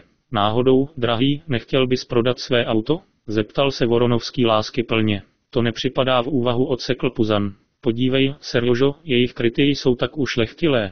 Voronovský zalapal po dechu. Jako ovčí kůže? Ne z ovčí kůže, ale ze speciálního typu nylonu používaného na syntetické kožichy vysvětlil Puzan povýšeně. Šijí je ve Finsku a stojí vov. 220 rublů. Na dně je pěna a nahoře hedvábí a nadýchaný povrch. A nehoří. Odejít. Voronovský byl ohromen. Dokaž to. Tak a zase je to tady. Puzan zabručel odporem. Dokážu to každému, koho potkám. Vsadíme na červenou? Navrhl Voronovský. Je mi líto tvých peněz, už klíbil se Puzan arrogantně. Lidé musí vzít za své slovo. Bojíš se? Voronovský začal. Slabý. Bojím se? Puzan zfialověl rozhořčením. Dobře, požádal jsem o to. Vystoupil z auta, vytáhl z peněženky 10 rublů a okázale ji položil na kapotu. Voronovský vytáhl dvě zmuchlané pětky, nějak je vyhladil a zakryl Puzanovovu desítku. Dívej se. Puzan vytáhl z pouzdra malý svazek vláken a přinesl ho k zapálené sirce. Vlákna praskala a srážela se, ale nechtěla hořet. Váš vrchol připustil Voronovský poraženým hlasem. Nepotahy, ale úžasný zázrak. Možná můžeš prodat auto a koupit si pro sebe jiné? Draze dám. Tu volžanočku neprodám za žádné peníze, odpověděl Puzan a schoval dvacku v peněžence. Co jsi chtěl? To je škoda, řekl Voronovský smutně. Vidíte, my, návštěvníci ze severního Kazachstánu, jsme k vám byli posláni na dvouměsíční kurzy pro pokročilé. Jsme země měřiči. Protože si myslíme, že jsme ve velkém městě, nevrátíme se bez auta. Nemůžu vám pomoci, lidi. Puzan zavrtěl hlavou a posadil se zpět za volant. Předpokládám, že jsem vyhrál v loterii, pomyslel si Sergej na hlas. Mílíš se. Dostal jsem volhu jako pracovní veterán, řekl Puzan hrdě. Čtvrtstoletí v jednom závodě. Po technické škole začal jako mistr a vypracoval se na vedoucího obchodu. Možná bychom se přece jen mohli domluvit? Zeptal se Voronovský s nesmělou nadějí. No já to udělám, ostatní to nezvládnou. Je zajímavé vědět, kolik byste zaplatili? Zeptal se Puzan ze zvědavosti. Dal byste 30 tisíc? Nedal bych 30, ale 29 dam odpověděl Voronovský po odmlce a přešlápl z nohy na nohu. No, jak? Když Sergej uslyšel tuto divokou postavu, byl ohromen. Nové Volgy na trhu se prodávaly za 22-24 tisíc rublů a přeplácení pěti nebo dokonce sedmi tisíc se mu zdálo šílené. Pořád to neprodám. Puzan mžoural jako kočka, kterou škrábou za uchem. Potřebuji ji sám. Pokud se rozhodnete prodat, zavolejte mi, zde je vaše číslo. Voronovský podal Puzanovi kus papíru. Pronajali jsme si tady pokoj, zůstaneme do července. Proč bych měl používat vaše telefonní číslo? Puzan se usmál. Řekl jsem jasně, neprodám. V životě se dějí různé věci, poznamenal Voronovský. Najednou má nutkání a kupec je přímo tam. Dobře, pojď. Sergej dohonil Voronovského, který šel napřed a koutkem oka si všiml, že Puzan schoval v peněžence kus papíru s telefonním číslem. Prošli se po náměstí svatého Izáka, prošli kolem bronzového jezdce a přesunuli se po nábřeží Něvy kolem ermitáže směrem k letní zahradě. Cestou narazili na dalších sedm zcela nových Volhy Gaz-24. Ve dvou případech se konverzace z různých důvodů neuskutečnila, dva majitelé odmítli převzít telefonní číslo a tři, stejně jako Puzan, skryli Voronovského listy. V půl třetí už seděli u stolu v restauraci Baku a čekali na jídlo zvané Dolma, které se dobrovolně připravil speciálně pro ně Arshak Samsonovič a o kterém Sergej neměl vůbec tušení. Myslím, Serjožo, měli jsme dobrý den, řekl Voronovský s úsměvem.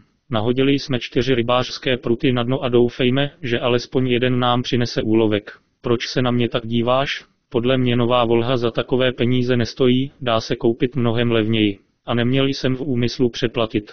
Každý, kdo se rozhodne prodávat, dostane na pokladně ve vetešnictví přesně tolik, kolik by měl. Jak budete propagovat prodejce? Záleží na situaci. Buďte trpěliví a vše uvidíte na vlastní oči. Proč byla potřeba maškaráda? Otázka je k věci už klíbil se Voronovský. Měj na paměti, seriózho, Leningrader nenabídne takový obchod, ale od provinčního měšce lze očekávat cokoliv. Ale čím elegantněji je člověk z vnitrozemí oblečený, tím méně mu věří, tam je bohatství na rozdíl od hlavních měst spojeno s toaletami nikoli přímým, ale inverzním vztahem. Nebylo by jednodušší zajet do autoservisu? Motá se tam příliš mnoho podezřelých postav, které by nám bránili v klidné práci s klienty. Dávám přednost soukromým rozhovorům mimo závistivé oči.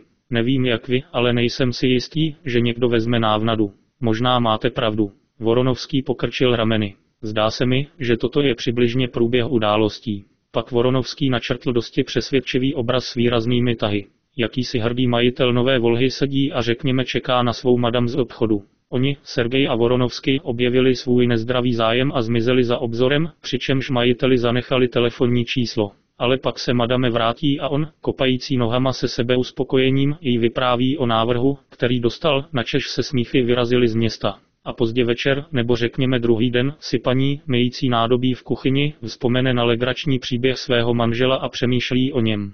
Ostatně peníze jsou podle jejich představ obrovské, nikdy takové peníze v rukou nedržela a už dlouho si chtěla koupit prsten s Tyrkisem, jako její kamarádka Maria Ivanovna, kabát z ovčí kůže z dovozu, jako její sousedka Nina Stepanovna, nový jugoslávský nábytek, jako petukhovci a Bůh ví, co ještě nemají a co už mají někteří jejich přátelé a tak, ležící v posteli a trýzněná dotěrnou myšlenkou, se madame pečlivě dělí o své myšlenky se svým manželem, který je jako každý muž bezhlavě zamilovaný do železné hračky o stokonských silách a nechce se s ní rozloučit.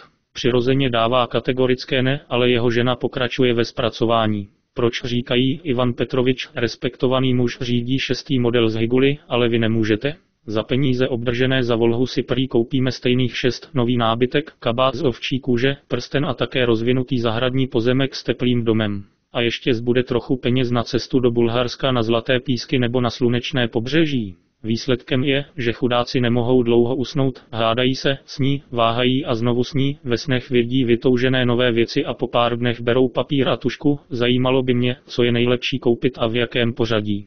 Myšlenka náhlého obohacení se zmocňuje jejich mozků a rozleptává je jako kyselina dusičná. Katalyzátorem tohoto procesu je vždy žena, její oči jsou závistivější a ruce hrabějí více než u silnějšího pohlaví. Vzhledem k tomu, že ve většině případů je to právě ona, kdo je obdařen portfoliem domácího ministra financí, je moc většinou na její straně. Tlak v rodinném kotli se hodinu od hodiny zvyšuje a zhruba po deseti dnech majitelé volhy dospívají ke standardu svých klientů. Skvělý zvolal Sergej unesen Voronovského logickými konstrukcemi. Nezapomeň, seriózho, lidé strašně hladoví po penězích. Někdy jim kultura, výchova nebo strach z odplaty nedovolí stát se nenasytnými kobylkami, ale když se naskytne příležitost, buďte si jisti, že svůj cíl neminou. A co svědomí? Pro sovětského člověka je svědomí jakýmsi luxusem, něco jako kožešiny nebo vidličky a lžíce ze stříbra. Ne každý ho má a ne na každý den. Svědomí je navíc křehký štít, který nevždy chrání před pokušením. Mimochodem, často vše závisí na částce. Ten, kdo se odvrací od tisíce rublů s uraženým pohledem, když přiběhne rostomilý mrňous a vrtí ocáskem, nabídne mu desetkrát víc. Podle vašeho názoru to dopadá tak, že všichni se kupují a prodávají. Proč překrucovat význam mých slov? Samozřejmě existují výjimky potvrzující pravidlo. Oni, tyhle výjimky, jsou na různých polech lidského řetězu. Úplní blázni, u kterých po zprávách na stranických schůzkách nastává stav orgasmu, jsou neprodejní a naopak ti nejchytřejší. Promiňte, Viktore Alexandroviči, koho považujete za toho druhého? Co ti mám říct, Serjožo? To jsou lidé kalibru Alberta Einsteina, Fyodora Michailoviče Dostojevského, Johna Bernala, Antona Pavloviče Čechova, Vladimíra Ivanoviče Vernadského. Lidé této kategorie žijí ve světě jiných hodnot, které nelze převést do dimenze žlutého kovu. Svůj život věnují rozšiřování intelektuálního dědictví lidstva a na oplátku získávají nesmrtelnost, se kterou předem nepočítají. Oni, seriózho, mají svůj zvláštní osud. Závědíš jim? Ne, nezávědím jim. Obdivuji a nízko k ním skláním svou hříšnou hlavu. Povzdechl si Voronovský a na dlouhou dobu se odmlčel. Brzy se jim naservírovalo slíbené jídlo dolma, ze kterého se vyklubaly malé, půl prstu dlouhé a tlusté, lahodné zelné rolky v hroznových listech. Podávali se s omáčkou z bílého fermentovaného mléka, která se, jak Sergej určil, příliš nelišila od ruského sraženého mléka, kromě chutě česneku a některých dalších exotických koření. Snědli plný talíř zelňaček, pak každý další, a když se nasytili, dali si pauzu. Přiznej to, Serjožo, nemá tvoje krásná Elena radost z našeho přátelství? Zeptal se Voronovský a zapálil si cigaretu. Proč si to myslíš? Protože jsem kdysi pečlivě četl Brema. Co myslíš? Sergej se zamračil. Leitmotiv jejich činů. Usmál se Voronovský tajemně. Nechte si to na nos, pane. Když se žena pokusí vdát, její intuice se znásobí stonásobně. Nevšiml si z toho u Eleny? Neodpověděl Sergej s náznakem zmatku. Takže si toho brzy všimneš. Označ má slova. Nepřeháníš? Vůbec ne. Zamilovaná žena rozhodně připomíná pastýře hlídajícího dům. Nepochybuji, že ve mně vycítila velka. 18. Kousat podle staré tradice se k Holmogorovové shromáždili na Velikonoce v domě svého dědečka ve Vsevolozhskaja, kde Zinaida Afanasievna, Sergejova babička, položila na stůl slavnostní pohoštění, připravené vlastníma rukama, jistě z nejčerstvějších produktů právě zakoupených na trhu. Čas však prořídl kdysi silný rodinný kruh. Konstantin Ivanovič, Sergejův otec, zemřel nejprve, o pět let později, jeho dědeček, pak v řadě, jeden po druhém, bratři jeho dědečka a nyní kromě samotného Sergeje jen jeho nejmladší babička, syn Veniamin, navštívil Sevolozhskou o velikonocích Ivanovič, do morku kostí, po třech neúspěšných manželstvích, je přesvědčený misogin, který v posledních letech pracoval v Kirishy a kvůli každodenním potížím hodně pil. Poté, co pozval Lenu, aby s ním šla do Vsevolozhské, věděl Sergej, že pořádá jakousi nevěstu, babička byla přísné povahy a nechtěla vidět náhodné přátele svého vnuka ve zdech rodinného kláštera, což dovolilo výjimka pouze pro jeho nevěstu.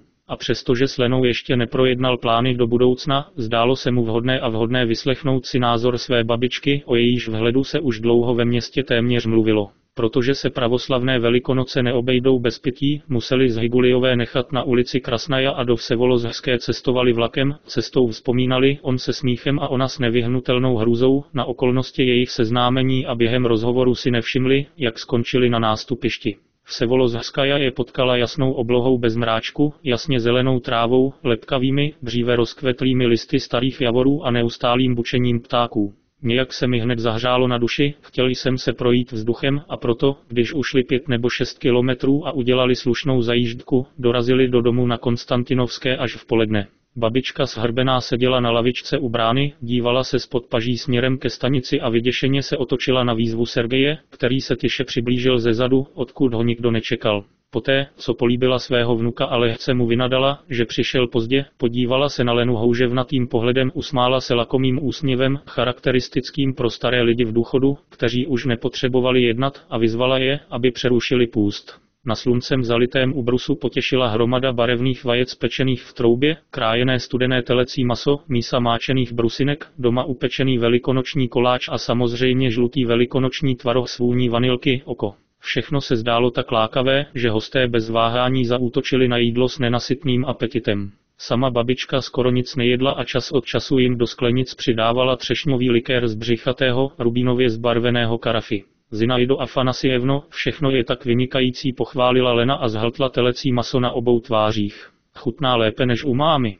Jeste pro své zdraví, zlato. Babička nespustila oči z mladých tváří, dojatých prvním opálením. A já se podívám a budu za tebe šťastný. Proč máš prázdný talíř? Zeptal se Sergej. Ten kousek mi nejde do krku, miláčku. Babička kývla směrem k ložnici, odkud bylo slyšet chrápání strýce Veny. Náš mladý muž se úplně vymkl kontrole.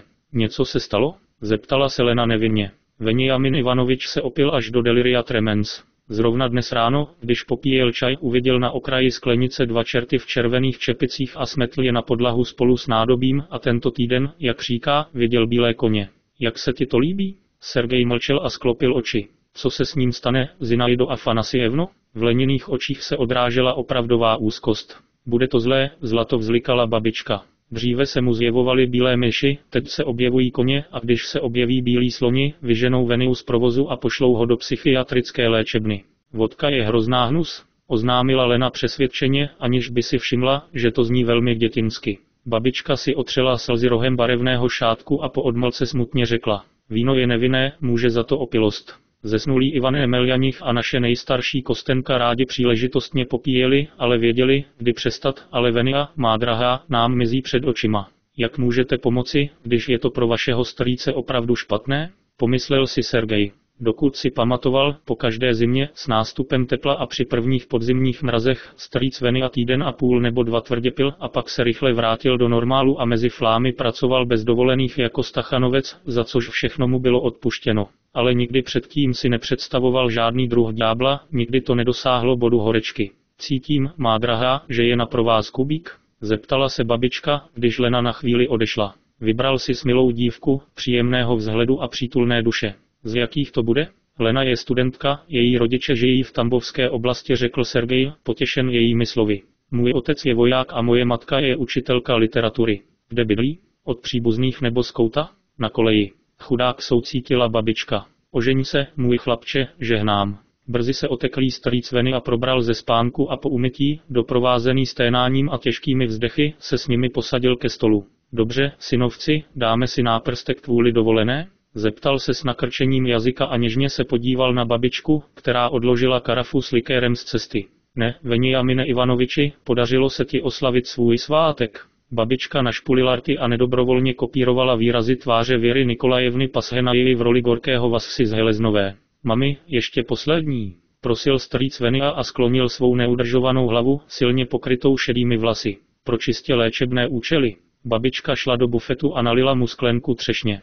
Za zázračné vzkříšení Ježíše Krista, které se shodovalo s naším seznámením. Strýc Venia prudce mrkl na Lenu, svraštil obličej a třesoucí se rukou si vhodil sklenici do úst. Je, dobrý, ale nedost. Ty, Leno, musíš ještě studovat. Ve třetím ročníku na Technologickém institutu. Otcové dobrodinci. Strýc Venia byl šťastný. Taky jsem odtamtud, vystudoval jsem mechanickou fakultu v roce 1951. Mami, pro tuto příležitost bychom ti měli dát další náprstek. Ani se neptej, odmítla. Jak to jde v ústavu? Zeptal se strýc Venia a ze všech sil se snažil působit dojmem sociality. Je jídelna ještě dole? Dole potvrdila Lena s úsměvem. A co? Mám s ní tolik vzpomínek. Strýček Veny a zasněně zavřel oči a vypadal jako mrtvý muž. Jaké tam byly servírky? Křivák a mimochodem nezeptali se. Jeden problém otěhotněli, mrchy, při sebe menším doteku. A pak, synovče, z potraty to bylo tak těžké. Venio, o čem to mluvíš? Babička zaskočená jeho odhalením se pěla ruce. Aspoň se styděl za děti, ty parchante. Co je špatně? Strýc Venia byl překvapen. Byla tam jedna, jmenovala se Liusia, vov, jak sladké. Přímo malina. Odtáhla dítě do naší děkanské kanceláře, položila ho na děkanův stůl a řekla, vaše práce. Nyní byli lidé drceni, ale za mých časů. Lena a Sergej se nikdy nedozvěděli, co se v té době dělo, protože jejich strýc okamžitě skolaboval, hlava mu klesla na hruď a z úst mu vysel provazec slin. Sergej pomohl babičce položit smrtelné tělo svého strýce na pohovku, kde začal znovu chrápat a všichni tři dlouho popíjeli čaj s velikonocemi rozplývajícími se na jazyku, povídali si o všem možném a k večeru se loučili. Lena a Sergej se drželi za ruce a šli na nádraží a babička se za nimi dlouho dívala a mávala kapesníkem v naději, že se obrátí. Ale neotočili se. Na zpáteční cestě byl vlak tak přeplněný, že Sergej považoval za nejlepší zůstat ve vestibulu a když se opřel oběma rukama o zeď, chránil Lenu před tlačenicí. Z přeplněného kočáru bylo slyšet třpit harmoniky, smíšený sbor se špatnými hlasy s konzistencí hodnou lepšího využití, řval stejnou píseň od pak hmutové o modrých obzorech a o elektrických vedeních, 500 obtížném vedení a vestibul vrstvený závoj, jako tabákový kouř ve stísněné kuřárně, kolem vysely lahodné nadávky. Nikdo se nehádal ani nestrácel nervy, naopak konverzace šesti nebo sedmi náhodných spolucestovatelů byla naprosto neškodná, ba přátelská, ale doslova každé slovo genitálie a přirozené otvory byly nazývány pravými jmény, stejně jako všemi myslitelnými podobami interakce mezi prvním a druhým.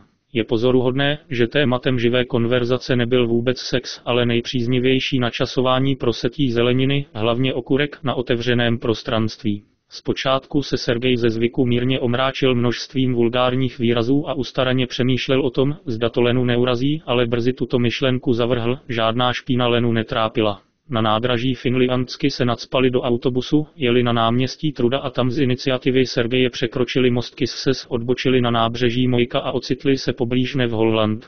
Na jaře se vaše Holandsko promění, ale Lena ukázala doprava směrem ke Kryukovskému kanálu. Líbí se mi jen tato část. Stavějte topoly u vody, dřevěné hromady, zelení od starověku, kolem ani duše. A vlevo je fádní břeh nudní chlapíci se zbraněmi. Ne se zbraněmi, ale s puškami opravil Sergej mechanicky. Koho to zajímá? Kdyby byli oblečeni do středověkých kostýmů a do rukou jim dali halapartny. Člověk by si myslel, že dnem i nocí střeží tajemství Petra Velikého nebo alžbětinských časů. Serjoško, tady je mrak, velmi, velmi podobný Tigrovi.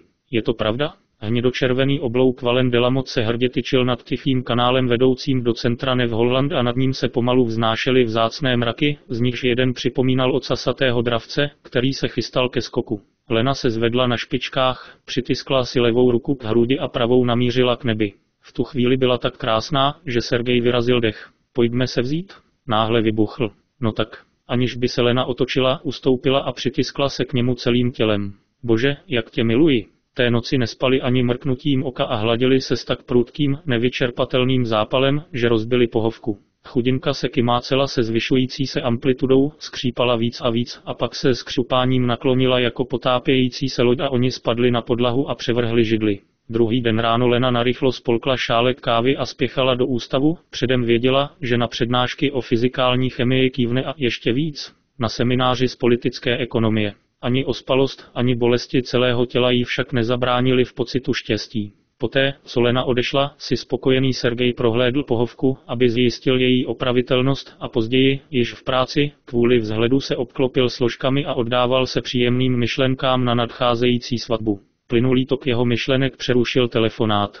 Jsem rád, že tě mohu přivítat, seriózho. Zaburácel Voronovského bohatý hlas. Jak jsem předpověděl, ryba spolkla návnadu a naléhavě se dožaduje vložení do ucha. Kdo vzal návnadu? Sergej byl zvědavý. Břicho, odpověděl Voronovský se smíchem. Volal jsem dnes ráno a bez pochybností jsem řekl, že naléhavě potřebuje peníze.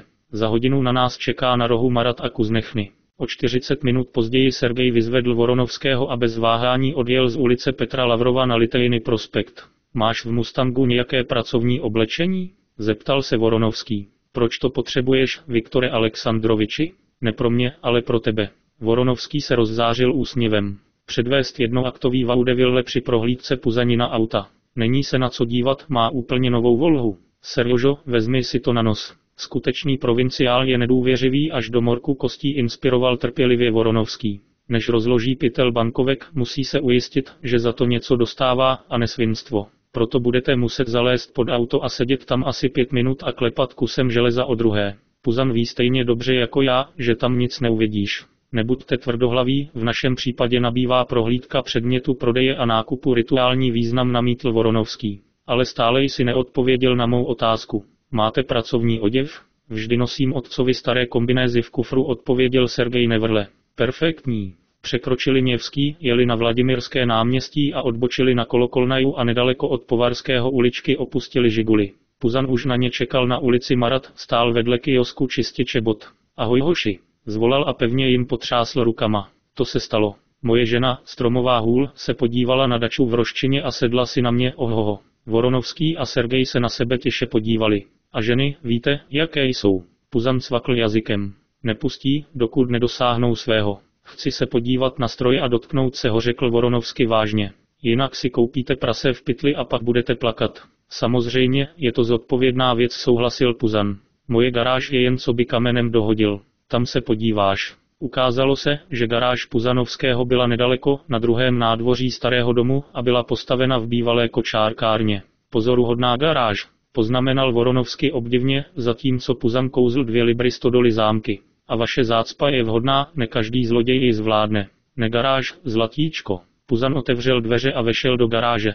Viděli si někdy něco takového? 37,5 metru omítnuté, s parním topením, horkou vodou a suchou jámou velikosti normálního člověka. Vaše ekonomika je silná, připustil Sergej a rozhlédl se kolem. Podél stěn byly na dlouhých regálech úhledně rozmístěny různé náhradní díly, v levém rohu byl pracovní stůl se svěrákem a stolní vrtačkou, v pravém byl kompresor a na hácích u stropu zavěšené nafouknuté komory. Něco jsem sehnal ve své továrně, vysvětlil Puzan. Fajn, proč se obtěžovat ostřením svých děvčat, zamumlal Voronovsky. Serjožo, obleč si župan a vlez pod auto. Podívej, podívej, opakoval mu Puzan. Není tam ani smít korzy. No, říkáš to. Voronovský pochyboval. Slyšel jsem, že v zimě sypete na silnice písek a sůl? Sůl je zlá věc, ale také se jí nebojím. Puzan se zasmál. Celý spodek mám pokrytý pussalem. Tvůj bratr Horník o tom možná neví, ale my, strojaři, spolu máme dobré vztahy, řekl Puzan, zatímco Sergej chodil kolem jámy se šroubovákem a přenosnou lampou.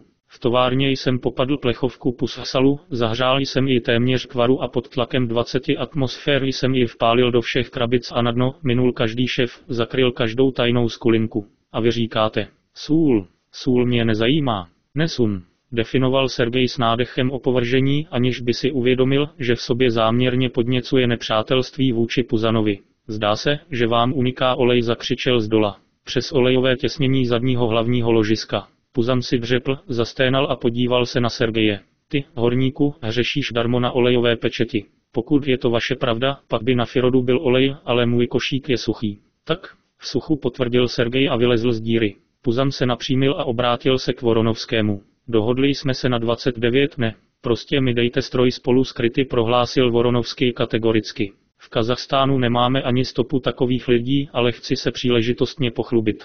A na čí náklady je registrace? Puzan přimhouřil oči. Co? Voronovský hrál jako prostáček. Kdo zaplatí 7% provizi? To vychází na 651 jizev, řekl Puzan. Chtěl bych, abys. Na polovinu navrhl Voronovský. Bude to fungovat? K čertu s tebou, horníku, já jsem široký muž. Puzan nabídl dlaň. Obchod? Obchod. Voronovský se plácl do dlaně. Zítra odhlaste auto a pozítří přesně v 9 ráno se sejdeme tady, ve vaší garáži, a půjdeme do obchodu. A co peníze? Zeptal se Puzan. Zítra to dostanu pod akreditivem a samozřejmě to přinesu s sebou, odpověděl Voronovský. Tady ti dám 20 300 z ruky do ruky a zbytek ti dám v obchodě. Puzan šťastně přikývl a pak rozpačitě řekl. Aby bylo vše spravedlivé, dáte mi dalších 25 rublů a 50 kopejek. Po rozloučení s Puzanem se vrátili do Kolokolnaja a nastoupili do lady. Zdá se, že věci jdou dobře, poznamenal Voronovský spokojeně. Při této příležitosti navrhuji podniknout třídenní výlet autem do Puškinových míst. Už jste byli v Mikhajlovsky? Ne, marně. Byly tam napsány nejlepší kapitoly Onegina od třetí do sedmé. A Boris Godunov? Ech, můj příteli, každý ruský intelektuál určitě musí Michajlovského alespoň jednou navštívit, jako oddaný Mohamedán v Mekce. Měli bychom jít? S potěšením odpověděl Sergej a zhodnotil své schopnosti.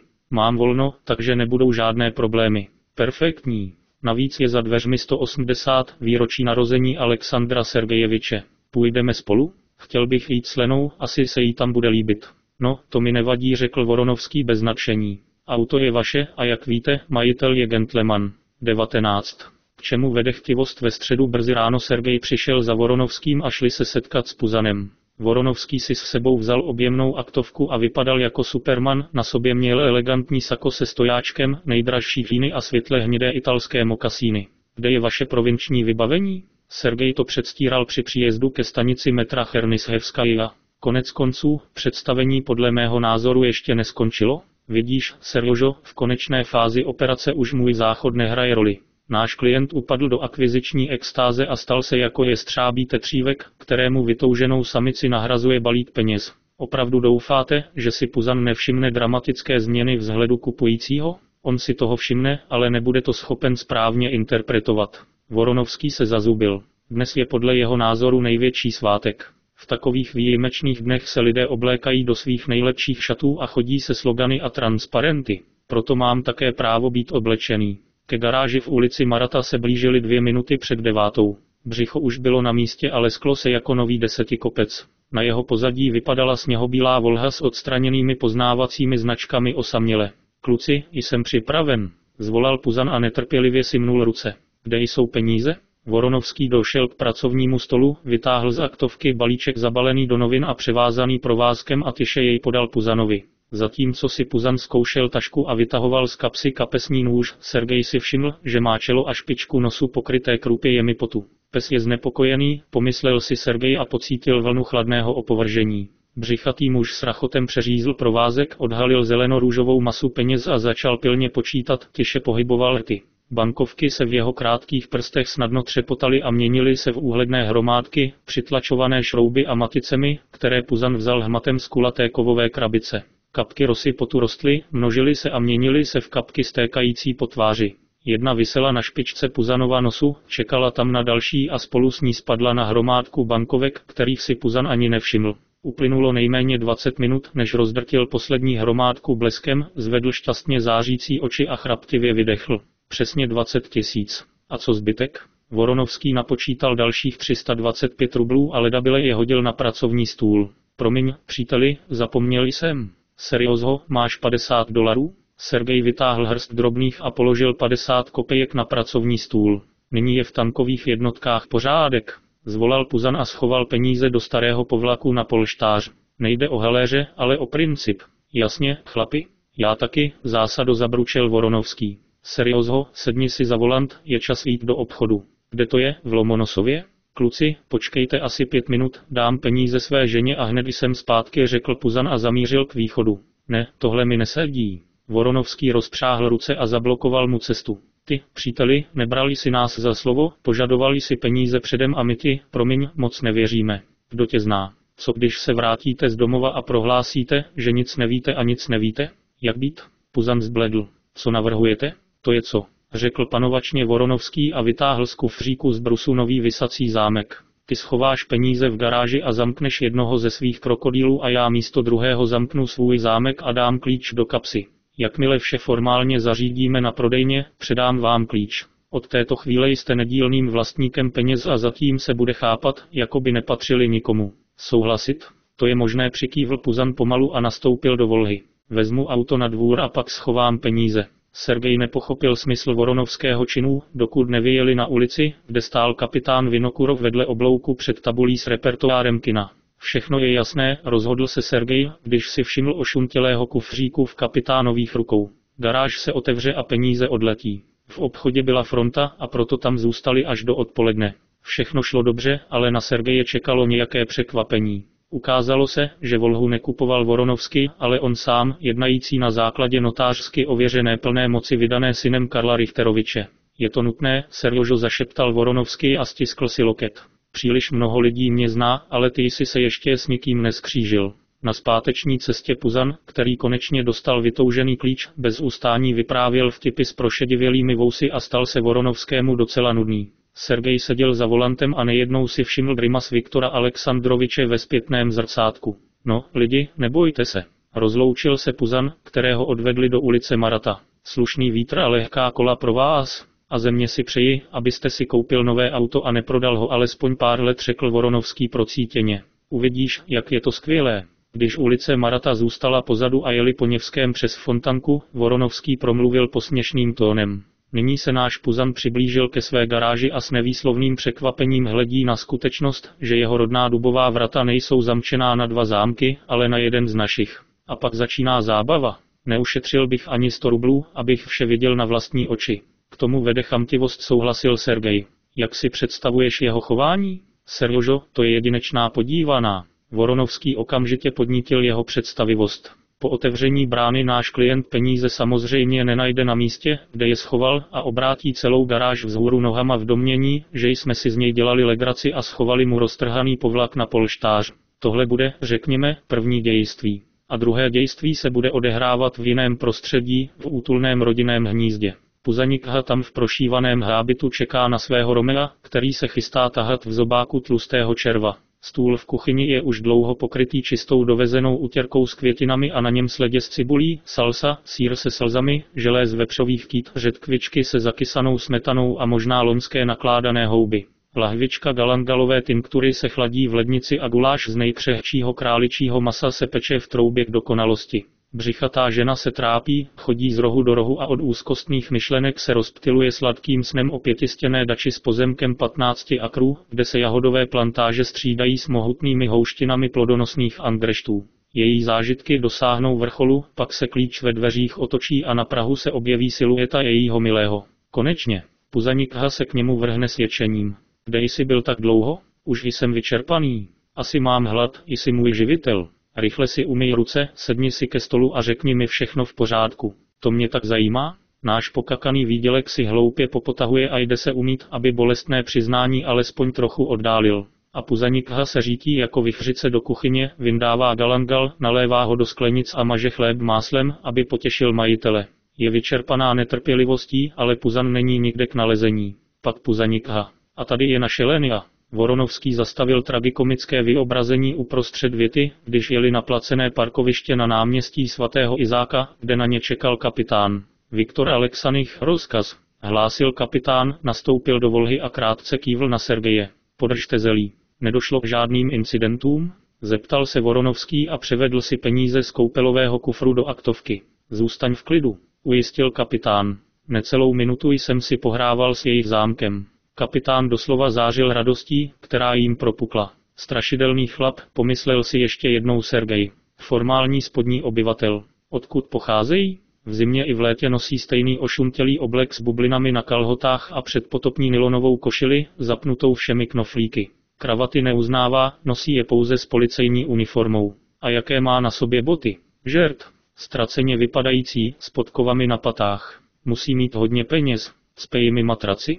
Perfektní, shrnul Voronovský a vrátil kufr kapitánovi. Děkuji, Lenio, tady je tisíc pro tebe. Takže poběžím? Kapitán blízkl ocelovými zuby v úsměvu. Ahoj. Sergejovi naděje na Voronovského štědrost byly oprávněné, jeho honorář činil tisíc rublů. Zajímalo by mě, pomyslel si, kolik si na této operaci vydělá samotný Viktor Aleksandrovič, Myšlenka, že Voronovský při nákupu volhy pro obchodního partnera z Estonska nešel za ziskem a naopak platil služby asistentů z vlastní kapsy, ho nenapadla. Zatímco Sergej zaparkoval volhu na placeném parkovišti, Voronovský šel na poštu a poslal telegram do Tallinu, v němž pozval Karla Richteroviče a jeho syna do Leningradu na sobotu a neděli, aby předali památný dárek. Pak šli pěšky do Krasnaja ulice, tam nasedli do lady, zastavili se u blagodatného prolenu a zamířili do Pskova. 20. Svatá místa Voronovský se jako obvykle o vše předem postaral a v Pskově jim jeho příznivci zarezervovali hotelové pokoje, dvoupokojové apartmá pro muže a samostatný pokoj pro Lenu. Tu noc se dobře vyspali a brzy ráno se vydali do Puškinova muzea rezervace, kde strávili celý den. Lena neúnavně obdivovala Michailovský park, Kernalley, Hannibalův černý rybník, výhled na řeku Sorot a jezero Malenec a Voronovský a Sergeji bez problémů vzali z Michailovského ukázat Trigorskoje a Petrovskoje. Po rychlém obědě v kempu se dlouho potulovali po parku Petrovsky a sotva se dostali do kláštera Sviatoborsk, aby viděli Puškinův hrob. Nedaleko kláštera Voronovský požádal, aby zastavil auto, někam šel a přinesl bujnou kytici růží, kterou Lena položila na náhrobní kámen básníka. Na zpáteční cestě do Pskova Lena a Sergej, stále pod dojmem, většinou mlčeli. Voronovský se je pokusil pobavit docela úspěšnou parodii jednoho z průvodců, který patetickým tónem vykládal obecné pravdy, ale necítíce podporu, brzy zmlkl a podřimoval. Druhý den ráno, hned po snídani, se vrátili do auta. Kam chcete, abychom taxikáři, soudruhu šéfe?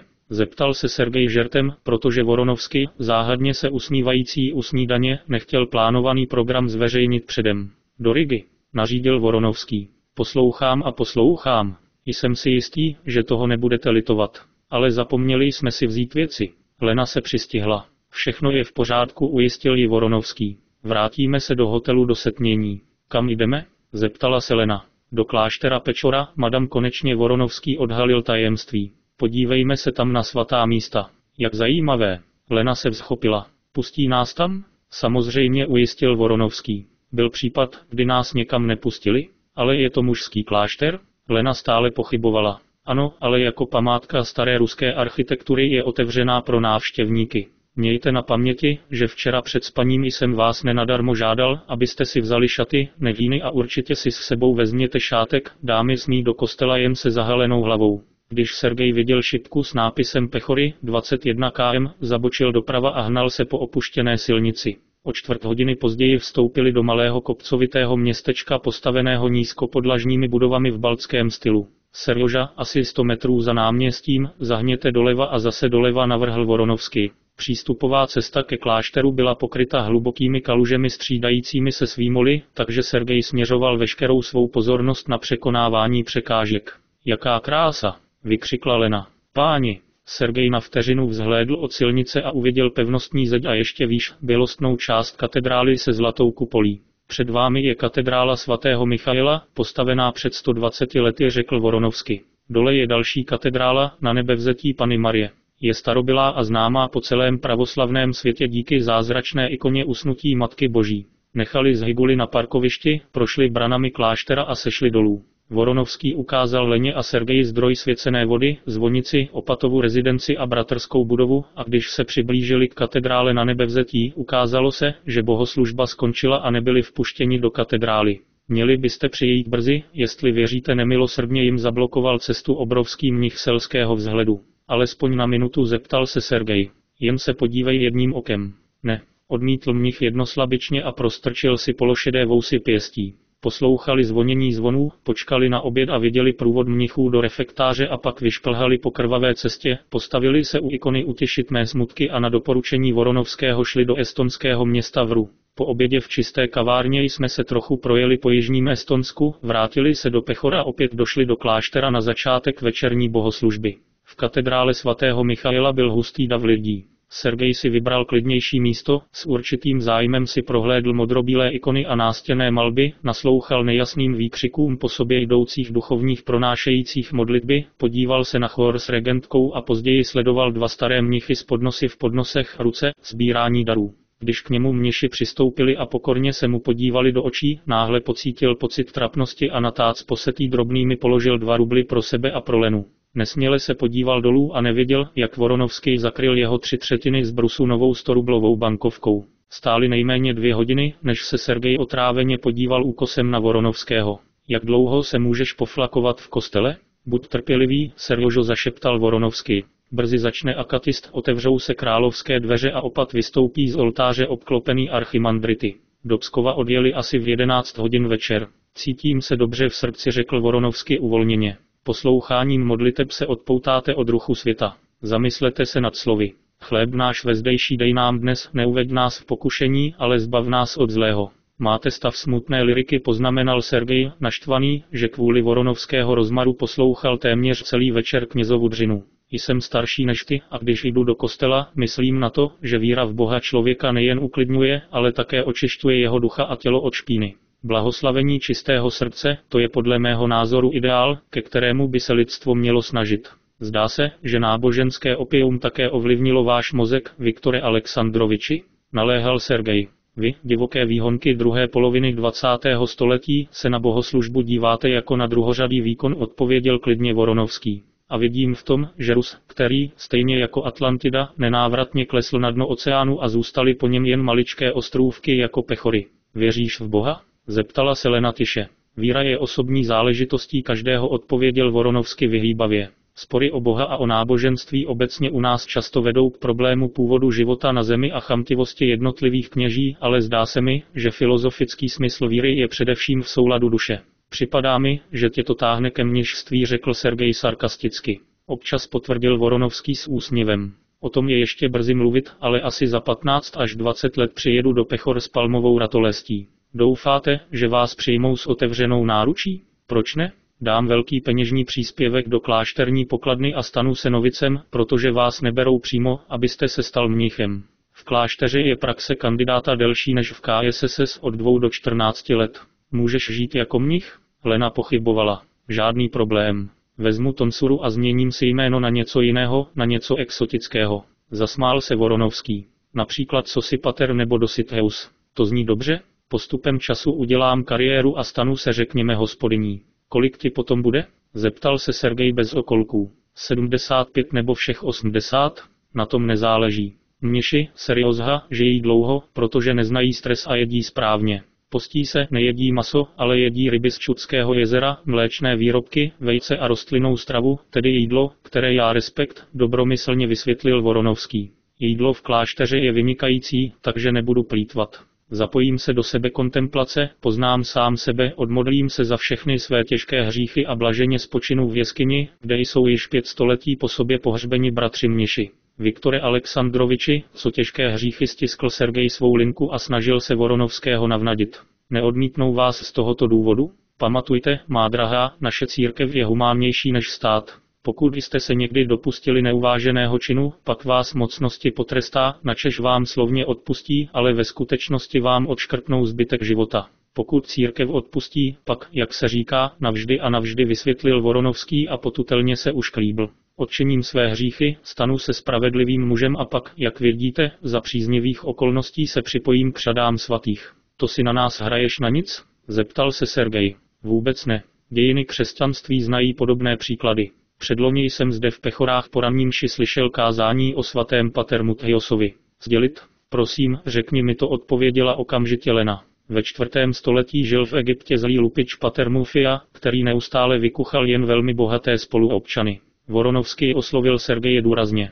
Doba byla krutá, příznivci mu nepomohli a proto, pokud pater Mufius neměl po ruce živého klienta, chodil v noci na hřbitov, otevíral bohaté hroby, vytahoval těla zesnulých zaháky a odstranit z nich vše cené. Náš hrdina řádil, dokud nezabil hodnou dámu jménem Mokrina, načež milost se stoupila z nebe na pater Mufii a brzy se z něj stal asketa a později spravedlivý muž. Když se pater Mufiovi, který se stáhl ze světských pokušení do bezvodé pouště, zjevili svůdci, aby ho pozvali do doupěte, náš hrdina si okamžitě vzpomněl na žalm blahoslavený muž, který nechodí podle rady bezbožných a svůdci zdálo se, že je odfoukl vítr. Pán zkoušel pater Mufie tak a tak a nakonec mu odpustil všechny jeho minulé hříchy, včetně vraždy Mokriny, protože jeho brzká smrt umožnila dobré dámě vstoupit do nebe s předstihem. Spravedlivý pater Muthia byl navíc oceněn darem zázraků, v důsledku čehož se, stejně jako sám stvořitel, někdy zjevoval svým učedníkům. Zvažte tento zajímavý detail, seriózho. Nebyl to ani tak obsah příběhu, jako Voronovského zvláštní, svým způsobem zlověstný tón, kvůli kterému se Lena nedobrovolně otřásla.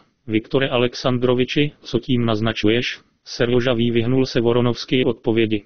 Moje spravedlnost je záležitostí vzdálené budoucnosti, ale prozatím se omezuji na každoroční návštěvu kláštera Pechora s neustálým potěšením. Vzpomeňte si, jak mohutný mnich v červeném vyšívaném zlatém rouchu pronikavě prohlašoval. Ve jménu Otce i Syna i Ducha Svatého. Amen. Mnichové jdou za ním. Aleluja, aleluja, aleluja a chor na chóru na znamení regenta plynule vede ven. Pane, smiluj se aluji. A mnich recitativ mnichů. Pane, smiluj se. Pane, smiluj se. Pane, smiluj se. A znovu mnich v červeném. A nyní a navždy a na věky věků. Amen. Staré ženy v černých šátcích se křižují a klaní a vůně kadidla je všude kolem. Fantastické. Líbili se mi tři mniši ve velkých červených kloboucích s drahými kameny, řekl Sergej spěšně, znepokojený jak Voronovského narážkami, tak leninou bolestivou reakcí. Serjožo, máš dobrý vkus. Voronovský souhlasně přikývl. Tyto klobouky se nazývají mitry a nosí je vysoce postavení duchovní, počínaje archimandritem a výše, tedy církevní generálové. A diamanty, safíry, smaragdy a perly na pokosech jsou skutečně prvotřídní. O nic horší než naše přítelkyně Maria Sigismundovna. Kdo je Maria Sigismundovna? Lena, která seděla vedle Sergeje, se zvedla a zvedla oči k Voronovskému. Nahánějící se manželka významného vědce odpověděl Voronovsky klidně a zívl a zakryl si ústa dlaní. Promiň, něco mě uspává. V sobotu se Voronovský probudil v nechutné náladě, důvod, který Sergej mohl jen hádat. Opravdu si Viktor Alexandrovič vzal své neškodné ostny k srdci? Ne, to nepřipadá v úvahu, rozhodl se. Za prvé, Voronovský je člověk s humorem, má sklon dělat si legraci z druhých a ví, co se vrátí, to se vrátí. A za druhé, no a co, zášť pro něj není vůbec charakteristická. Možná se patron necítí dobře? Po obědě v kantýně muzejní rezervace si stěžoval na pálení žáhy. A se říká cokoliv, 42 let je už věk, který je znát. U snídaně v hotelovém bufetu si Voronovský žíravě dělal legraci ze svých spolustolovníků, kteří den začali lahví vodky doprovázenou uzenou makrelou s natvrdo vařenými vejci a později, když odjeli do Leningradu, začal z nějakého důvodu spočítat opilce, na které cestou narazil. Když počet přivedl na sto, řekl znechuceně. Slovanští bratři se zhoršují kosmickou rychlostí. Seriozo, řekni mi, jak daleko jsme dnes cestovali? 23 km na tachometru. Ukazuje se 4,3 desetiny alconauta na kilometr. Vezmeme-li šířku silnice spolu s chodníkem na 10 metrů, pak odhadovaná hustota obyvatelstva oslabeného žvaněním bude moment 430 duší na kilometr čtvereční zemského povrch. Až moc. Možná by se měla udělat novela, protože opilci se v lesích, polích a nádržích vyskytují méně. Náš nezapomenutelný Alexander Sergejevič měl pravdu. O čem to mluvíš? Lena položila otázku takovým tónem, že Sergej okamžitě začal být ostražitý. O jeho prediktivním hodnocení ruské opilosti odpověděl Voronovsky. Doufám, že nezapomněli. A pokřtěný svět otevře krčmu na každé stanici. Jak vidíte, všechno se splnilo. Podívejte se doprava, další zápasí. Tohle bude 101. Viktore Alexandroviči, to přeháníš. Lena se začervenala. Eleno, jaká moucha tě kousla? Voronovský se na ně podíval s opravdovým překvapením. Proč bych měl překrucovat? Puškin myslel něco úplně jiného. Lena se k němu napůl otočila a recitovala. Dálnice Rusko zde a zde po připojení se přejdou litinové mosty přes vodu krokují širokým obloukem, přenesme hory, pod vodu pojďme prolomit odvážné klenby a povede pokřtěný svět na každé stanici je taverna. Tak co? Voronovský pokrčil rameny. Jedno není v rozporu s druhým. Slovo hospoda používá básník ve významu hostinec u silnice, hostinec a nenápojový podnik. Každý, kdo četl Eugena Onegina, to chápe. Vidíš, má drahá, věřím svým očím, nevidím smysl nazývat černou bílou a začal Voronovský. A abyste byli přesvědčiví, připojte sem Puškina. Lena za něj skončila. Soudruzi, soudruzi, zasáhl Sergej. Má cenu udělat z hory horu? A vykládám to v souladu se svými vlastními zkušenostmi a znalostmi života pokračoval Voronovský suše. Všimněte si, žádný odkaz na každý rozumí. Při vší úctě k Alexandru Sergejevičovi, bohužel, musím uznat, že jeho předpověď ohledně silničních hotelů byla přesně opačná. Co do počtu hotelových lůžek jsme dokonce za Černou Afrikou a oslnivě před Antarktidou. Viktor Alexandrovič. Sergej se ho pokusil zastavit. Vemte si do hlavy, že beze mě vám nikde nedopřejí nejen luxus, ani rozmačkanou postel se štěnicemi ve špinavém kolektivu. Voronovský se hlučně nadechl. A ještě jedna věc. Nepotřebuji vaše přednášky. Viktor Alexandrovič, zvýšil hlas Sergej a bránil Lenu. Jak můžeš? Můžu, Sergeji, pořád můžu. Voronovský ho panovačně přerušil. Můžu cokoliv a ty to moc dobře víš. Bolestné ticho trvalo až do Leningradu. Omlouvám se za tvrdost řekl Voronovský bezbarvým hlasem, když jeli po moskovského třídě poblíž vítězného parku. Je to moje chyba, ztratil jsem nervy, čehož opožděně lituji. Něco není v pořádku s tvými nervy. Seriózho, prosím zpomal. Pak pojedu metrem. 21. Černý pátek případ podvodu a neoprávněného přivlastňování si moci úředníky se dostal do slepé uličky a po uplynutí stanovené lhuty musel major Sudakov vyšetřování přerušit. Jak si myslel, Tartakovská neřekla nic zajímavějšího. Naopak při výslechu podala matoucí svědectví o vzhledu a chování podvodníků, kteří ji navštívili. Vyšetřování nepomohl ani důchodce z Hevet, vyslíchaný jako svědek. Studium materiálů archivního případu o obvinění Semjona Efimoviče Tartakovského ze spekulací s měnovými hodnotami ve velkém měřítku přineslo pouze jednu výhodu. Sudakov byl potvrzen v jeho domněnce, že obsah mezi paměti patří Tartakovským.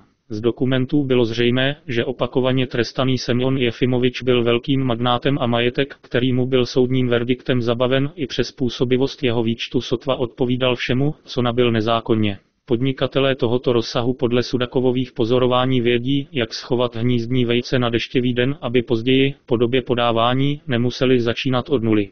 Navíc se musí předem postarat o financování vlastní obhajoby u soudů a zajištění životního minima pro zbývající členy domácnosti a manželka jako Maria Sigismundovna je zřejmě zvyklá žít ve velkém stylu. Tartakovská měla pravděpodobně přístup k alespoň jednomu z pokladů svého manžela. Někdo se o tom dozvěděl, zjistil podrobnosti a zorganizoval falešné pátrání. SZO. Abyste prokázali něčí vinu, musíte mít důkazy nebo v nejhorším případě alespoň nějaké stopy, ale přesně to nebyl tento případ. Kapitán Zatulovský, který pracoval paralelně, studoval podobné zločiny zaznamenané v Leningradu v posledních letech, ale jeho pátrání také nepřineslo pozitivní výsledky. Pravda, existovala zločinecká skupina Grigoriantů s podobným stylem, ale byli dopadeni, odsouzeni a dodnes drženi v koloniích nucených prací. Pátrání po obsahu prázdné skrýše také nevedlo k ničemu. Brož, náušnice a zlaté figurky jako by se potopily do bazénu. Právě z těchto důvodů musel Sudakov přerušit vyšetřování.